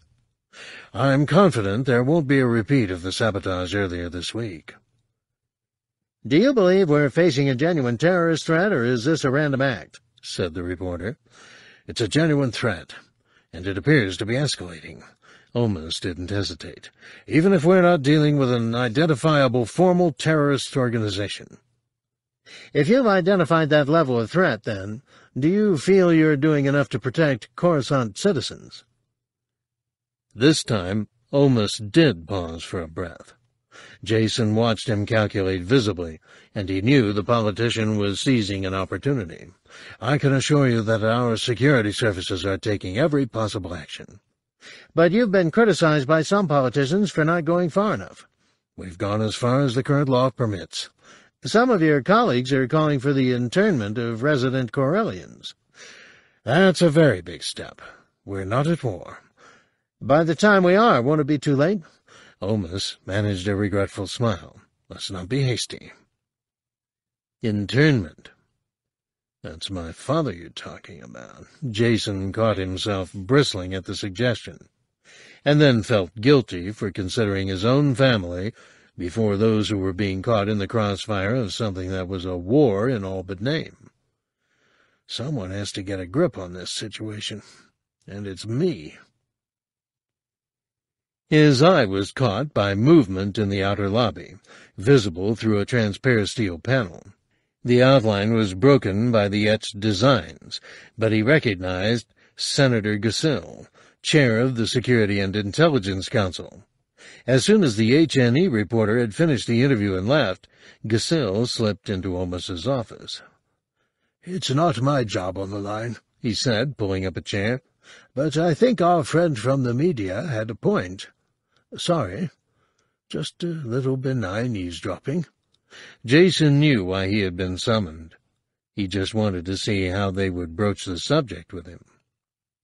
Playing political games made him worry that personal ambition was driving him, but he was dealing with people whose stock in trade was maneuvering. So if he wanted their backing, he had to maneuver too. A Jedi was nothing if not pragmatic. I'm not comfortable with taking a hardline approach, said Omas, and it might not be my decision to make. G'Sil gestured over his shoulder to the city beyond the room-width windows. Take a look out there. We have a trillion people in this world. A few thousand, a tiny percentage, have been hurt directly by terrorism. The rest, though, think it's about to happen to them, and that's what we're dealing with here. Perception. Public confidence. Omas raised one eyebrow. Spin. Reassurance. Jacen had seen enough to add G'Sil to his list of allies along with Niathal. Fear breeds its own problems, said Jacen. We have to limit that. There was a moment's silence. Omas's shoulders dropped, and his presence in the force was like a small piece of ice melting into nothing. His reluctance was tangible. Mara Skywalker isn't willing to take on a security role, he said. You, however, seem equally able and a great deal more willing to do a thankless task. Define the task, said Jacen. Fill the gap between the army and the Coruscant security force. Why are you talking directly to me and bypassing the Jedi Council? Jacen asked. I'm not even in the military. Because we're not asking you as a Jedi, said G'Sil. We're asking you as Jacen Solo, and you'll be given a commission and a rank, as colonel. I'd bet the Council doesn't want to be tainted by messy stuff like this. They won't like it. Let's cut the PR speak.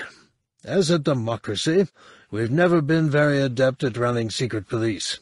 You know, the kind of shock troops that Vader had when... G'Sil trailed off. Sorry, Jacen, no offense. It's all right. Jacen meant it. He had come to terms with walking in his grandfather's footsteps, although he would not follow the entire path. I'm not ashamed of Anakin Skywalker and there are positive things I can learn from his example.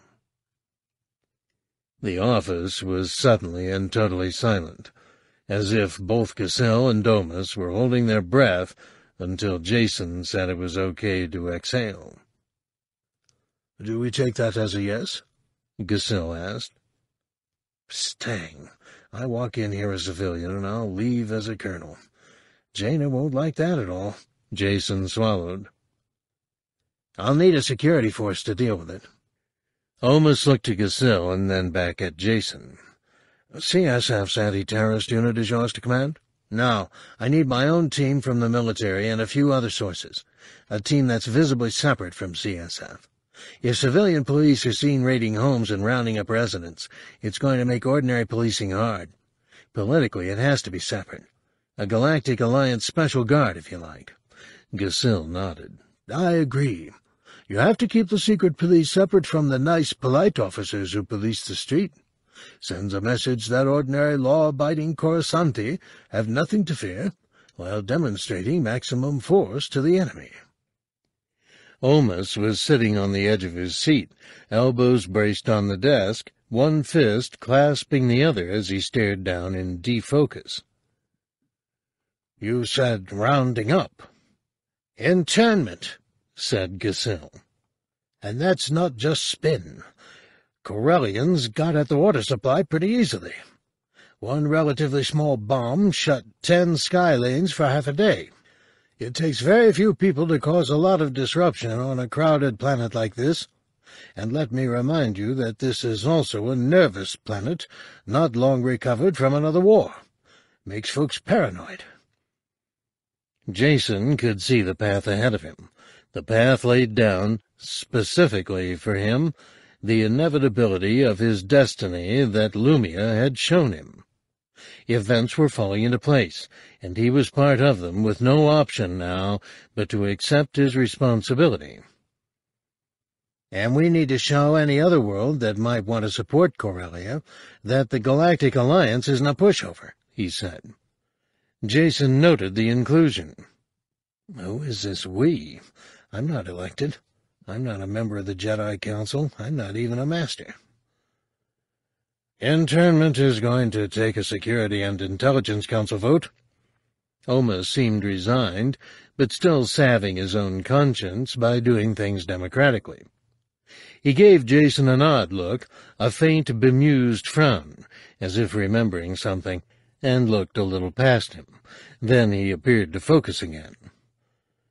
I'll need your lobby's backing. Assume you have it, said G'Sil. Jacen was more concerned over whom he would need to carry out the task. His instinct was to seek loyal, dependable foot soldiers. I'd like to recruit Captain Shevu and a team of his choosing, he said. He liked Shevu. The captain was uncompromisingly honest and had the feel in the force of a man who wouldn't shy away from dirty work. I'd also like a company of Special Forces troops, and I need access to Alliance intelligence data. Jacen felt for a moment that he was standing outside his own body. How did I slip into this so easily? You'll want NRI officers, then. No. Intelligence hadn't dealt with the threat up to now, so he had no idea whom he could trust. This has to be seen as a fresh approach to the problem. Omas radiated unease. We've taken a step toward martial law. G'Sil interrupted. But this is technically a Coruscanti matter. It's not a Senate issue. You have the powers to put a temporary order in place for the planet. But Coruscant isn't just a planet. It's the Galactic Alliance, too. So I want full support for this. Or things will fall apart when we start applying those special measures, as you like to call them. People tend to lose their nerve when they see force applied. A majority on the SIC would be legitimate authority to implement special measures. And you can deliver that majority, can you? said Omas. I'll call a special meeting now. Give me twenty-four hours. G'Sil patted Jacen on the shoulder with evident relief and left. Omas, sitting behind his desk with the air of a man in a heavily defended trench, watched Jacen as if expecting him to break bad news. May I start assembling the personnel I need now? Jacen asked. Then we'll be ready to move when the authority is given. Very well, let me speak to Admiral Pellaeon. Omas opened the comlink set into his desk. It was the same pleak wood and lapis as the desk itself. And I'll get Shevu seconded to you. You can explain all this to the Supreme Commander and CSF? I'm very good at being plausible, said Omas, but I doubt if CSF is going to object. Omas looked as if he was going to add something, and Jacen was almost certain of what it would be. Pellaeon would resign if this was forced on him. That was what Jacen was thinking, too. When Niathal took over the defense role, and she would, nobody doubted that, her support would be a springboard for what was to come, what had to come. But for the meanwhile, Jacen had to prove to Coruscant and to a watching galaxy that not only could order be imposed on chaos, it could also be imposed for the good of the majority. He bowed slightly to Omas and left to make his way to the Strategic Command Ops Room, where he both felt and knew that Captain Shevu was still on duty despite the fact that his shift should have ended three hours ago. Shevu was dedicated and forthright, and he'd have the best intelligence on where the Corellian troublemakers might be. Jacen could help him pinpoint them with the imprecise but highly reliable senses that the Force had given him. They would make a formidable team. He, Ben, and Shevu. Varlo, Roonadan, Waterfront District. Just as the salesman had said, the waterfront neighborhood was chic and full of the well-heeled professional classes. The taxi took him along the artificial river, a canal with carefully constructed rapids and a manufactured current. There was even lush greenery along the banks, and parkland extended back to the rows of shops and trendy restaurants. Fett, black cloak over his armor, felt utterly naked and concentrated on the fact that nobody would recognize him by his face. He decided he felt more at home in the kind of district where the bars were badly lit and a blaster was a necessity. I'm going to be working at Arumed, said Fett. Where's the best place to buy a home? The taxi pilot glanced in his rearview mirror, and his eyes met Fett's. It was the first time in years that anyone had really looked into his eyes and not just tried to stare through the visor. Upper Parkway is where all the scientists buy a place. You a scientist? I'm an anatomist. Yes, I know precisely where to shoot any one of a thousand species for maximum stopping power. You'll definitely want Upper Parkway, then. Nightlife? Pricey bars. Skayan bistros and wine bars, mainly. The pilot wrinkled his nose disapprovingly. I'm an ale man myself. How goes to the Arumed labs? Five minutes. Cozy little community. All human? You got anything against non-humans? Just curious. Kaminoans hated sunlight.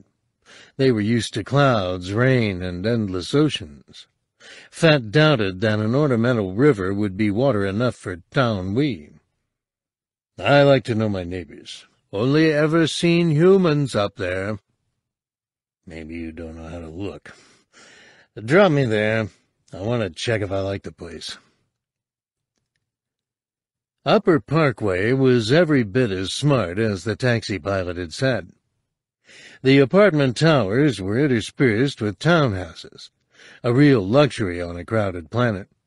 And droids were still building properties on the edge of the park, for which the neighborhood seemed to be named.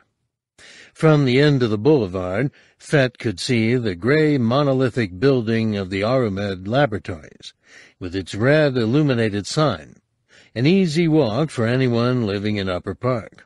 And as the pilot had said, the place had several attractive bistros. He was perfectly at home rappelling from a roof to capture a prisoner, or storming a building with blaster in hand. Walking into a bar and making cautious small talk was not his style, but it had to be done. Get it over with, Fett.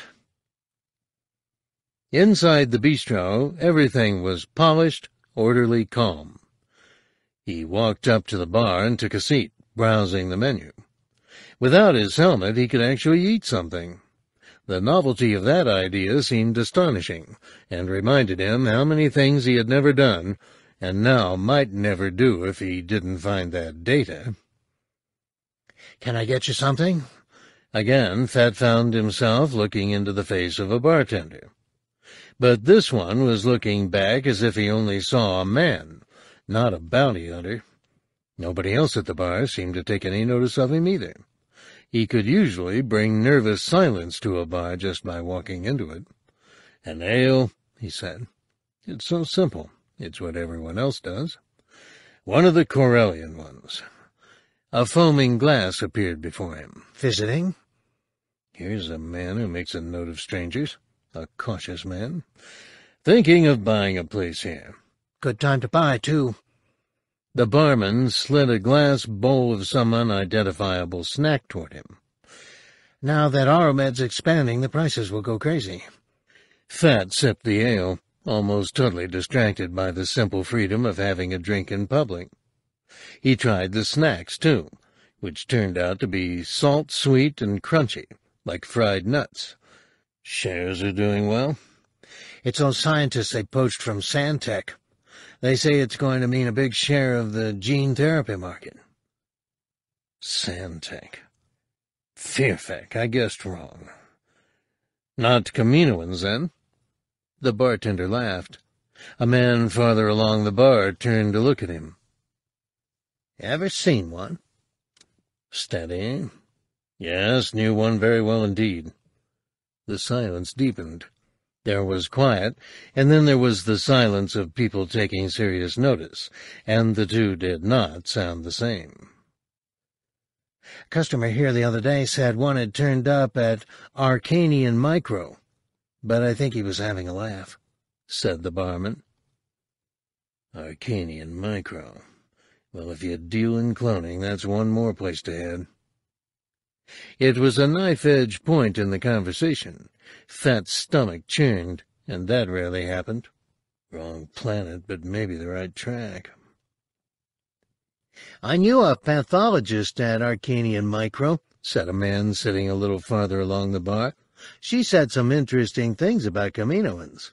Ah, you're testing me.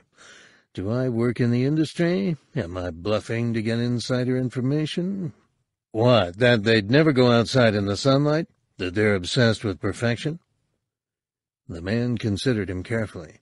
That they're gray with long necks and incredibly arrogant once you get past the polite exterior. Well, that confirms you've met one, or your friend has. Thanks. Fett busied himself with his ale. Not many people knew that much about Kaminoans. Over the centuries, only a handful of people had even known they existed, let alone seen them or had enough contact with them to describe their outlook on the non-Kaminoan world. But industry insiders here knew all right. Did Micro give them a nice dark hole to live in? It was an issue, said the man, and looked satisfied. So Kaminoans had probably defected to Arkanian Micro on Vohai. The intelligence was flimsy, but given that there was normally no intel at all on Kaminoans, it had a great deal more credibility. Fett had already worked out his route to the outer rim by the time he drained his ale, put his credits on the counter, and stood up to leave. I like this neighborhood, he said. On the way back to Slave One, he did what he had done so many times. He used his datapad to carry out an automated purchase of an asset. He bought half a dozen homes in Upper Parkway and transferred them to one of his holding companies. They'd double in value inside the year. It was as near as he ever came to indulgence, but he would never live in any of them. They were an investment. He never gambled. He speculated. What are you investing for? Why did you ever invest? When did you stop and think what you were going to do with it all? He hadn't. He was in it to succeed to show how good he was. And the only person who would have cared how well he did, what a clever boy he'd been, was long dead. Fett flexed his fingers discreetly as he sat in the back of the taxi, feeling the joints and tendons burn. The pain was still occasional rather than ever present, but he knew it would get worse as his condition deteriorated. A few analgesics, when pain finally impaired his efficiency, would keep him going. No, he wasn't dead yet. But if Ko Sai had been one of the Kaminoans, he noted that plural, who fled to Arkanian Micro, then her research on aging hadn't gone with her. The company would have exploited it to the full by now. Anti-aging was always the preoccupation of affluent civilizations. It earned big credits. Maybe the talk in the bar was just rumor. No, enough hard detail had been revealed, and industry gossip tended to have a basis in reality. But maybe Ko Sai had never managed to halt or reverse the aging process. Then you're really dead, Fett. So shape up. As soon as he was clear of the taxi, he stripped off the robe and tunic, bundled it in the holdall, and put his helmet back on with genuine relief. It wasn't just a barrier against a world where he didn't truly belong. It was a piece of a kit, a weapon in its own right. He relaxed as the familiar welter of text and icons cascaded down the margin of the HUD, and told him all was well with Slave One. He checked the various security cams remotely, staring through images of empty bays and secure hatchways at the permacrete strip in front of him. Even before Slave One came into view in one of the bays, he settled on an image of Mirta Gev. Still locked in the prisoner bay, she lay on the deck with her legs hooked over a bulkhead rail, fingers meshed behind her head, performing sit-ups. He hadn't come across women like her before. He hadn't come across many men like her either. Whatever was driving her, she was serious about it. Discipline was a fine quality. He came perilously close to liking her again. Fool. She's ballast. He opened Slave One's forward hatch via his HUD link at 30 meters from the ship, climbed into the cockpit, and flicked open the internal com system. Change of plan, he said. We're going to Parmel Sector, Outer Rim. He waited for sounds of protest. Nothing. He checked the cam again to make sure Mirta was still there. Did you hear me? Yes. She sounded a little out of breath and stood looking into the cam's lens. You'll pay me sooner or later. I'm young. I've got time to wait. She had no idea how pointed that observation truly was. Fett wondered if she knew he was ill, but there was no way she could know he was dying. Vohai, he said, and wondered why he volunteered the destination. She was making him drop his guard. Nobody managed that. He made a conscious effort to be himself again, untouched by anything beyond his own needs. Sit up front where I can keep an eye on you. He released the security locks on the aft compartments and fired up Slave One's sublight drives. Mirta belted herself into the co-pilot seat just as the ship lifted, the acceleration flattening her like a punch. Fett paused. I don't bother with the G-force dampers on takeoff. Why did I say that? He'd developed a rhythm of bare-bones conversation over the years. His passengers were never volunteers. Nobody wanted him to catch up with them. This was how it went. They whined, and he slapped them down, with a blunt word or sometimes a blunt object. Mirta didn't whine. He still felt the compulsion to slap down. She stared ahead from the view screen. I didn't pay for a ticket, so I'm not complaining. There was no answer to that. Fett took Slave One out on manual to check that he could still pilot without computer assistance. So far, so good. The illness was still just pain, not yet infirmity. Roonadan dwindled beneath them into a rusty red coin, and the viewport filled with star-specked void as Slave One cleared the planet. Then he took the risk of losing his main psychological aid to remaining aloof, and eased off his helmet.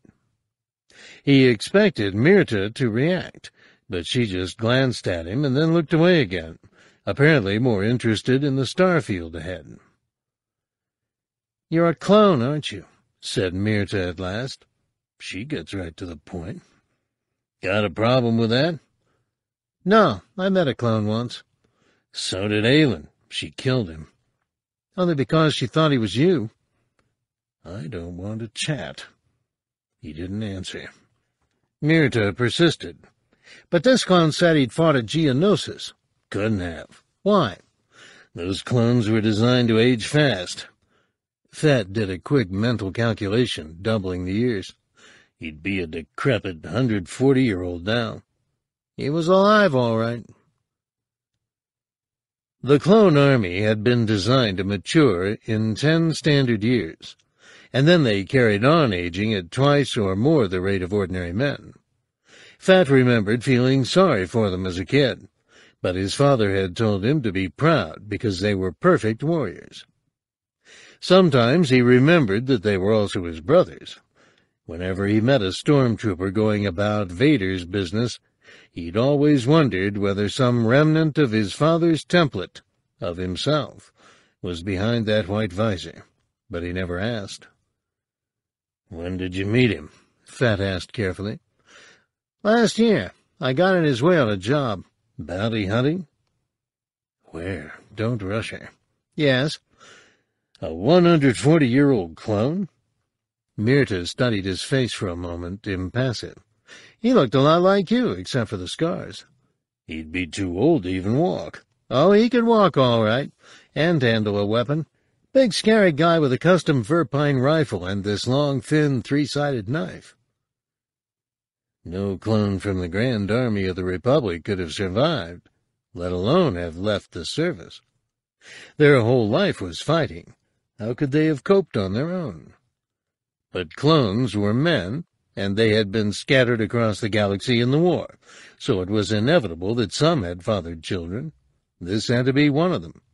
He was almost reassured to know that the clone bloodline hadn't been erased completely, but he wasn't sure why. You sure? Yeah. He said his clan name was Skirata. Skirata. Fett jerked his head around and knew instantly that he'd displayed too much interest. But he knew that name. Back on Kamino in the years before the war with the Separatists started, his father had had a friend called Skirata, a short, tough, fanatical man who trained clone commandos, and, according to his father, was the dirtiest fighter he'd ever known. He seemed to like that about him. What else did he say? That he and some of his brothers left the army after Palpatine came to power. He wasn't very talkative. You're definitely related. That made Fett pay much closer attention. No clone from the Kamino labs could have survived this long, except unaltered ones like him. Or one whose accelerated aging process had been halted. Only Ko Sai knew enough to be able to do that. I'm interested, he said. Why? He'd rarely needed to lie, but he lied now. They'd be my brothers, too, wouldn't they? And then he wasn't sure how much of that was actually untrue. He had always been alone, just the way he liked it, and now he was suddenly curious about not being that way. Mirta leaned back in the seat and looked up at the deckhead. The heart of fire was strung around her neck, which struck him as an odd thing for a bounty hunter to do with an object she'd retrieved. She was just a young girl, and girls liked baubles, but she didn't seem the type to go in for jewelry. He looked like you, more or less, she said at last. She tugged at the necklace like worry beads. He had full Mando armor, light gray, and these pale gray leather gloves with an unusual grain. She held both hands out above her lap, palms down, fingers spread, as if she was imagining those gloves on her own hands. Really immaculate gloves. Fett thought gray, and an image of Taun We's long silver-gray neck and neat yellow-eyed head dominated his field of view as vivid as his helmet's display right there in front of him, and yet somehow not there. If Mirta wasn't spinning him a line, then someone had managed to get hold of Ko Sai's data, and they made use of it. But maybe she knew more than he gave her credit for. His father had taught him to watch out for traps. This was so close to what he wanted to hear that it triggered every suspicious nerve in his body which was all of them. If those clones survived, why haven't I heard about them before? If this kid's trying to set me up for something, she's got a lot to learn. Even Ailyn had tried to kill him once. He glanced sideways at Mirta. Fierfek, you look just like him when you do that. She looked rattled. It's the way you tilted your head. Whoever the man with the gray gloves was, he seemed to have made an impression, or else she was an expert actress. She had a tight grip on the heart of fire as if to protect it. Fett decided to make sure she was secured in the aft section when he needed to sleep. She still seemed to think that the goods she had to sell was Ailyn's location. Maybe she didn't realize that she now had two things he wanted and that was information on both his dead wife and, impossible, but he couldn't ignore it, his living brothers. If she had known, she'd have asked him to pay for it. But Mirta had the necklace. It was somehow all he could recall of Sintas Vel at that moment. He suddenly missed her, and he knew he had no right to. Senate Lobby 513 Senate Building, Coruscant, 0835 hours. Admiral Pellaeon resigned as Supreme Commander of the Galactic Alliance Defense Force at 0800. A little too late for the main morning holonews bulletins, but early enough to interrupt drive time programming for a few moments. He had objected strenuously, in private, to the powers granted to the Galactic Alliance Guard, but said nothing publicly. He was an old man. Nobody outside Omas's cabinet, and presumably the military, thought it unusual that he should let a younger officer take his place. Jacen watched the news on the chamber's holoscreen, sound muted. While he wasn't surprised that Pellaeon had finally gone, he still wasn't prepared for the speed at which events were moving. He wondered if Lumiya had influenced matters somehow, but she denied it. She sat beside him in the deserted lobby chamber, document case on her lap, face invisible under that dark red cowl and veil. The chamber was normally full of lobbyists and media seeking audience with senators, but it was too early for the majority of the power brokers to be about their business. The Jedi Council, though, was meeting Niathal in the Supreme Commander's suite, and it was interesting that she had not gone to see them, but that they had come to her. Start as you mean to go on.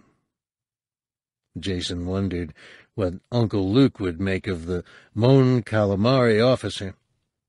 She would replace Omas one day.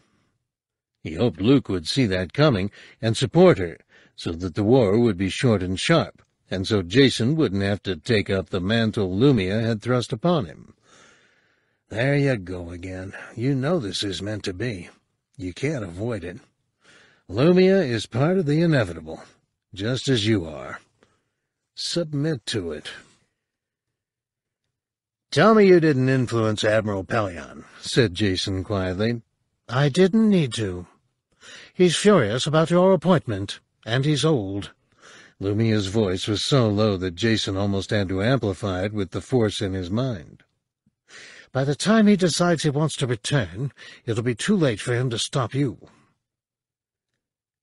The resignation of an elderly chief of defense was no shocking news story for HNE, merely a chance to recap on Pellaeon's distinguished career.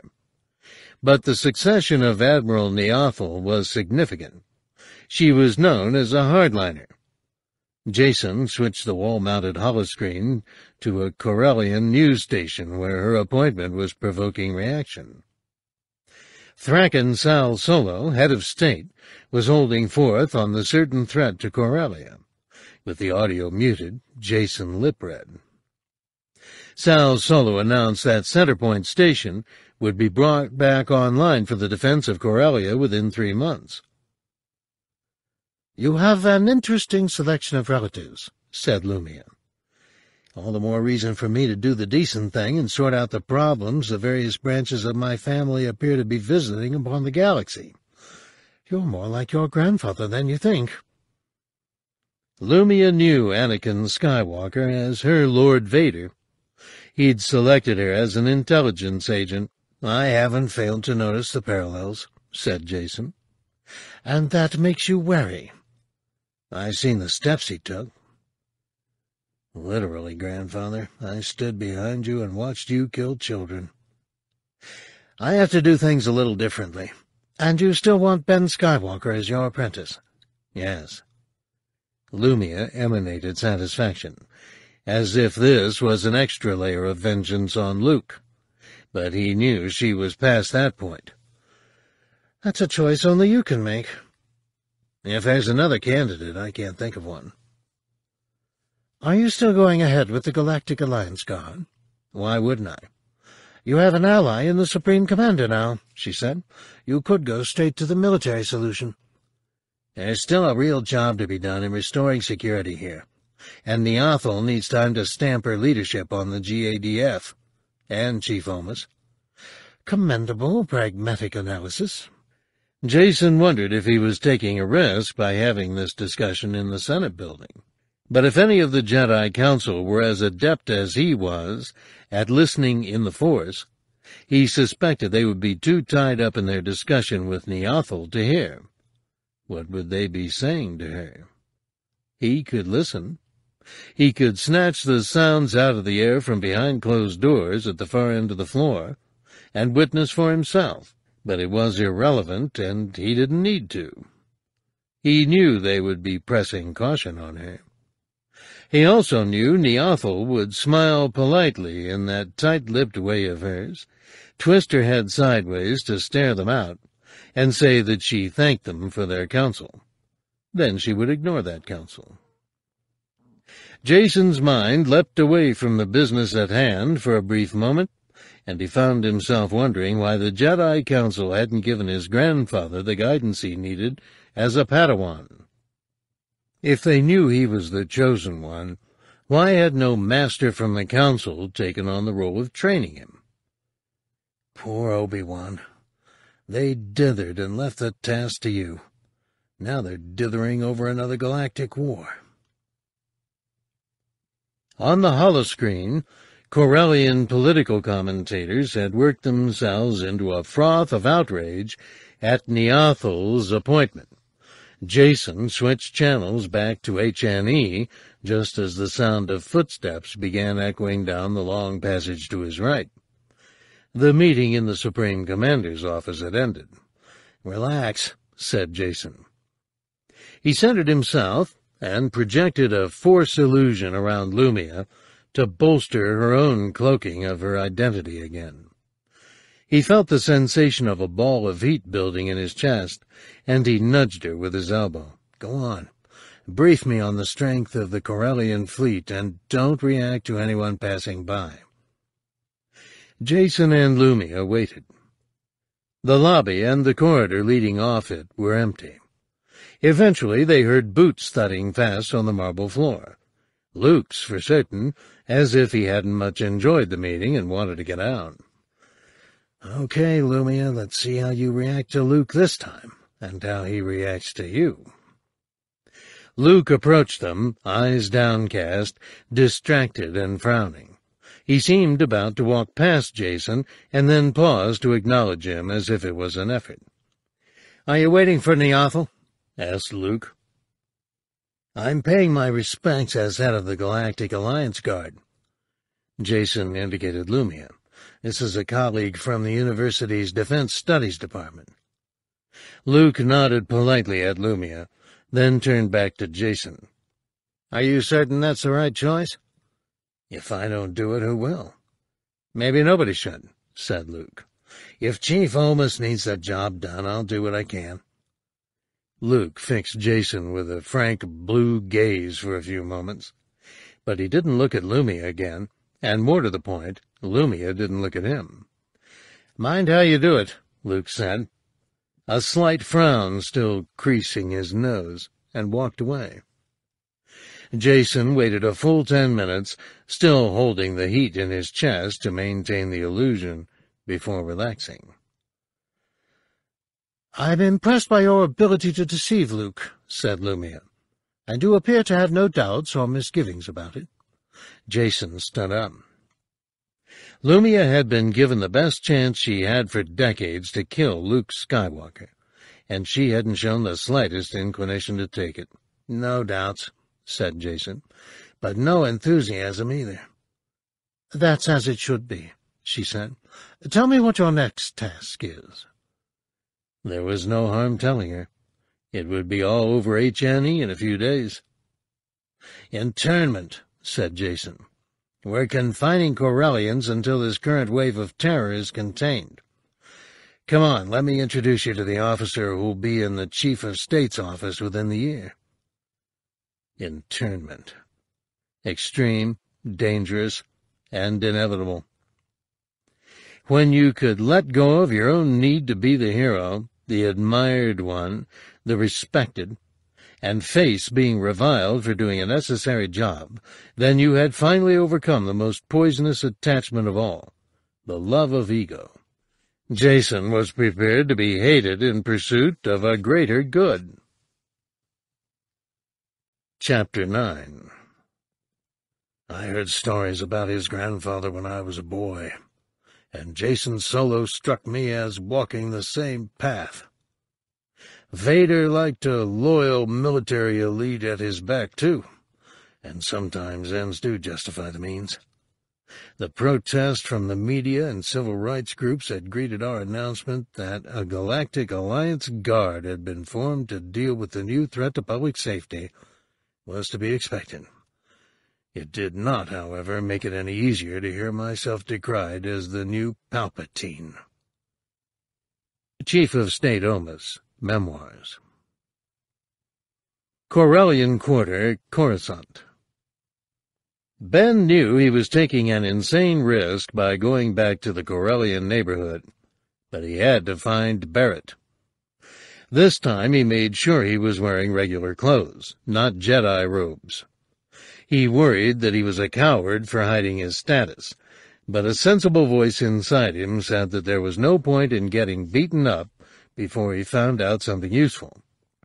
That was pragmatism, as Jacen called it. Corellians didn't have a fight going with the Jedi, just the Alliance, but the distinction between the two wasn't always clear.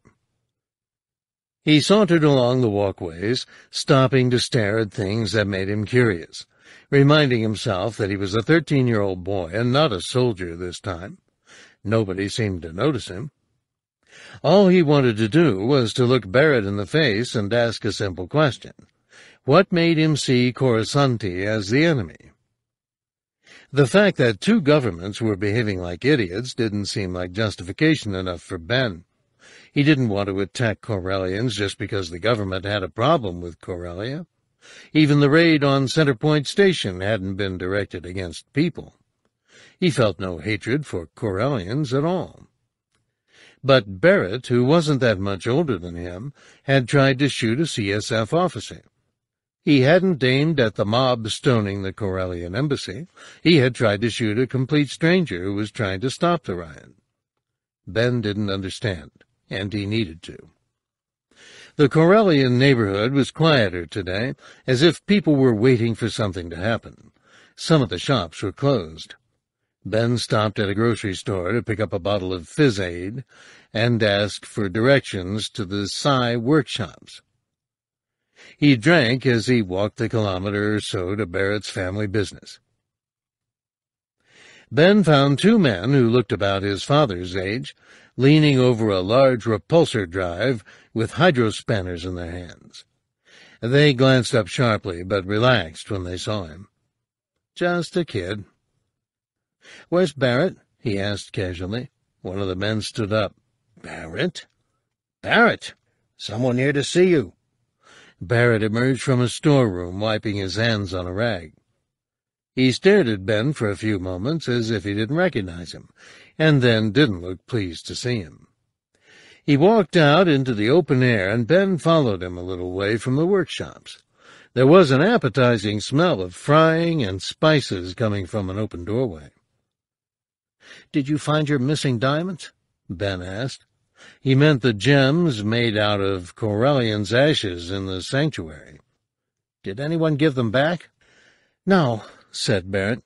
The sort of people who smash memorials don't have consciences. It wasn't a good start. Ben plunged in. I saw you outside the embassy the other day. What were you doing there? Getting a face full of gas? Yeah, so was I. Ben wondered what Barrett had done with his blaster. He knew he could draw his lightsaber instantly from his pocket if he had to find out the hard way. When I say I saw you, I mean I saw you with a weapon. Everyone carries a piece, even you. I have to know. But why shoot at a cop? You going to turn me in? So he hadn't seen Ben deflect the blast. He had shot and run. I didn't think I hit anyone. They never said I just want to know why you did it. You aimed to kill, or you didn't care who you hit. The officer never did anything to you. He was just trying to stop a fight. Coruscant's against us. The Alliance is trying to kill us. We've got to defend ourselves.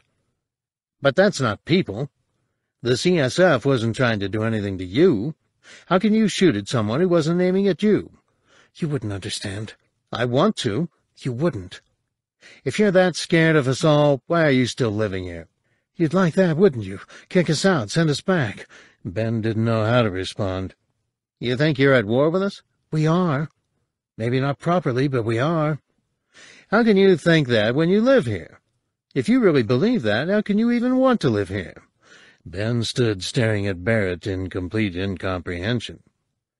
He had no idea what was going on in the Corellian's mind to make him feel that he was suddenly an alien on the planet where his family had been born. But he knew that it made him feel suspicious and wary of Barrett in a way that had nothing to do with the fact that he was prepared to draw a blaster. Come on, Barrett, one of the men yelled. You going to be yakking there all day? Got jobs to do. Get on with it. Barrett looked at Ben as if he was memorizing his face. Gotta go. Thanks for not turning me in. He walked back toward the workshop. Ben wandered away, the half-full bottle of Fizaid still clutched in his hand and wondered if he should have reported Barrett to CSF. It had never crossed his mind. Jobby Town, Corellian Quarter, Coruscant, 0400 hours. This neighborhood hated the planet on which it found itself, and that was not a political or military assessment of the risk, but Jacen Solo's certainty of what he detected in the Force. That alone was enough for a Jedi to act upon, if a Jedi was what he still was, he reminded himself. Jacen could sense the resentment, anger, and danger that was simmering in this Corellian district of Galactic City, and that was why he had decided to begin his operations as the new commander of the Galactic Alliance Guard by raiding Jobby Town. It was hard to seal off a neighborhood in a place like Coruscant. The intersections were three-dimensional and required six CSF Traffic Division repulsor lift ships for each Skylane junction that Jacen needed to have blocked off. He stood on the platform of a military assault vessel, a matte gray gunship, not unlike its CSF counterpart, watching two of the CSF ships hover into position. It was still dark. The CSF vessels had no navigation lights showing. Jacen could only see them because the light pollution on Coruscant meant that Galactic City was never truly pitch black, and he could pick out the shape of the hull when it moved. Are you okay, Ben? Ben stepped forward. He hadn't said a word. He clutched his lightsaber hilt in one hand, and Jacen sensed he was agitated rather than excited. He had changed irrevocably from a boy who found missions and adventure to a young man who had a healthy degree of fear in him. I'm fine, Jacen. Comlink working? Ben fumbled with his right ear. Do I really have to wear it? You need to be able to hear what's going on between squads. You can't do that using the Force. Sometimes the non-Jedi solution to a problem was actually the easiest. I'm not even sure I can handle that much voice traffic yet. Jacen turned to the five squads of soldiers of 967 Commando in the troop bay. Elite shock troopers whose specialty was siege busting and personnel retrieval, all of them hand-picked because they were Coruscant-born and bred, and human, with no possibility of secret sympathies with other worlds. Among them were volunteers from the CSS anti-terrorist unit, selected and vouched for by Shevu. They would be loyal. Jacen had come to value loyalty very highly lately. He couldn't see their faces behind their riot visors and sealed black helmets, but they exuded no more than a sense of concentration and a little apprehension of the level that was normal for troops going into battle. They didn't know exactly what lay behind the doors of the Corellian quarter, but they knew they ran the risk of armed resistance and even explosives. On the other side of the Corellian district, Shevu stood by with more squads, ready to storm buildings to search, subdue, and arrest. At the ends of the walkways, more soldiers of 967 Commando slipped into position and trained rifles on doors, ready to stop anyone escaping. The sniper troops had moved into positions on the rooftops around the block. Jacen opened the comlink looped over his ear. Squad commanders, no discharge of weapons unless you're fired upon first. Shevu's voice cut in. Can I suggest we update that to unless we perceive a real and immediate threat, sir? Takes account of grenades and other weapons? I'm thinking like a pilot, like a Jedi, not like an infantry officer. A good idea, Captain. Revise that. There was a faint murmur on the net as if troops had silenced their links for a moment, and then opened them again. They'd exchanged comments. They might have said that their commander was an idiot for not establishing better rules of engagement from the start of the mission planning, but it felt more like approval that he could listen to advice. The Force might not have been useful for communicating routine detail, but it was perfect for discerning mood. Jacen felt it was time to roll. Most would be asleep. 0400 was a good time to disorient humans and minimize resistance. Shevu had shown him medical data to confirm this, but pointed out that it never ever worked on Wookiees. Stand by, said Jacen. Ben's lightsaber sprang into life, the blue light illuminating the troop bay. The 967 sergeant crackled audibly as his armor systems created feedback in the assault vessel's public address system. He adjusted something on the side of his helmet. Silence descended. Around 2,000 people lived in this block of buildings, and Jacen had 500 troops deployed. Not a good ratio, but it was enough to get the job done. The assault ship hovered level with the walkway, and he leapt down from the bay, followed by the 967, who spread immediately to stack either side of doorways. Above them, Jacen could feel the adrenaline-fueled presence of roof teams and snipers. There was a second of profound stillness, like the pause of a pendulum before it swung back again. Go, go, go, said Jacen. The assault troops swung into the sky lanes on either side of the block, and their arrays of 200 million lumen spot lamps turned the area into instant, blinding daylight. The 967 sergeant behind him relayed his voice via the assault ship. This is Coruscant National Security. Stay where you are. I repeat, stay where you are. Jacen felt the vibration in his teeth and sinuses. The canyon of walls on either side concentrated the sound. Officers will be entering buildings. Please cooperate. Be ready to show your identity passes. One or two doors had already opened, and some people stood on balconies in bathrobes, hands shielding their eyes against the ferocious white spot lamps. All along the walkways there was a chaos of yelled commands and hammering on doors.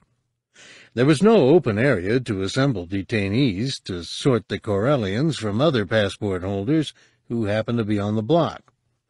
So commandos were going into the buildings and assessing the occupants where they stood or taking them outside to stand against walls, while their homes were swept for what had now simply become loosely termed as threats.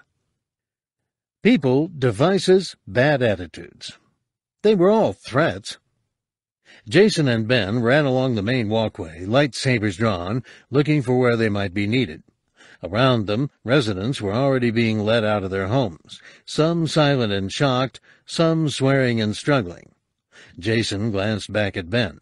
His face was set in fixed concentration, wide-eyed, and made more shockingly white by the intense light. When he looked around, he could also see activity on the other side of the sky lane, where residents from the next block were starting to gather to watch the drama. This will be on HNE in minutes. Everyone's got a holorecorder these days. Never mind. I have nothing to hide. Galactic Guard, outside, now! Ahead of them, a squad of four 967 troops confronted a set of locked doors. They leapt back from the doorway, flattening themselves at either side of the entrance. Jacen went to their aid. Ordnance, sir, said one of them. The voice was female. She held up the sensor readout, the nose, as they called it, attached to the back of her left gauntlet. It winked red and orange. The nose sniffed something, and the occupants aren't cooperating. Stand clear. Three inside. On the other side of the doorway, a commando with sergeant's insignia and the name Wirrett stenciled on his breastplate, held a thermal imaging scanner against the wall. His comrade stood back a few paces and snapped a gas grenade onto the muzzle of his rifle. If anything in there blows, sir, this isn't going to look pretty on HNE. You stand clear. Sergeant, I won't ask anyone to do what I won't do myself, said Jacen. Show me the image. The sergeant, Wirrett, turned the imager to face Jacen. It had a pistol grip like a loudhailer. One end of the body a lens, and the other side a display that showed red on black. Three human shapes moving around in an area that was probably set one room back from the frontage, judging by the range shown on the display's grid. Ben, do you sense anything? Jacen asked. What does it feel like to you? Ben's sense of danger was becoming very acute. This was a good time to hone it to perfection. He half closed his eyes in concentration. Dangerous, but not right now. Soon. Explosives, but not assembled? Is that what you feel? Yes, said Jacen. He motioned Wirrett back. Hold the gas, trooper. You want them immobilized? That's a general idea, sir, so they don't detonate anything. Fine. Jacen took a breath, visualized the interior of the ground floor and the door, and focused himself on the three people inside. Sir, Jacen didn't hear the rest. He sent a force jolt through all three targets simultaneously, paralyzing them. And a second later, the doors blew open, not with the punishing shock wave of a conventional blast, but the contained violence of the force. The squad of commandos threw themselves flat. It was the smart thing to do in an explosion, clearly ingrained by hard training. They froze, waiting for a shock wave that never came. Wirrett got to his knees, and even if Jacen couldn't see his face, he knew the man was grinning. Nice trick, sir, he said, and stood up, rifle ready, to ease through the torn gap that had been the front doors. Jacen slipped in after him, followed by Ben and the rest of the squad.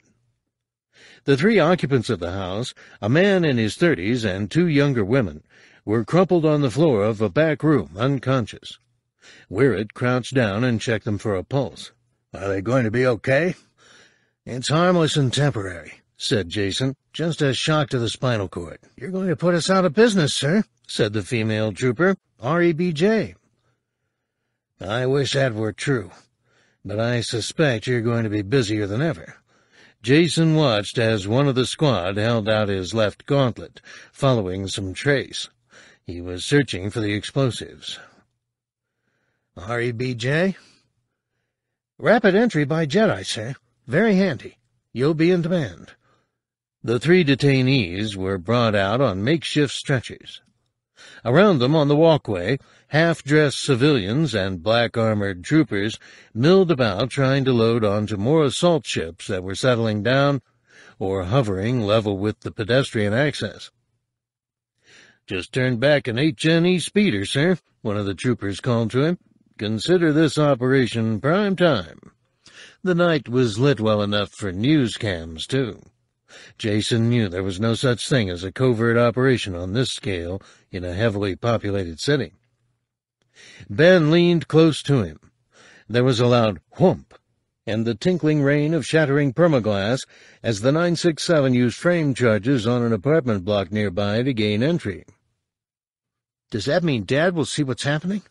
I believe so, said Jacen. Oh. The only approval you need in your life is your own, Ben. Are you ashamed of anything you've done? Ben paused, lips parted, eyes slightly defocused. He was thinking about something very hard. Only of things I haven't done. Such as? Not telling you about someone who tried to shoot a CSF officer. Jacen could tell from Ben's voice that there was a lot more to it than that. He noted it mentally. We can talk about that later. Now go find a squad that needs assistance. Ben raced off, still clutching his lightsaber, the blue blade leaving a ghost image as he moved.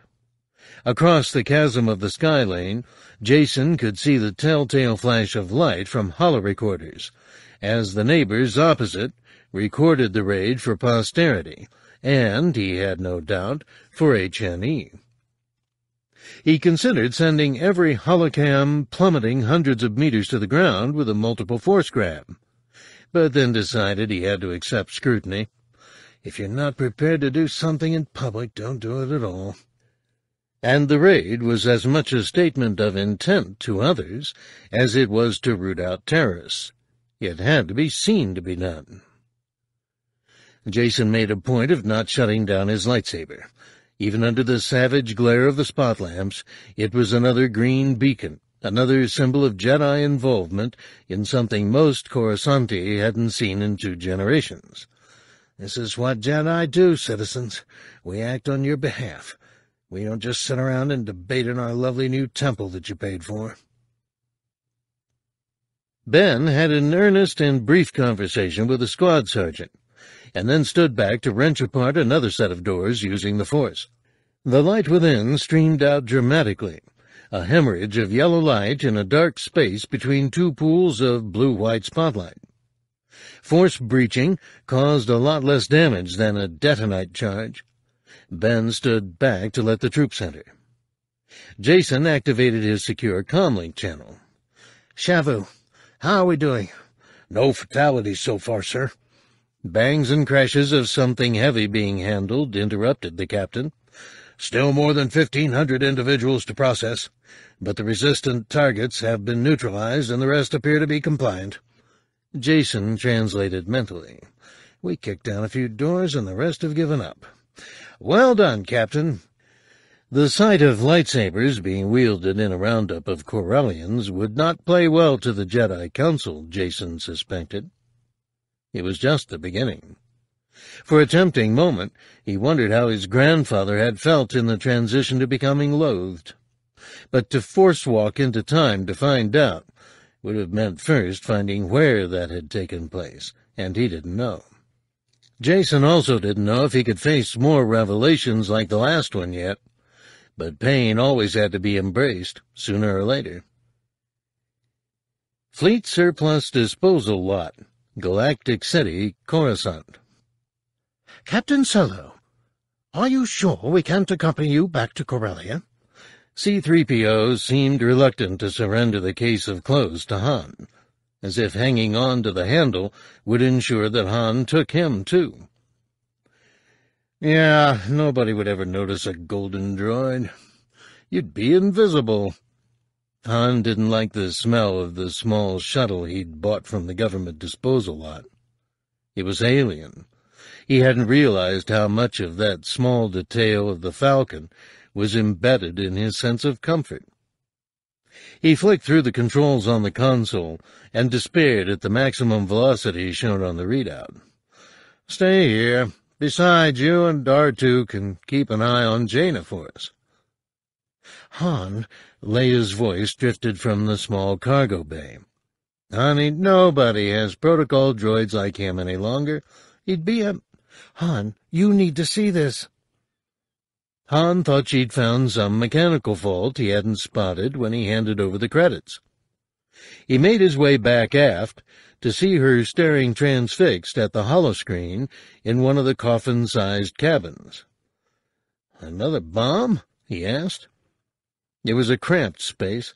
He could hardly see the screen without squeezing past her and pressing his back against the aft bulkhead. Try bombshell. Han took a few moments to work out what he was looking at.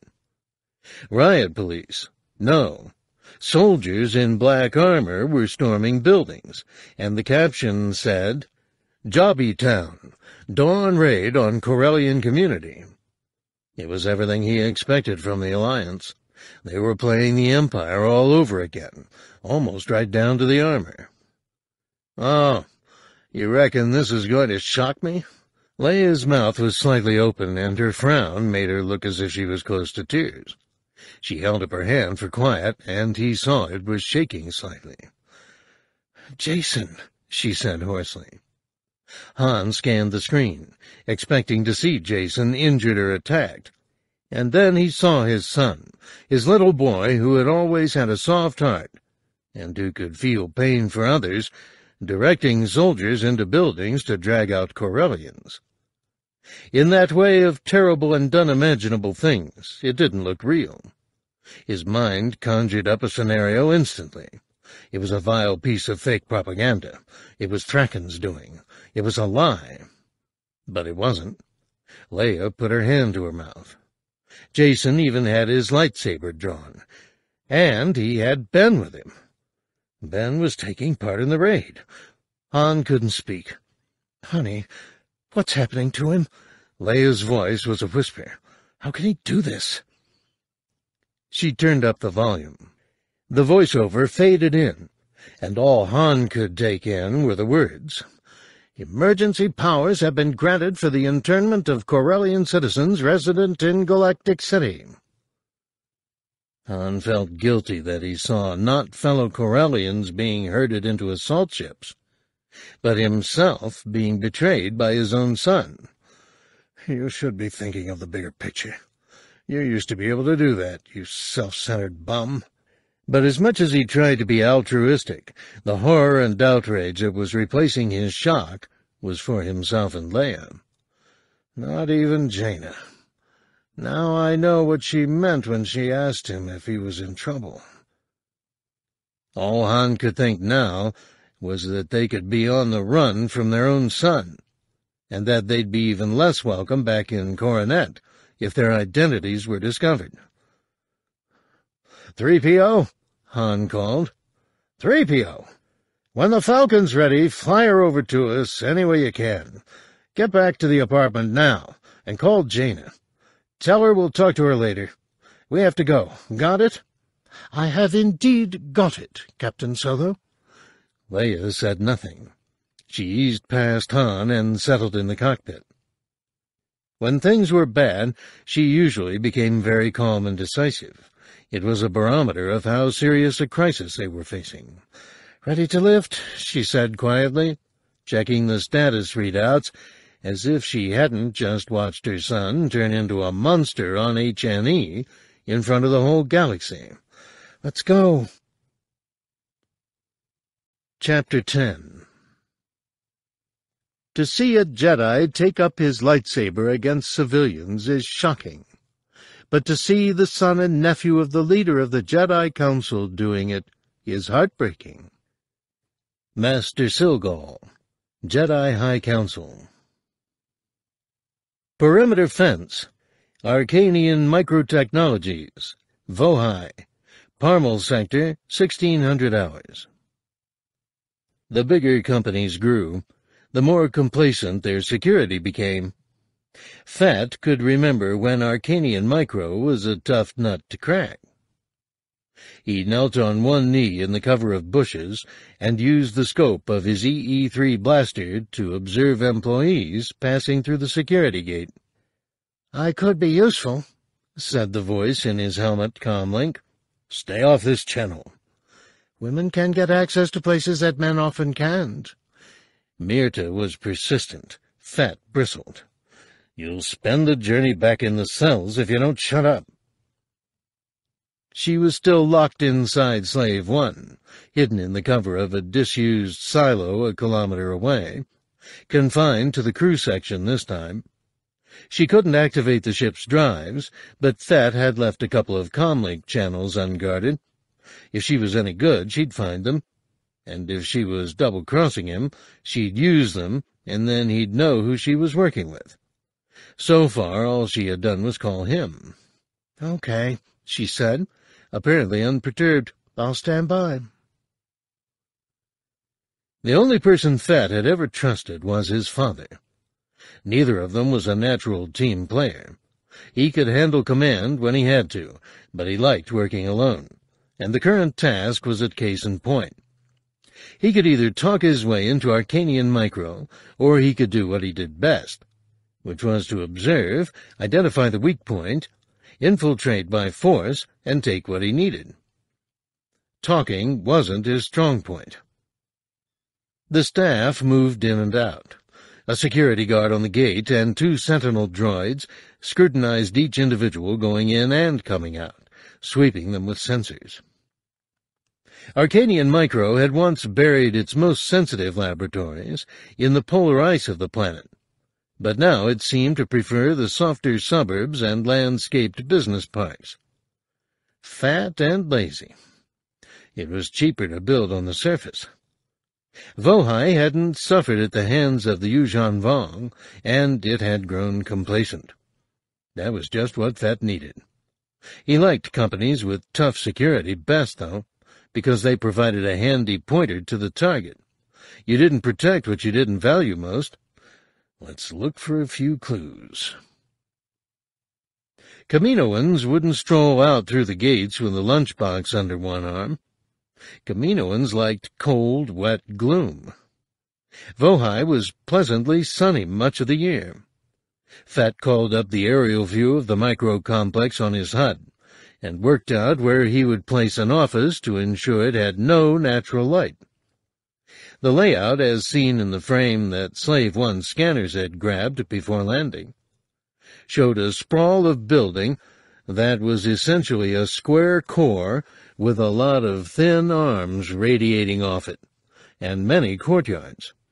Humans, most species in fact, liked bright natural light to work in. But you wouldn't want one of those nice courtyard offices, would you, Taun We? So somewhere in the square heart of the complex, not on the periphery or in the strings of buildings that ran from it, was a lab or an office that a Kaminoan would feel at home in. Me too. Not the rain so much as the plain walls and the lack of clutter. He thought of the simple toys and his austere childhood home, and knew why possession seemed a burden he didn't really want. She's probably in there right now, building more clones. If she raises the alarm when she sees you, would you shoot her? Shoot someone old and weak. He set his visor to full-range magnification by tapping the control plate on his left forearm. He preferred that to the blink-activated HUD system, and tried to get a better line of sight into the security booth at the gate. They were bound to have some repeater system. Every security station needed to be able to communicate with the rest. That meant there might be an indication of floors below ground. From the air, only single-story buildings were visible. He needed to know if he faced a more complex layout once inside. It wasn't a good idea to get pinned down below ground level. Fett needed a better observation point. He looked around, calculating the angle of elevation he needed to get a clear view through the transparisteel window. If he sent a remote in closer, it would be spotted. He'd do this the old-fashioned way. Backing out of the bushes, he walked a hundred meters to the next lot and checked out the roofline. Fine. Plenty of flat-topped warehousing to choose from. He slipped between two buildings, took out his rappelling line, and then decided a simple burn with the jetpack would save his shoulders a lot of wear and tear. He was up on the roof in under three seconds, lying flat and peering down the scope of the blaster to get a better look inside the security booth. There was a status screen on the guard's desk, all right. He eased along to the far edge of the roof on his belly and racked up the scope's magnification. The image shimmered, unsteady at that range, but he could see a grid of white lines on a blue background, with green lights winking at points along the grid. Probably intruder sensors. There was nothing that indicated multiple layers. One level. So far, so good. The next step was to work out how the building was organized and all that took was a little guesswork backed up by information that was usually public. Fett lowered himself from the roof on his rappel line. Letting the pulley take the strain, flicked the cord clear, and settled down in the shelter of waste storage sheds to browse the local comlink directory system from his datapad. It was fascinating to see how much information one could put together just by seeing how companies listed their departmental comlink numbers. Names and numbers scrolled across the screen of his pad. Arkanian Microtechnologies. Deliveries, Personnel Services, Public Affairs and Investor Relations. He scrolled farther. What was Taun We's specialty? Developmental Sciences and Education. Taun We was an expert in human psychology. She knew enough about humans to make sure the ones the Kaminoans bred under the most unnatural conditions imaginable were conditioned enough to prevent them from becoming basket cases. She wouldn't be splicing DNA. She'd have brought her little case of data chips with her as some kind of employment dowry. And Microtech would have been glad to have that data, but her day-to-day -day work the work she loved doing, was making sure clones didn't go crazy. Profiling, testing, flash teaching, accelerated socialization, giving clones the right attitude to be useful tools. Hi, Taun We. I hope you're enjoying your new job. Fett could have waited to see when she came out, almost certainly by vehicle, probably obscured from view, and followed her to wherever she called home. But it wasn't that much harder to walk in and find her. If he could get close enough to the building, he could use the penetrating terahertz radar sensor in his helmet's visor to look for a long body with pockets of low-density tissue, quite distinct from a human radar profile. It could see through walls. Infrared couldn't and it had been a long time since he had broken into a laboratory for data retrieval. A bounty hunter had to keep his skills sharp. Galactic Alliance Guard HQ, Quadrant A89, Galactic City, 0830 hours. Jacen came out of the GAG briefing room to find Mara standing with her hands on her hips, as if he'd kept her waiting a little too long. She looked more under control than relaxed. Her expression was carefully neutral, but he could feel the fear in her and see the dark circles under her eyes. She stared. When did you start wearing a uniform? Jacen glanced down at his black fatigues, hands held away from his sides. I should have changed before we carried out the raids. Jedi robes and police actions don't mix. You're telling me. Luke's going crazy. Emergency meeting of the High Council right now, in fact. I meant that all that loose fabric is... Never mind. Luke's reaction was predictable. Jedi couldn't be seen getting their hands dirty, and certainly not his son. You know why we wore robes originally? To fit in with the ordinary people. So I'm fitting in now, with my people. Mara indicated her own battle jacket. Sorry, Jacen. It's just a shock to see you in that uniform. I'm a colonel now. I'm not arguing. I just wanted to talk to you before Luke finds you. Is Ben okay? He did very well. You want to see him? He's in the briefing room. We're just doing a wash-up with the squad leaders to work out what we'll do differently next time. And watching the news on the hour, of course. Mara managed not to raise an eyebrow. There's going to be a next time, then. You turned the job down. What did you think? That it was going to be dirty. It is. But churning through war after war because we don't ever fully deal with unrest is a lot dirtier. The briefing room doors slid open, and a corporal from 967 Commando, LeCauf, stuck his head out. Say, you're on again, he said with a grin. Sorry, ma'am. HNE News. Don't let me interrupt you, said Mara. Just passing. Jacen took her arm. Come in and meet my men. He wanted to reassure her about Ben. Unlike Luke, she didn't seem to want her son to be her little replica.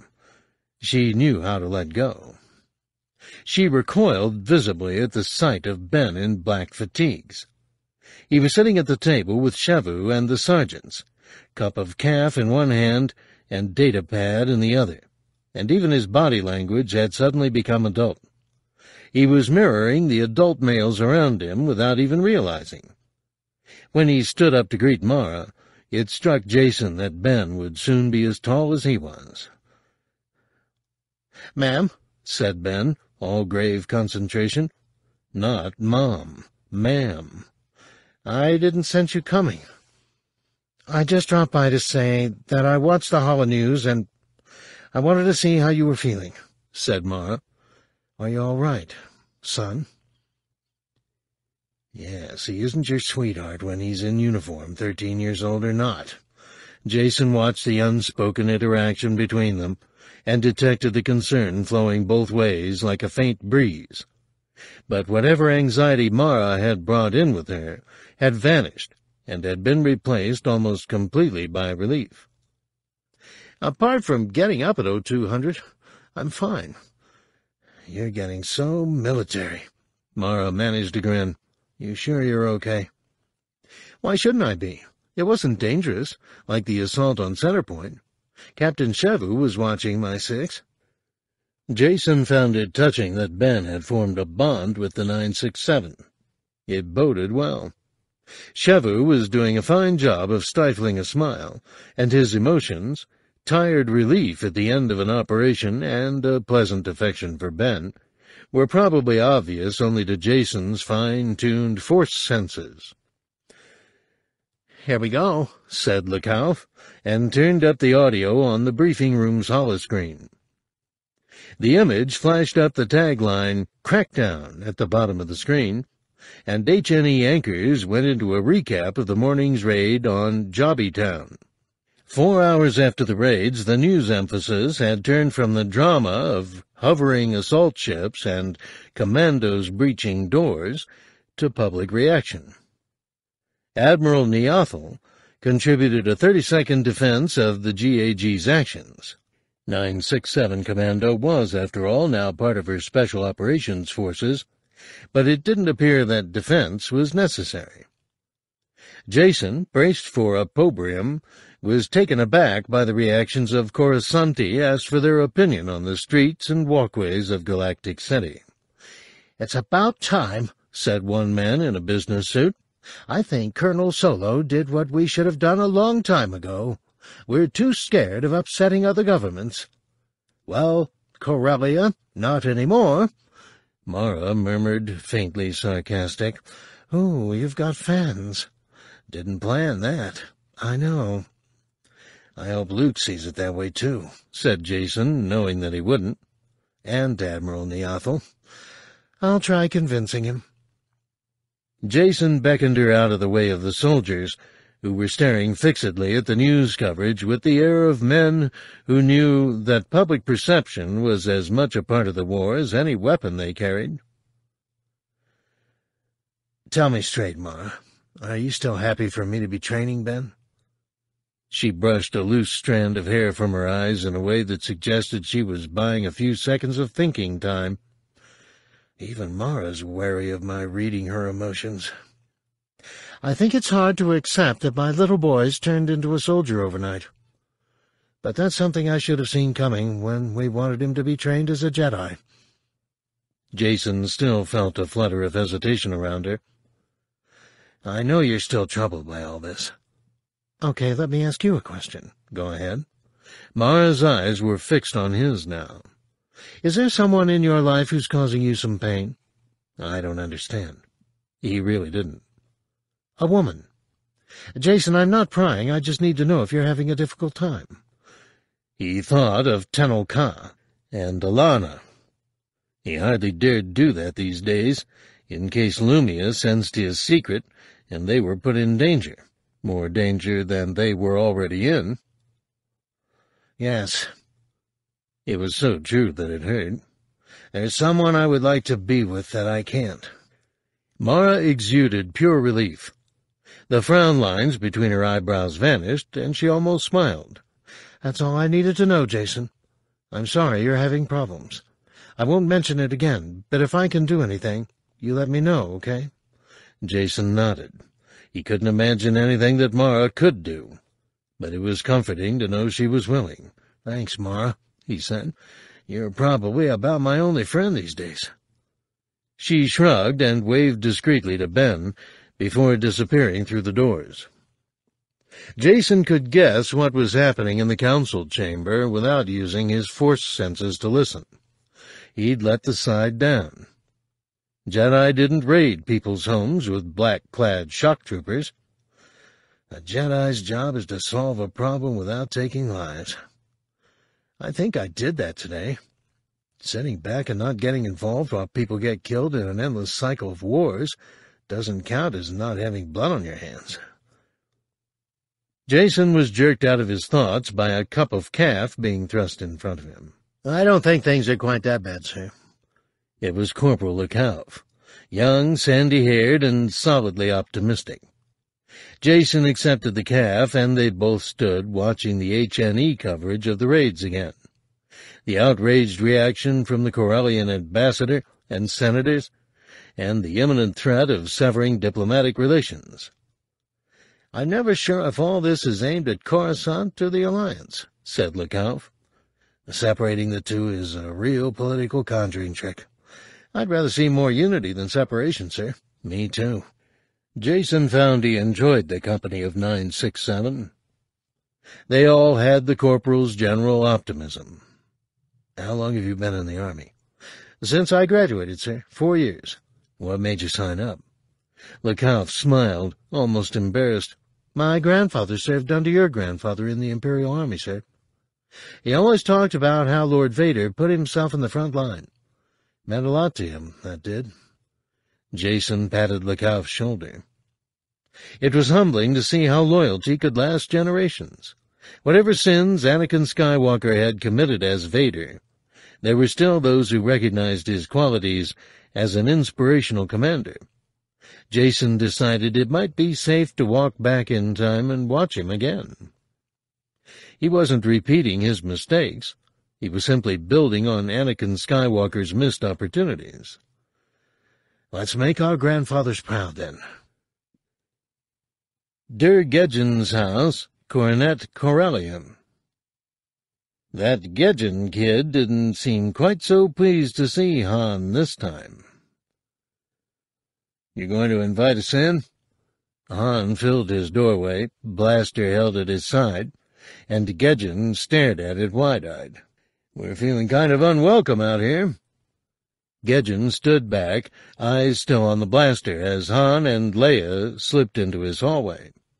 Han flicked on the safety. Where have you been? asked Gejjen. We ran into a well-wisher and had to make a run for it, said Leia. And before you ask, yes, we know what's happening on Coruscant. Sal Solo is having a field day with it. Two small children emerged behind Gejjen, and he shooed them back into the room. The Solo son imprisoning innocent Corellians.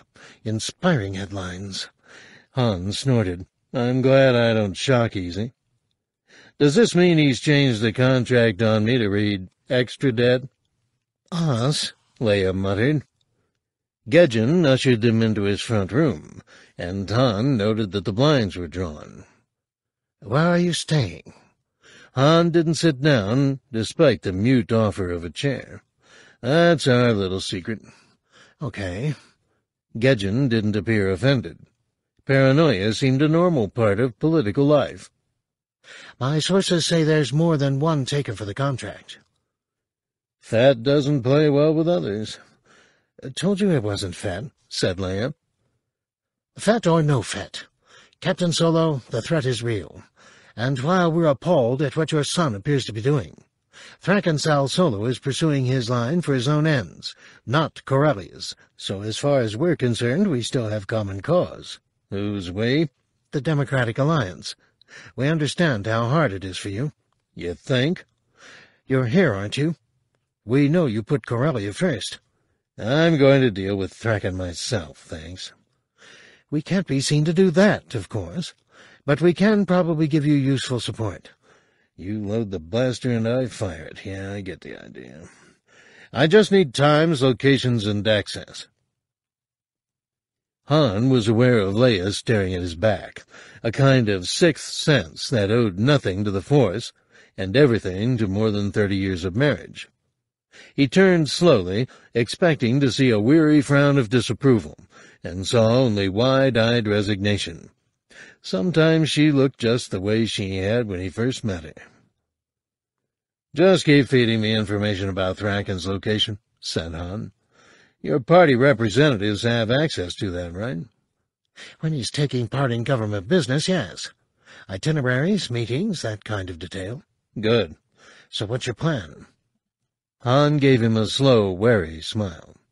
If I told you that, you wouldn't be able to deny involvement, would you? Gejjen went to a desk in the corner of the room and took a data chip from a drawer. Floor plans, he said. Government buildings. They're not illegal, just only available for inspection in libraries and civic offices. They might be useful. Consider me a librarian. Dur, said Leia, if Thrackan Sal-Solo were to fall from power, would your party be in a position to form an emergency government? Gejjen was now focused totally on Leia. That was what really interested him, the seizure of power. Han chose not to be offended. With my colleagues, the Corellian Liberal Front, and those in the Centerpoint Party who'd like a change of leadership, yes. So that's how a coup happens. In some guy's living room while his kids are playing in another room. Hey, you telling everyone my cousin's days are numbered? If you think you're the first person this year to come up with the idea of neutralizing him, you'd be very much mistaken, said Gejjen. Corellia doesn't want to be his personal toolbox any longer. We'll keep contact to a minimum, Leia interrupted, and we'll keep changing our comlink code. I hope the next time we meet is when the crisis has passed. Leia herded Han out into the street, and they walked a tortuous path to the center of Coronet, doubling back on themselves to check that they weren't being followed. There was a lot of air traffic heading into the spaceport, and a general buzz of tension in the city itself. It felt like a world bracing itself for the worst. They came into the main boulevard where the apartment rental office was located. They'd leased something small and anonymous in the center of town, Han decided. Something nobody would expect the Solos to want to live in.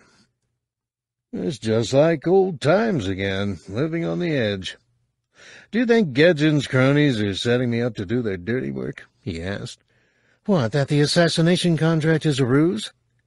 Leia shook her head. You heard Jacen. You saw the Holo News. And there's the small business of the guy we shoved out the airlock. Oh, yeah, him.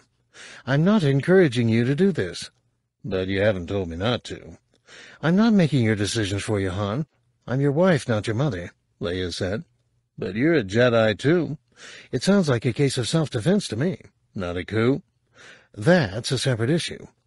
Diplomacy's a fascinating spectator sport, Han said. It's about managing the inevitable with minimum loss of life. Yeah, ours.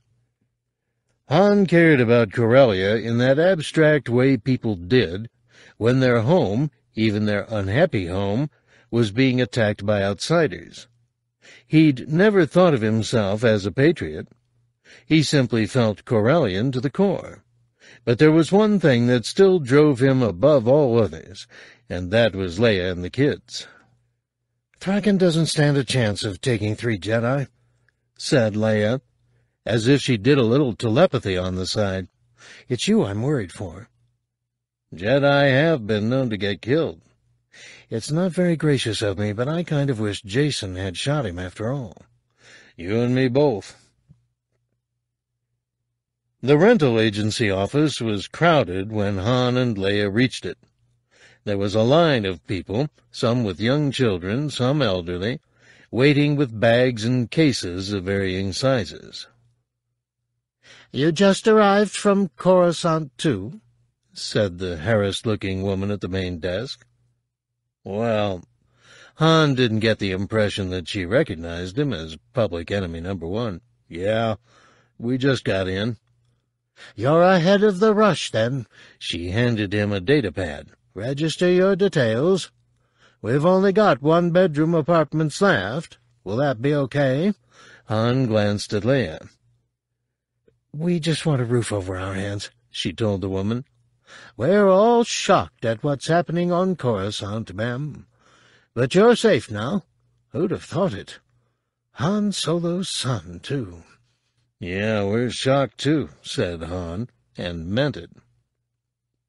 They signed a lease as Jav and Laura Kabadi, and found themselves disguised, quite by accident, as just one couple in the first wave of Corellians fleeing Coruscant to avoid internment. The irony wasn't lost on them. Nice timing, son, Han muttered. Senate Chamber, Coruscant. Emergency debate on internment policy. Jacen sat next to Niathal on the Mon Calamari delegates platform and listened to Corellia's Senator Char haranguing Chief Omas about the abuse of human rights on Coruscant and the lack of consultation with the Senate. We have no option but to withdraw our ambassador, said Char. Is that Coruscant or the Alliance we're talking about? Omas asked. Char hesitated. Isn't that one and the same, Chief of State? I think the honorable representative for Corellia understands that the action I took was to ensure the safety of Coruscant citizens, which is a responsibility given to me by the Coruscanti local authority, and so does not require sanction by the Senate. So which entity do you wish to withdraw representation from? There was a general murmur of support, but significant scoffing from some of the Outer Rim delegates. Omas stood his ground. At the moment, Corellia's allies were a minority, but that would change unless they were given a good reason not to line up behind her. How do you feel about that blockade, Admiral? Jason asked quietly.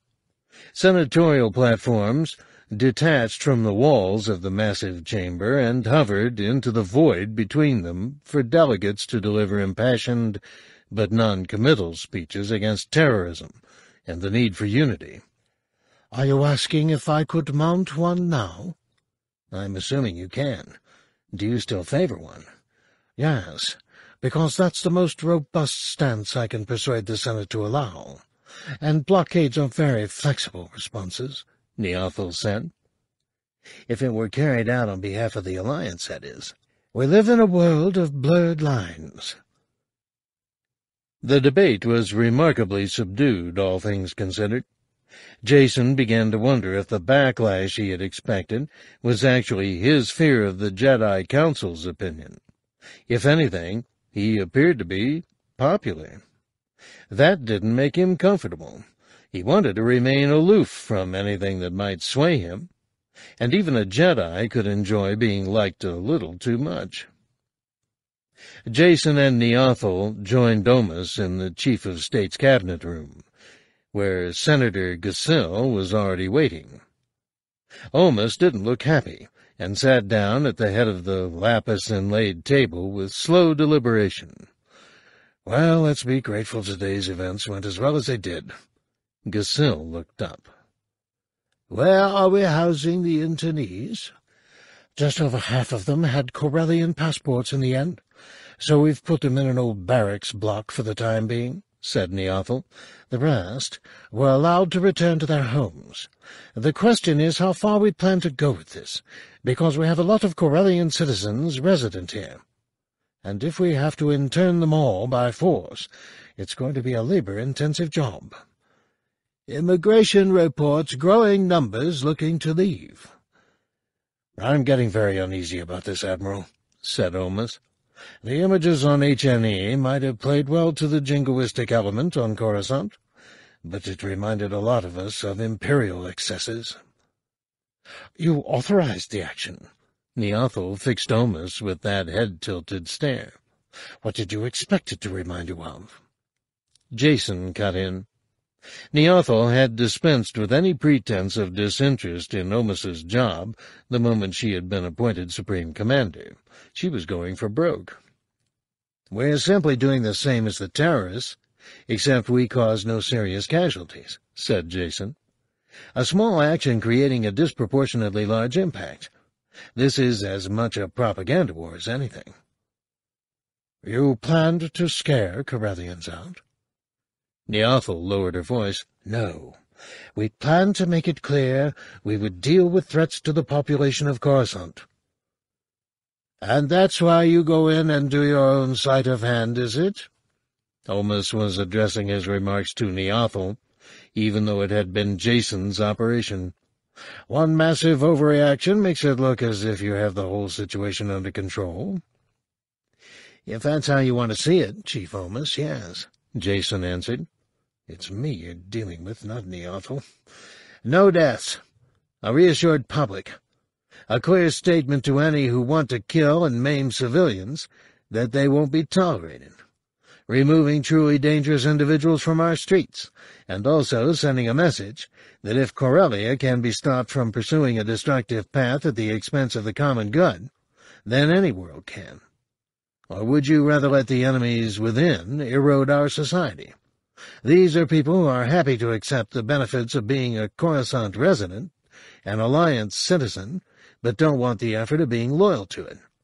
If that's my sleight of hand, then I'll sleep soundly tonight. Omas looked about to speak, but simply glanced down at his hands, as if making a conscious effort not to respond.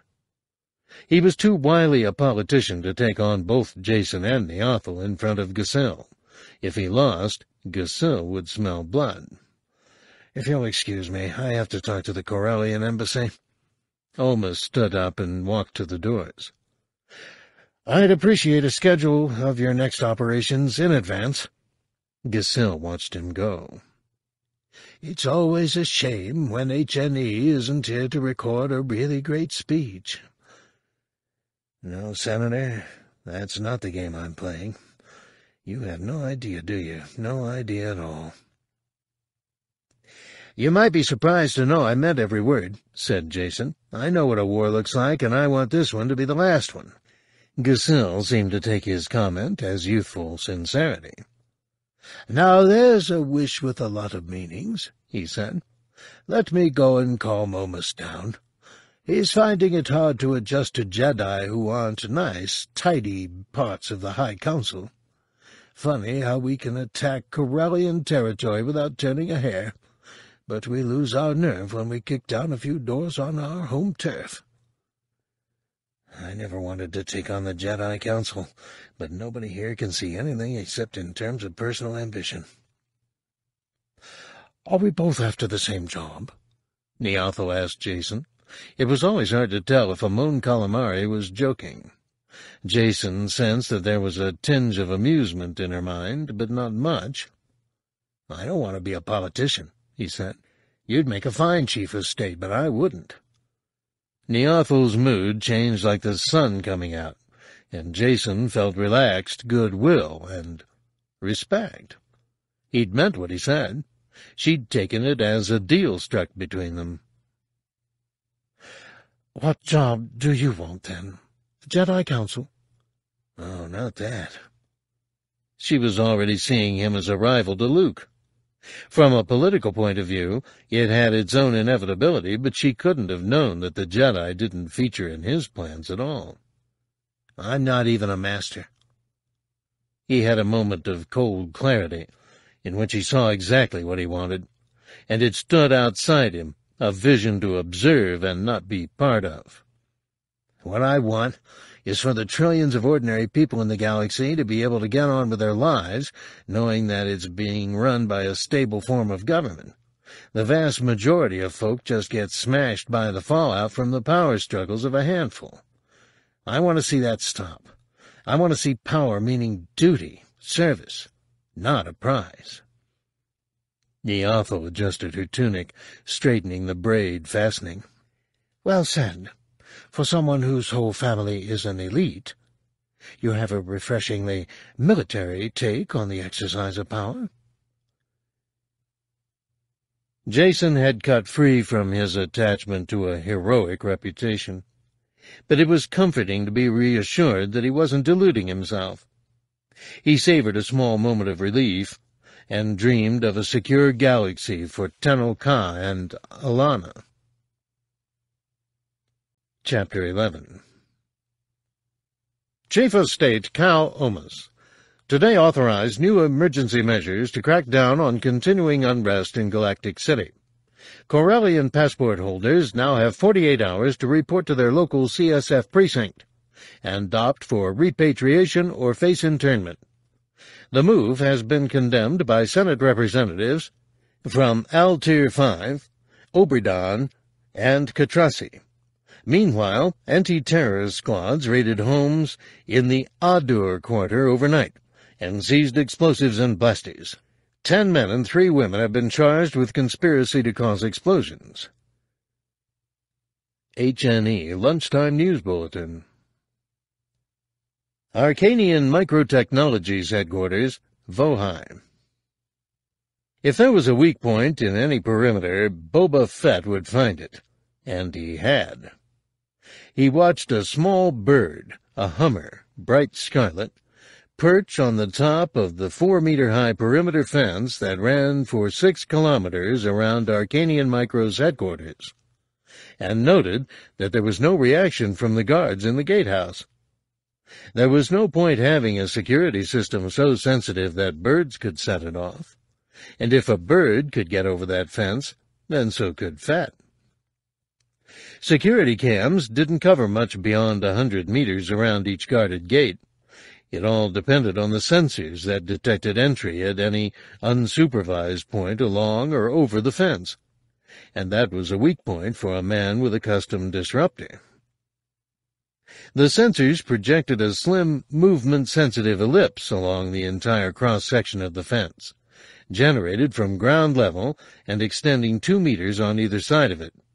And, if the sweep from orbit by Slave 1 scanners was correct, 200 meters above it to thwart aerial incursions.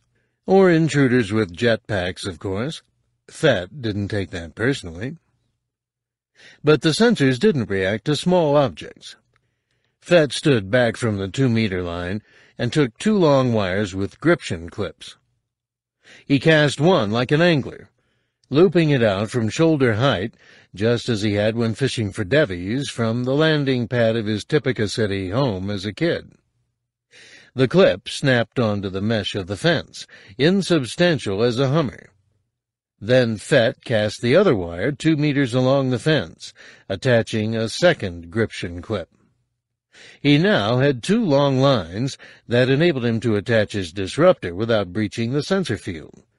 Standing inside the bight of the wires, he plugged them into the casing of the disruptor and pressed the key. He was now as good as inside. As far as the detection system could tell, there was an unbreached perimeter. The wires were effectively a loop in the fence, and the bypass section of fence itself didn't exist. Fett adjusted the controls of his jetpack and soared over the fence, landing carefully within the bypassed zone. He memorized the section, visible only by looking for the gription clips. The palm-sized disruptor itself nestled unobtrusively in the grass beyond. Fett sprinted to the cover of the wall and jetted to the flat roof. Normally, he would have fired his grappling hook and climbed, but speed mattered now, it was worth the extra jetpack fuel. He lay on his belly and crept across the roof, his visor almost touching the gravelly surface as the penetrating radar scanned for people within. It was a huge area to cover. He pressed a medical sound sensor, more sensitive than the military ones, to the roof to pick up what signal he could. From the sound of the conversation immediately below him, a woman recording someone's educational details, he had landed over the personnel department, and he was still crawling across offices that had external windows. Taun We would be somewhere far from daylight, right at the center. It took him more than two hours to edge his way across what seemed to him a featureless charcoal-gray cinder plain, listening for clues to what lay beneath and watching the radar outlines of bodies moving. He hoped that the disruptor would still be there when it came time to leave, but if it wasn't, it would be far easier to make a run for it on the way out than on the way in. This is really hurting my hips and my chest. Fett lifted his body slightly and took his weight on his knees and elbows. He heard the clink of glass dishes and the whoosh and ump of chiller cabinets opening and closing. He saw people sitting, probably at a long bench, and others clustered around a table. The outlines of the inorganic objects were almost impossible to make out, but he was used to assembling a mental image from the scant cues provided by the movement and shape of bodies. He'd seen a few labs in his time. He knew how Taun We liked hers laid out. When she'd had a leg cloned for him a few years before, her typical laboratory had still been just like it was when he was a kid, and she had first shown him around. He heard the occasional word that sounded like a conversation about a scanning microscope. Could mean anything, but I'm over the labs, that's for sure. Next vent I find, next point of entry, I'm going down there. He checked the chrono readout in his helmet, shifting his focus and feeling the beginning of a headache. Three hours. Too slow. The longer he took, the more vulnerable he was to discovery. You don't quit now, Fett. And then he heard it. Just a couple of words. It wasn't even anything from which he could derive meaning. But he knew that tone, that pitch, so very well that it was like hearing his own name whispered in a crowded, noisy room. Everything else fell silent as his brain filtered out all irrelevance. It was Taun We's fluting, gentle voice. He forgot the raw ache in his sternum and felt the adrenaline course through his body, erasing every pain. Gotcha. He frame-grabbed the coordinates in his HUD, got to his knees, and scouted around for an air vent. There was a biohazard containment opening fifty meters across the roof, the kind of hatch that a hazmat team would use to enter the building if it was ever contaminated and sealed and he knew it would yield to the lock overrides on his wristband. He hadn't met a lock, seal, or panel that didn't, and it was designed to take someone wearing a full hazmat suit. For once, his jetpack wasn't an encumbrance, as he took a security blade from his shin pocket to bypass the breach alarm and opened the hatch. He slid down the vent and found himself standing in a chamber with two doors leading off it. Both were locked. When he switched to his HUD's normal vision, the glow around him was that dull amber emergency lighting, and a safety notice on the wall read, Last inspected, 68136. He adjusted his helmet's sound sensors and listened. The corridor outside was clear. A quick flick back to the terahertz radar scan confirmed it. He made his way down the corridor, checking as he went, following the occasional sound of Taun We's voice, until he found himself outside an office with two shapes visible inside on his helmet scanner. One, dense human body, and a Kaminoan one, with its characteristic abdominal spaces. Fett ducked into the nearest alcove, a fire control station, and waited for the human to leave. Eventually the doors opened and a woman left.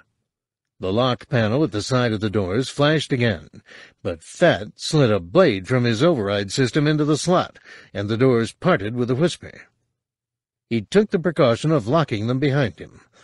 Leaning over the desk, a tall creature with a long, graceful neck and small, round, gray head was engrossed in work at a data screen. Taun We didn't turn around. Please leave the file in the tray. Nice place you got here.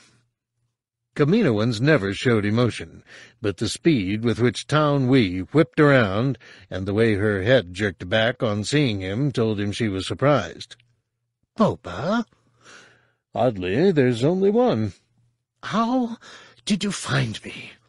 It's my job, remember? Fett walked slowly across the room and propped his backside on the edge of her desk. He lifted his helmet. Let's say I followed the money. Koane sent you to... No, he wants the data back, but that's not why I'm here. Taun We stared into his face, blinking slowly. She knew him about as well as anyone alive, and that wasn't a long list. She looked old, very old. Are you all right, Boba?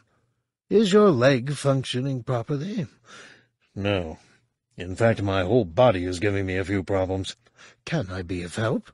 I'm suffering from tissue degeneration, liver problems, autoimmune diseases, tumors. My doctor says I have a year or so to live if I'm lucky. He reached in his belt for a data chip. Take a look at the tests. Taun We took the chip with long, thin fingers and slid it into her data port. Ah, she said, I see. She got up and went to a cabinet, and Fett's natural mistrust of the galaxy kicked in. If she could run out on her own government, she could betray him. He clicked his blaster just as a warning. Taun We turned slowly and glanced at the blaster. Do you think I would wish to draw attention to the fact that you tracked me down and gained access to my secure office? You stole data and defected. Never had you down for that kind, either. Did I ever care about Taun We? I think I did. Fett thought that it was funny how you never truly recalled how you felt as a child, except for the defining moments. And he was defined by his love of his father, and he knew it, and he was proud of it. When the idea occurred to him that it was all he was, he shook it off. I miss Dad every single day, every single minute. I want to live up to him. Fett motioned Taun We to sit down with the barrel of his blaster. She settled in the chair, hands clasped, and didn't react at all. No fear, no surprise, no affection. She was ice, control, indifference. You brought me up, more or less. Boba, she said. She still had that soothing, musical voice. He wasn't sure how long Kaminoans lived, but she had to be coming to the end of her life. I regret that I don't have the skills to help you. You're the nearest I ever had to a mother, and that scares me sometimes. I guessed as much, said Fett. I just want your data. And some information. She's completely cold. I was just another experiment she was pleased with. My data belongs to Arkanian Micro. The data belongs to the Kaminoan government. But seeing as they aren't paying me, I'll take it to cover my expenses. I can't hand it over. So I'll take it. Fett slipped the data breaker from a pouch on his belt and flipped it over in his left hand. He selected the docking interface that fit Arkanian Micro's computer system. The device had a dozen different plugs that rotated into position on a wheel. Or copy it, anyway. I don't plan to sell it. Yet. Taun We blinked slowly. She had the eyes of the Kaminoan ruling class. Gray, not yellow, not low-caste blue. It will ruin Arkanian Micro. Tough. And it will ruin me. Do you feel no compassion for me, Boba? No, I don't believe I do. Not now.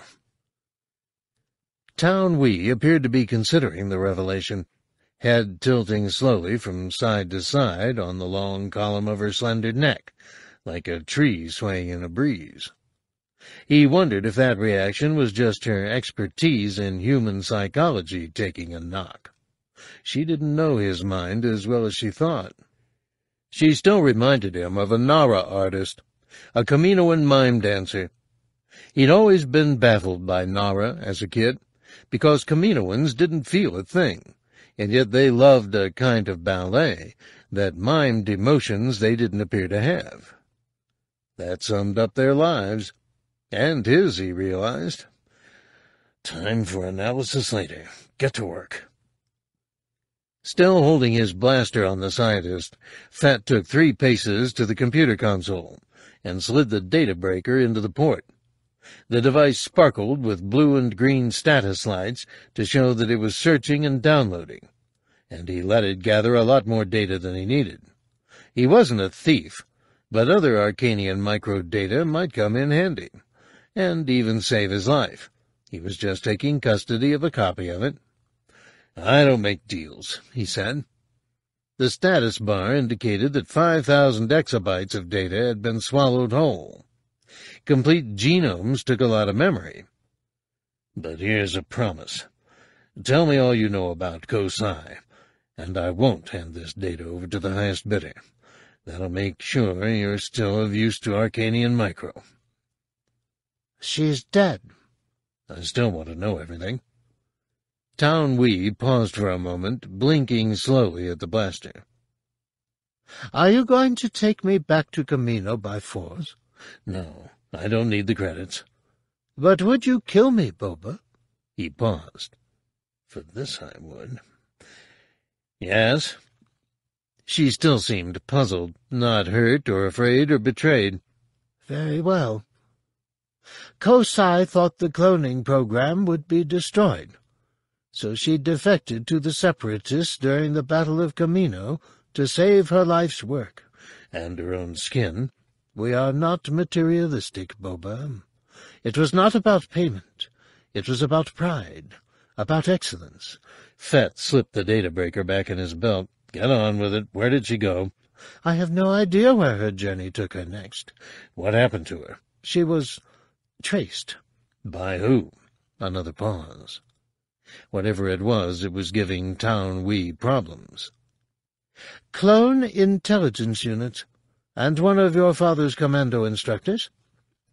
Fett swallowed hard. He hadn't expected that. And? She indicated the braided Wookiee pelts strung from his right shoulder plate. She fell prey to the Mandalorian penchant for souvenirs. Interesting, said Fett. No, it's astonishing. It's terrifying. It's hope. It's everything. So the clones got their revenge. We assumed so. Packages arrived. Parts of a Kaminoan body whose genetic profile was Ko Sai's. Fett found that unnecessarily brutal. Kill a prisoner if you were paid to. Kill them if you needed to. Even retrieve parts if you had to.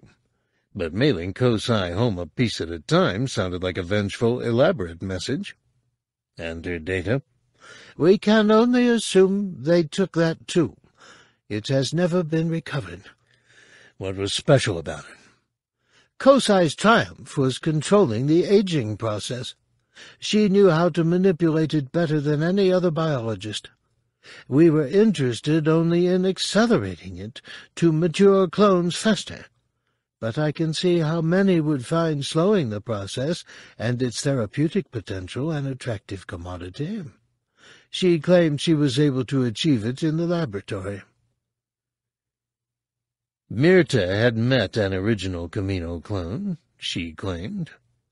A clone who couldn't, shouldn't, be alive today. Fett found a slew of puzzle pieces dumped in his lap, all fitting together. Impossible clones, dismembered Kaminoan scientist, missing cloning data. You got any names? Taun We stiffened.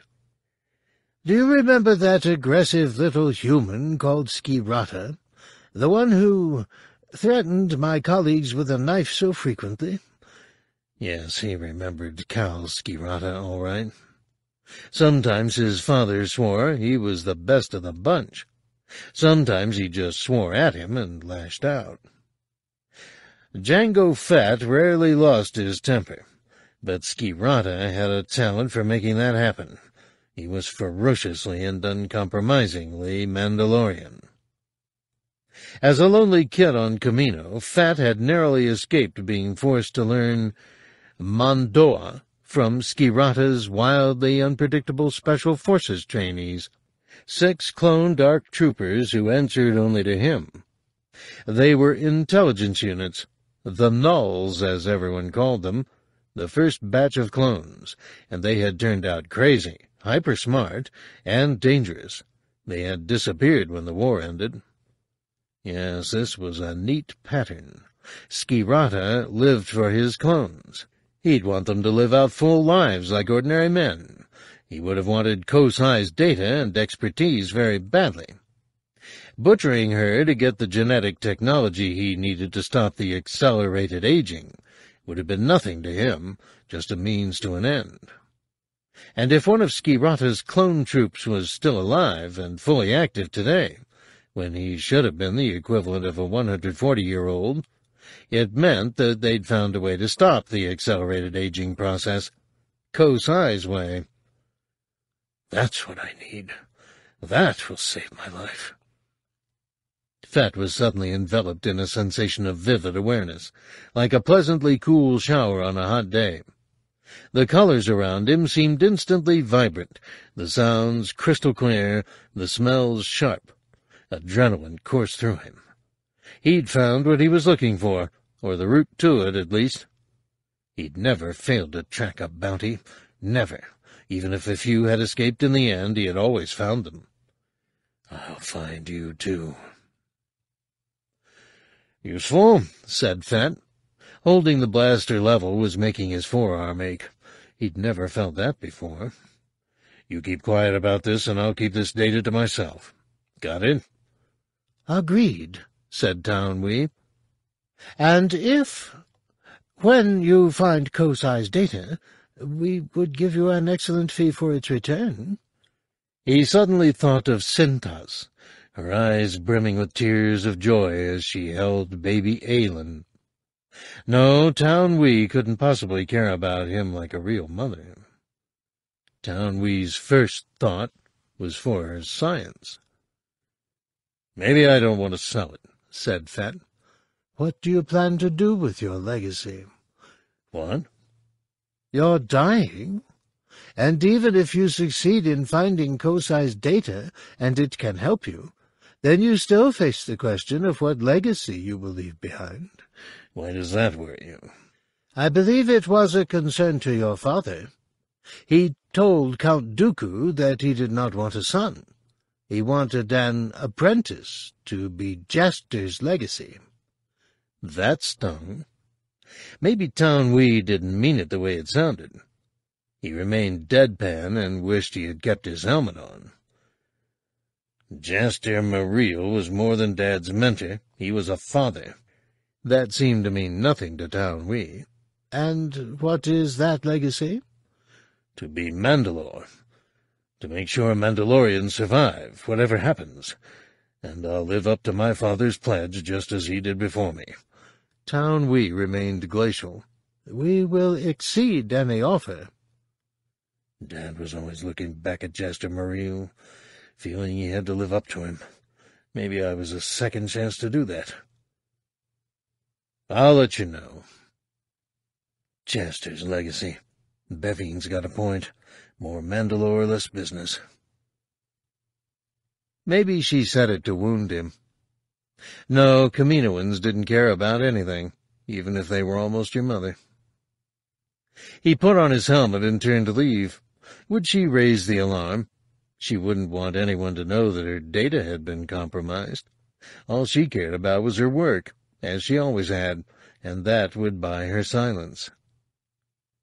If Arkanian Micro ran any security checks, they would find nothing missing, and no botched attempts at slicing their system.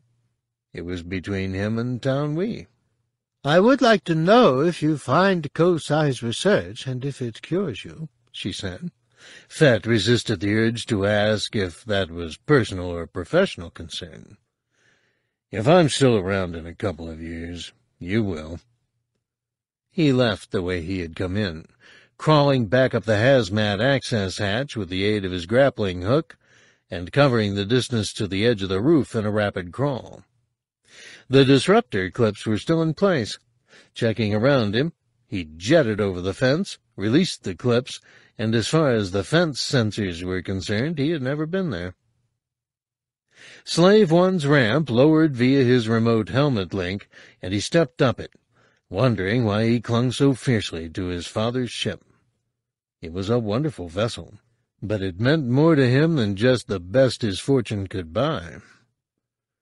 I'm in my seventies now, and I've only just started to be more than someone's son. Doesn't mean I love you any less, Dad. But I can't look back forever. Boba Fett wasn't certain what would fill that void and show him his purpose in life, but he knew now that it lay ahead of him, and not behind him, frozen in memories. He stood in front of Slave One, an icon of his childhood, and wondered where the line between trademark and trap was drawn. So you didn't trash the cockpit, he said, opening the conversation for once. Mirta was wiping the console. It looked remarkably shiny. Fett kept a clean, well-maintained ship, but this time it looked polished. "'Did you get what you came for?' she asked. He kicked Slave One into life and lifted her clear, looping under the monorail that snaked two kilometers above Vohai's surface. I did. What now? Fett took refuge behind his visor. He was torn now. He needed to find that impossibly old clone, and he wanted to see Ailyn, and he wanted to know how Sintas had died. Mirta knew, or claimed to know, all three answers. Sintas's fate now wasn't urgent, and he could find Ailyn for himself, because he could find Han Solo, and where Solo was, Ailyn would follow. So he needed to track that clone of Skiratas. Even if he didn't have Ko Sai's data, he might be good for a tissue sample that a Kaminoan could examine and reverse engineer. Still too many uncertainties, still too many variables. Fett decided it was time to reveal his interest, but carefully. Where did you run into that clone? Coruscant. Seemed to be a regular trip for him. Mirta stared straight ahead as usual. So where are we heading? To find Han Solo, because that'll lead me to Ailyn. He staged a conversational diversion. You've got the necklace. You tell me where we're heading. Mirta took the leather cord from her neck and stared at the shimmering stone in her palm. Let's try Coruscant. Aha. Uh-huh. Fett had never taught Ailyn anything about bounty hunting but she had obviously learned that you could often hide better on a planet that was one vast city of a trillion people than you ever could in a cave up a mountainside on the outer rim. Fett laid in a course for the galactic core, zero zero zero. Slave One was about to make the jump to hyperspace when the comlink console flashed impatiently in front of him. The point of origin said Corellia, even if the sender had tried to disguise the source with multiple relays. Fett didn't get a lot of calls from Corellia, and when he did, they usually weren't the kind that he wanted to take in front of Mirta Gev. Time to eat, he said. Get back aft and see what you can find in the stores for us. Mirta obeyed in silence, without a hint of dissent on her face. It was the response of someone used to following orders, not a woman who spent her time in the kitchen. Okay. Not insulted by that, are you? Mirta looked at him as if he were mad. My father was Mandalorian, so I can fight and cook. Fett realized how little he knew about the small details of his own culture. Next time he saw Beviin, he'd ask the man to explain all that. He waited for Mirta to close the internal hatch behind her, and then switched the call to a secure circuit. Fett here. Make it fast. There was a slight pause. And this is Thrackan Sal-Solo, Corellian head of state. I've got a proposal for you. Squadron Training Section Airspace, Centax 2. The XJ-7 below Luke jinked to port and fell away beneath him with astonishing speed. Even for him, Jaina Solo was a serious challenge in aerial combat. Or maybe I'm slowing down. Luke throttled his own XJ-7 into a dive, plummeting into the moon's canyons in pursuit of Jaina. He'd thought she'd had enough flight time recently not to need to sharpen her skills. But when Jaina said she was returning to active service, she meant it. She went on exercises with the squadron just like the new intake, colonel or not. It was a live fire exercise, too. Some of the pilots had never been shot at for real. It tended to change their perspective of warfare. Beneath them, on the valley floor, a droid anti-aircraft battery let loose with ion cannons.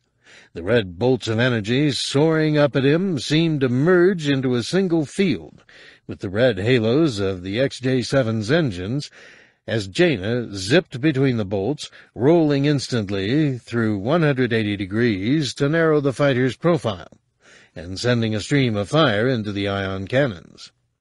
She leveled out at the bottom of the canyon behind the battery, and Luke dropped down behind her, shaving the canyon floor so closely that the downdraft from the XJ-7 threw up a cloud of tiny pebbles that hammered under the fuselage. Luke sent a volley of fire after her, aiming a few degrees wide of her starboard wings. The canyon wall spat plumes of pulverized rock in her path, and she skimmed over it. She broke comm silence, which wasn't like her. Don't play, Uncle. It won't help me. He realized he could have taken a serious shot, and he still might not have hit her. But he couldn't fire in earnest on his niece, even if he knew she could almost certainly evade it. It was the almost he didn't like. I'm braking, he said, and climbed sharply to level out at a cruising altitude. See you back at the mess. Centax II was a sterile moon with the usual sprawl of military facilities, arranged like a warehouse floor covered in boxes. The base would win no prizes for architecture. If war broke out for real, and Luke always found the for real proviso painfully ironic, then it would switch overnight from a training squadron to an operational air station. The switch seemed close to being thrown. Luke lifted the canopy of the XJ-7 and climbed out of the cockpit to slide down the ladder wheeled into position by ground crew. I used to do that a lot faster, too. He waited at the entrance to the mess until Jaina's fighters swept into the hangar on repulsor power and settled in the bay next to his. When she slid out and took off her helmet, her face was taut and anxious. You're up to speed, Luke said, comfortingly, walking toward the doors to get her to follow him. Are we allowed to wear flight suits in the mess? Jaina managed a smile and indicated her own orange suit. Don't worry, I'm the colonel. I'll provide top cover. It was the first chance Luke had grabbed since the Corellian internment row to talk to Jaina alone. She radiated misery. Anxiety about skills fade and being fit for role, phrases that had peppered her conversation rather too liberally in recent days to convince Luke, was good tech talk for the sake of the squadron, nothing more. She was Jacen's twin. Whatever was happening, it was happening to her more acutely than the rest of the family. After you, said Luke. The mess was a warren of compartments with one large section where food was served and eaten and a lounge area almost the same size that was scattered with comfortable seating and sparse entertainment, the main focus of which was a huge holoscreen on one wall. It was wide enough to be seen comfortably from the refectory area, while pilots and ground personnel waited for meals to be dispensed. Most of the pilots in the lounge area had their backs to the refectory and were watching the screen. The lunchtime HNE news had started, and that now meant complete silence descended.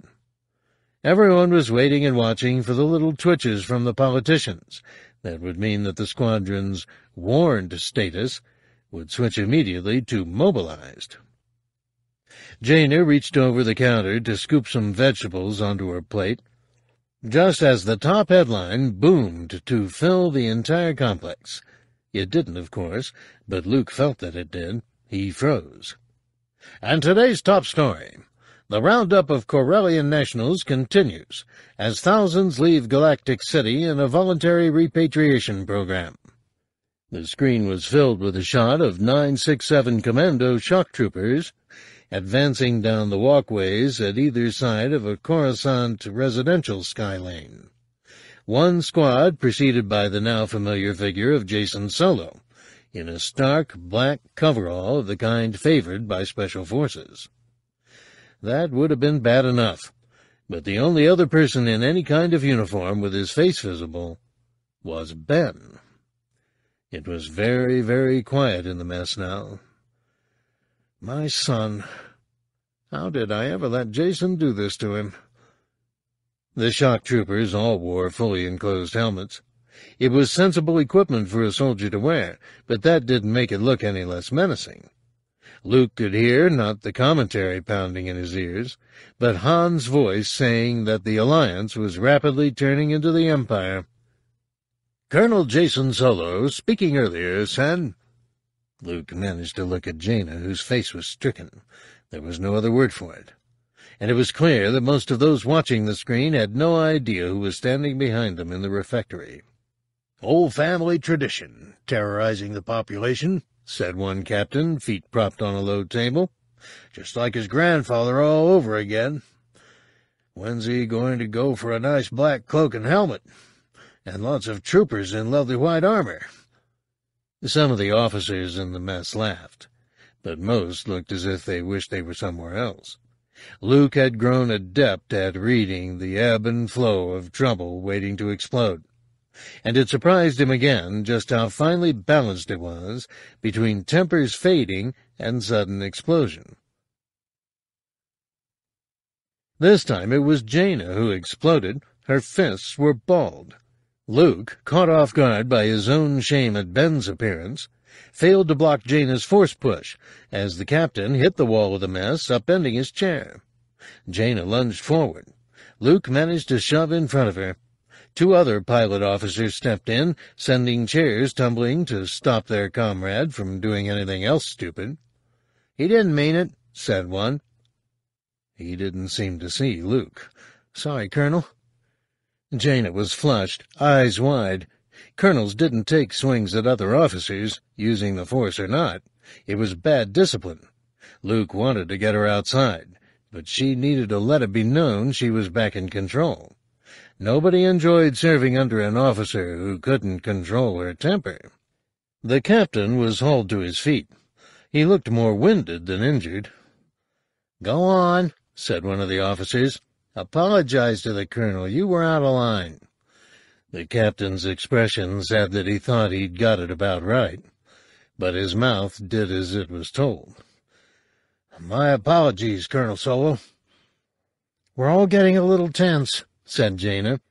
I should have found a less assertive way to ask you to retract what you said about my family. And now the captain appeared to realize he was also facing Luke Skywalker. Sorry, sir.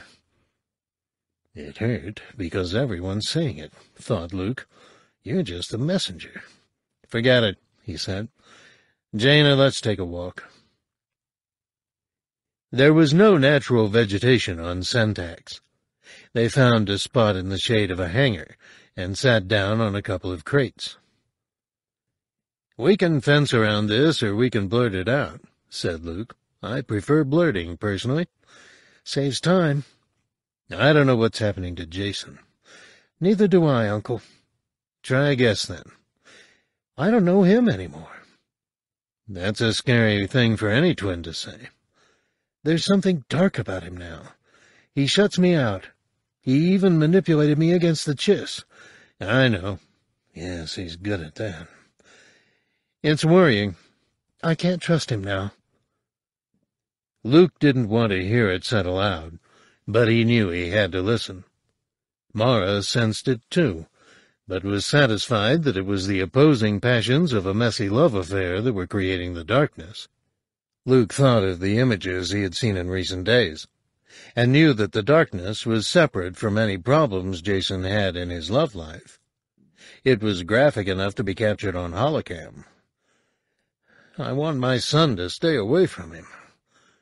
Luke thought of Lumiya, and his dreams of the hooded figure, which was surely her. But those signs of impending disaster were new, Jacen had opened the rift with Jaina by tricking her into attacking the Chiss several years earlier. Jedi were used to seeing what ordinary people couldn't. Being deceived, something regular folk learned to live with from an early age, was especially threatening for them. But you're not fooling me, Jacen. You're turning to the dark side. Uncle Luke, this is none of my business, said Jaina, but if I were you, I'd get Ben a new teacher. Luke knew she was right, and he also knew that Mara would fight that every step of the way. And so would Ben.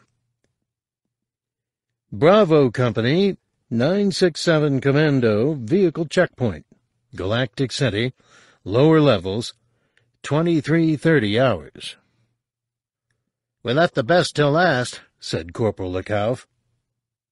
Ben was confident in his lightsaber skills, but the lower levels of Galactic City made him envy the soldier's armor. It was the first time he'd been to the city's grim heart, and it wasn't like the Senate sectors at all. In fact, it wasn't even like the slightly seedy Corellian neighborhoods, where there had been a pleasant sense of normal family life going on, at least before the raids had begun. At night, the lower levels were genuinely intimidating. Ben kept one hand on the hilt of his lightsaber. One soldier from Bravo Company set a vehicle barrier across the end of the road. A chain of small spherical droids, whose armament and stinger cords could stop a vessel attempting to pass anywhere up to thirty meters away. There was another one at the far end of the street, the only level below this one was made up of utility tunnels. I really hope we don't end up going down there. Standing well behind the barriers were small knots of people, human and other species, who looked as if they might cut Ben's throat just out of curiosity. This is horrible, he said. Beats doing this in broad daylight with HNE breathing down our necks, said Lekauf. Maybe he had a point. The media never cared what happened to residents of the lower levels. We can just go in and clear this place out. This isn't a Corellian neighborhood. Not all the threats are Corellian.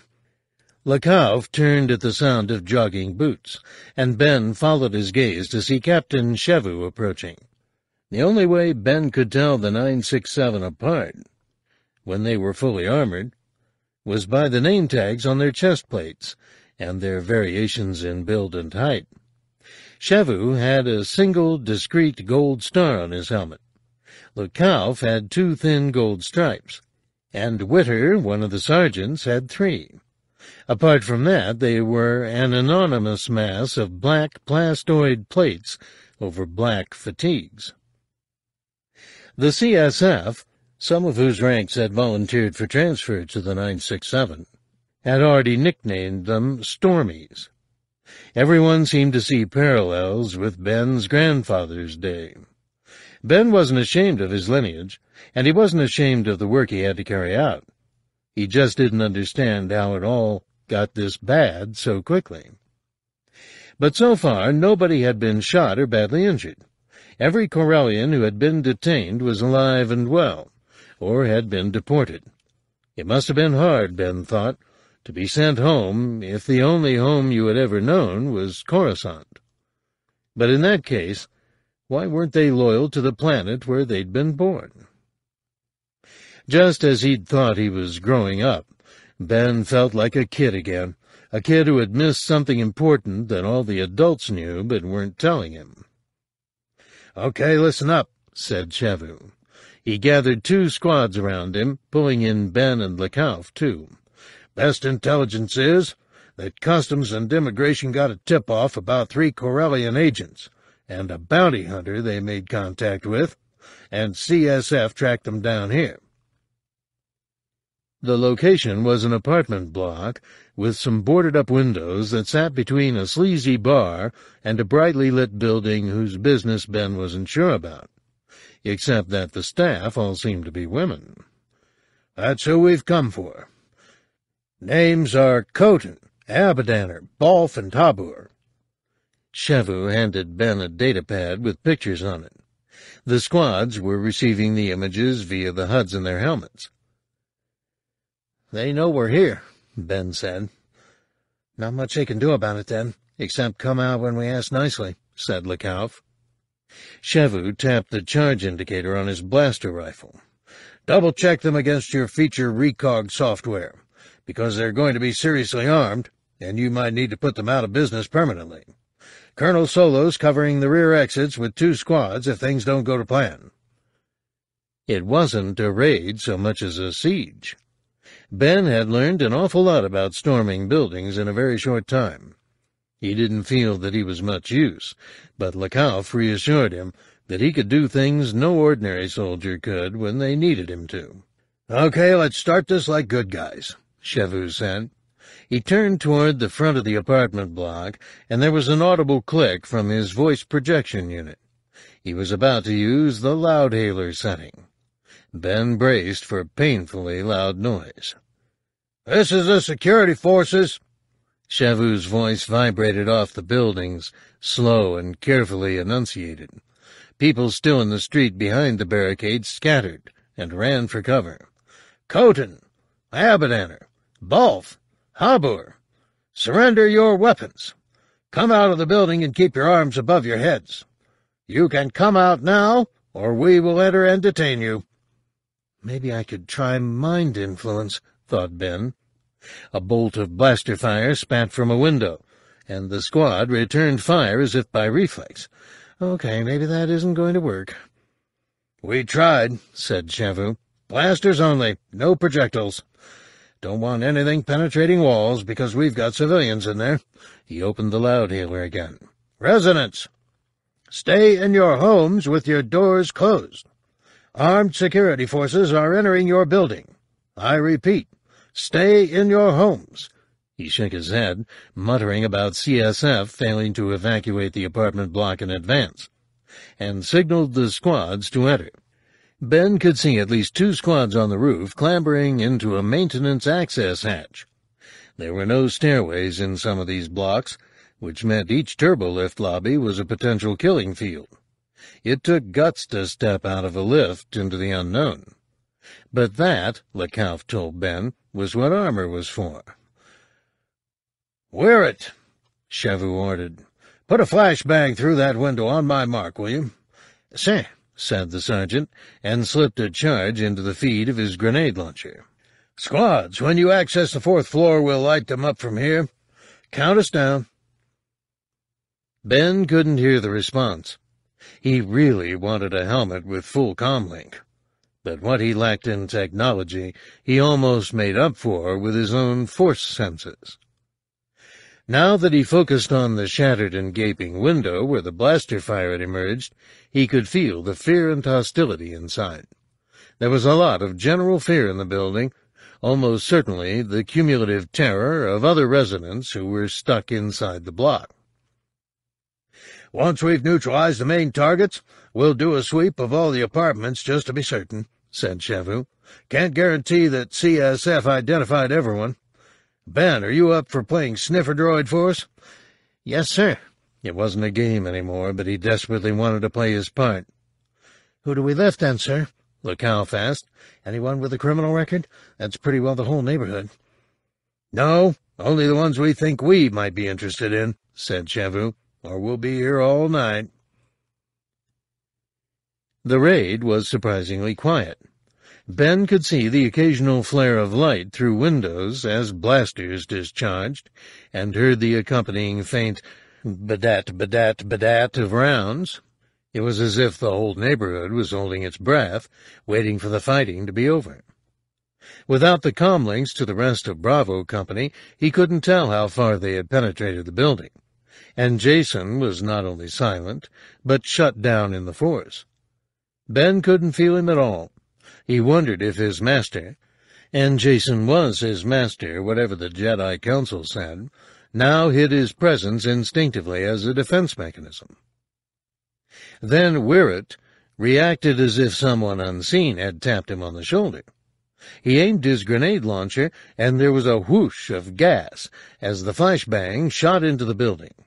Ben caught the fallout of the deafening sound and blinding light even from twenty meters away and his ears took a few seconds to hear the shouts and the hammering sound of blaster bolts as soldiers stormed the apartment.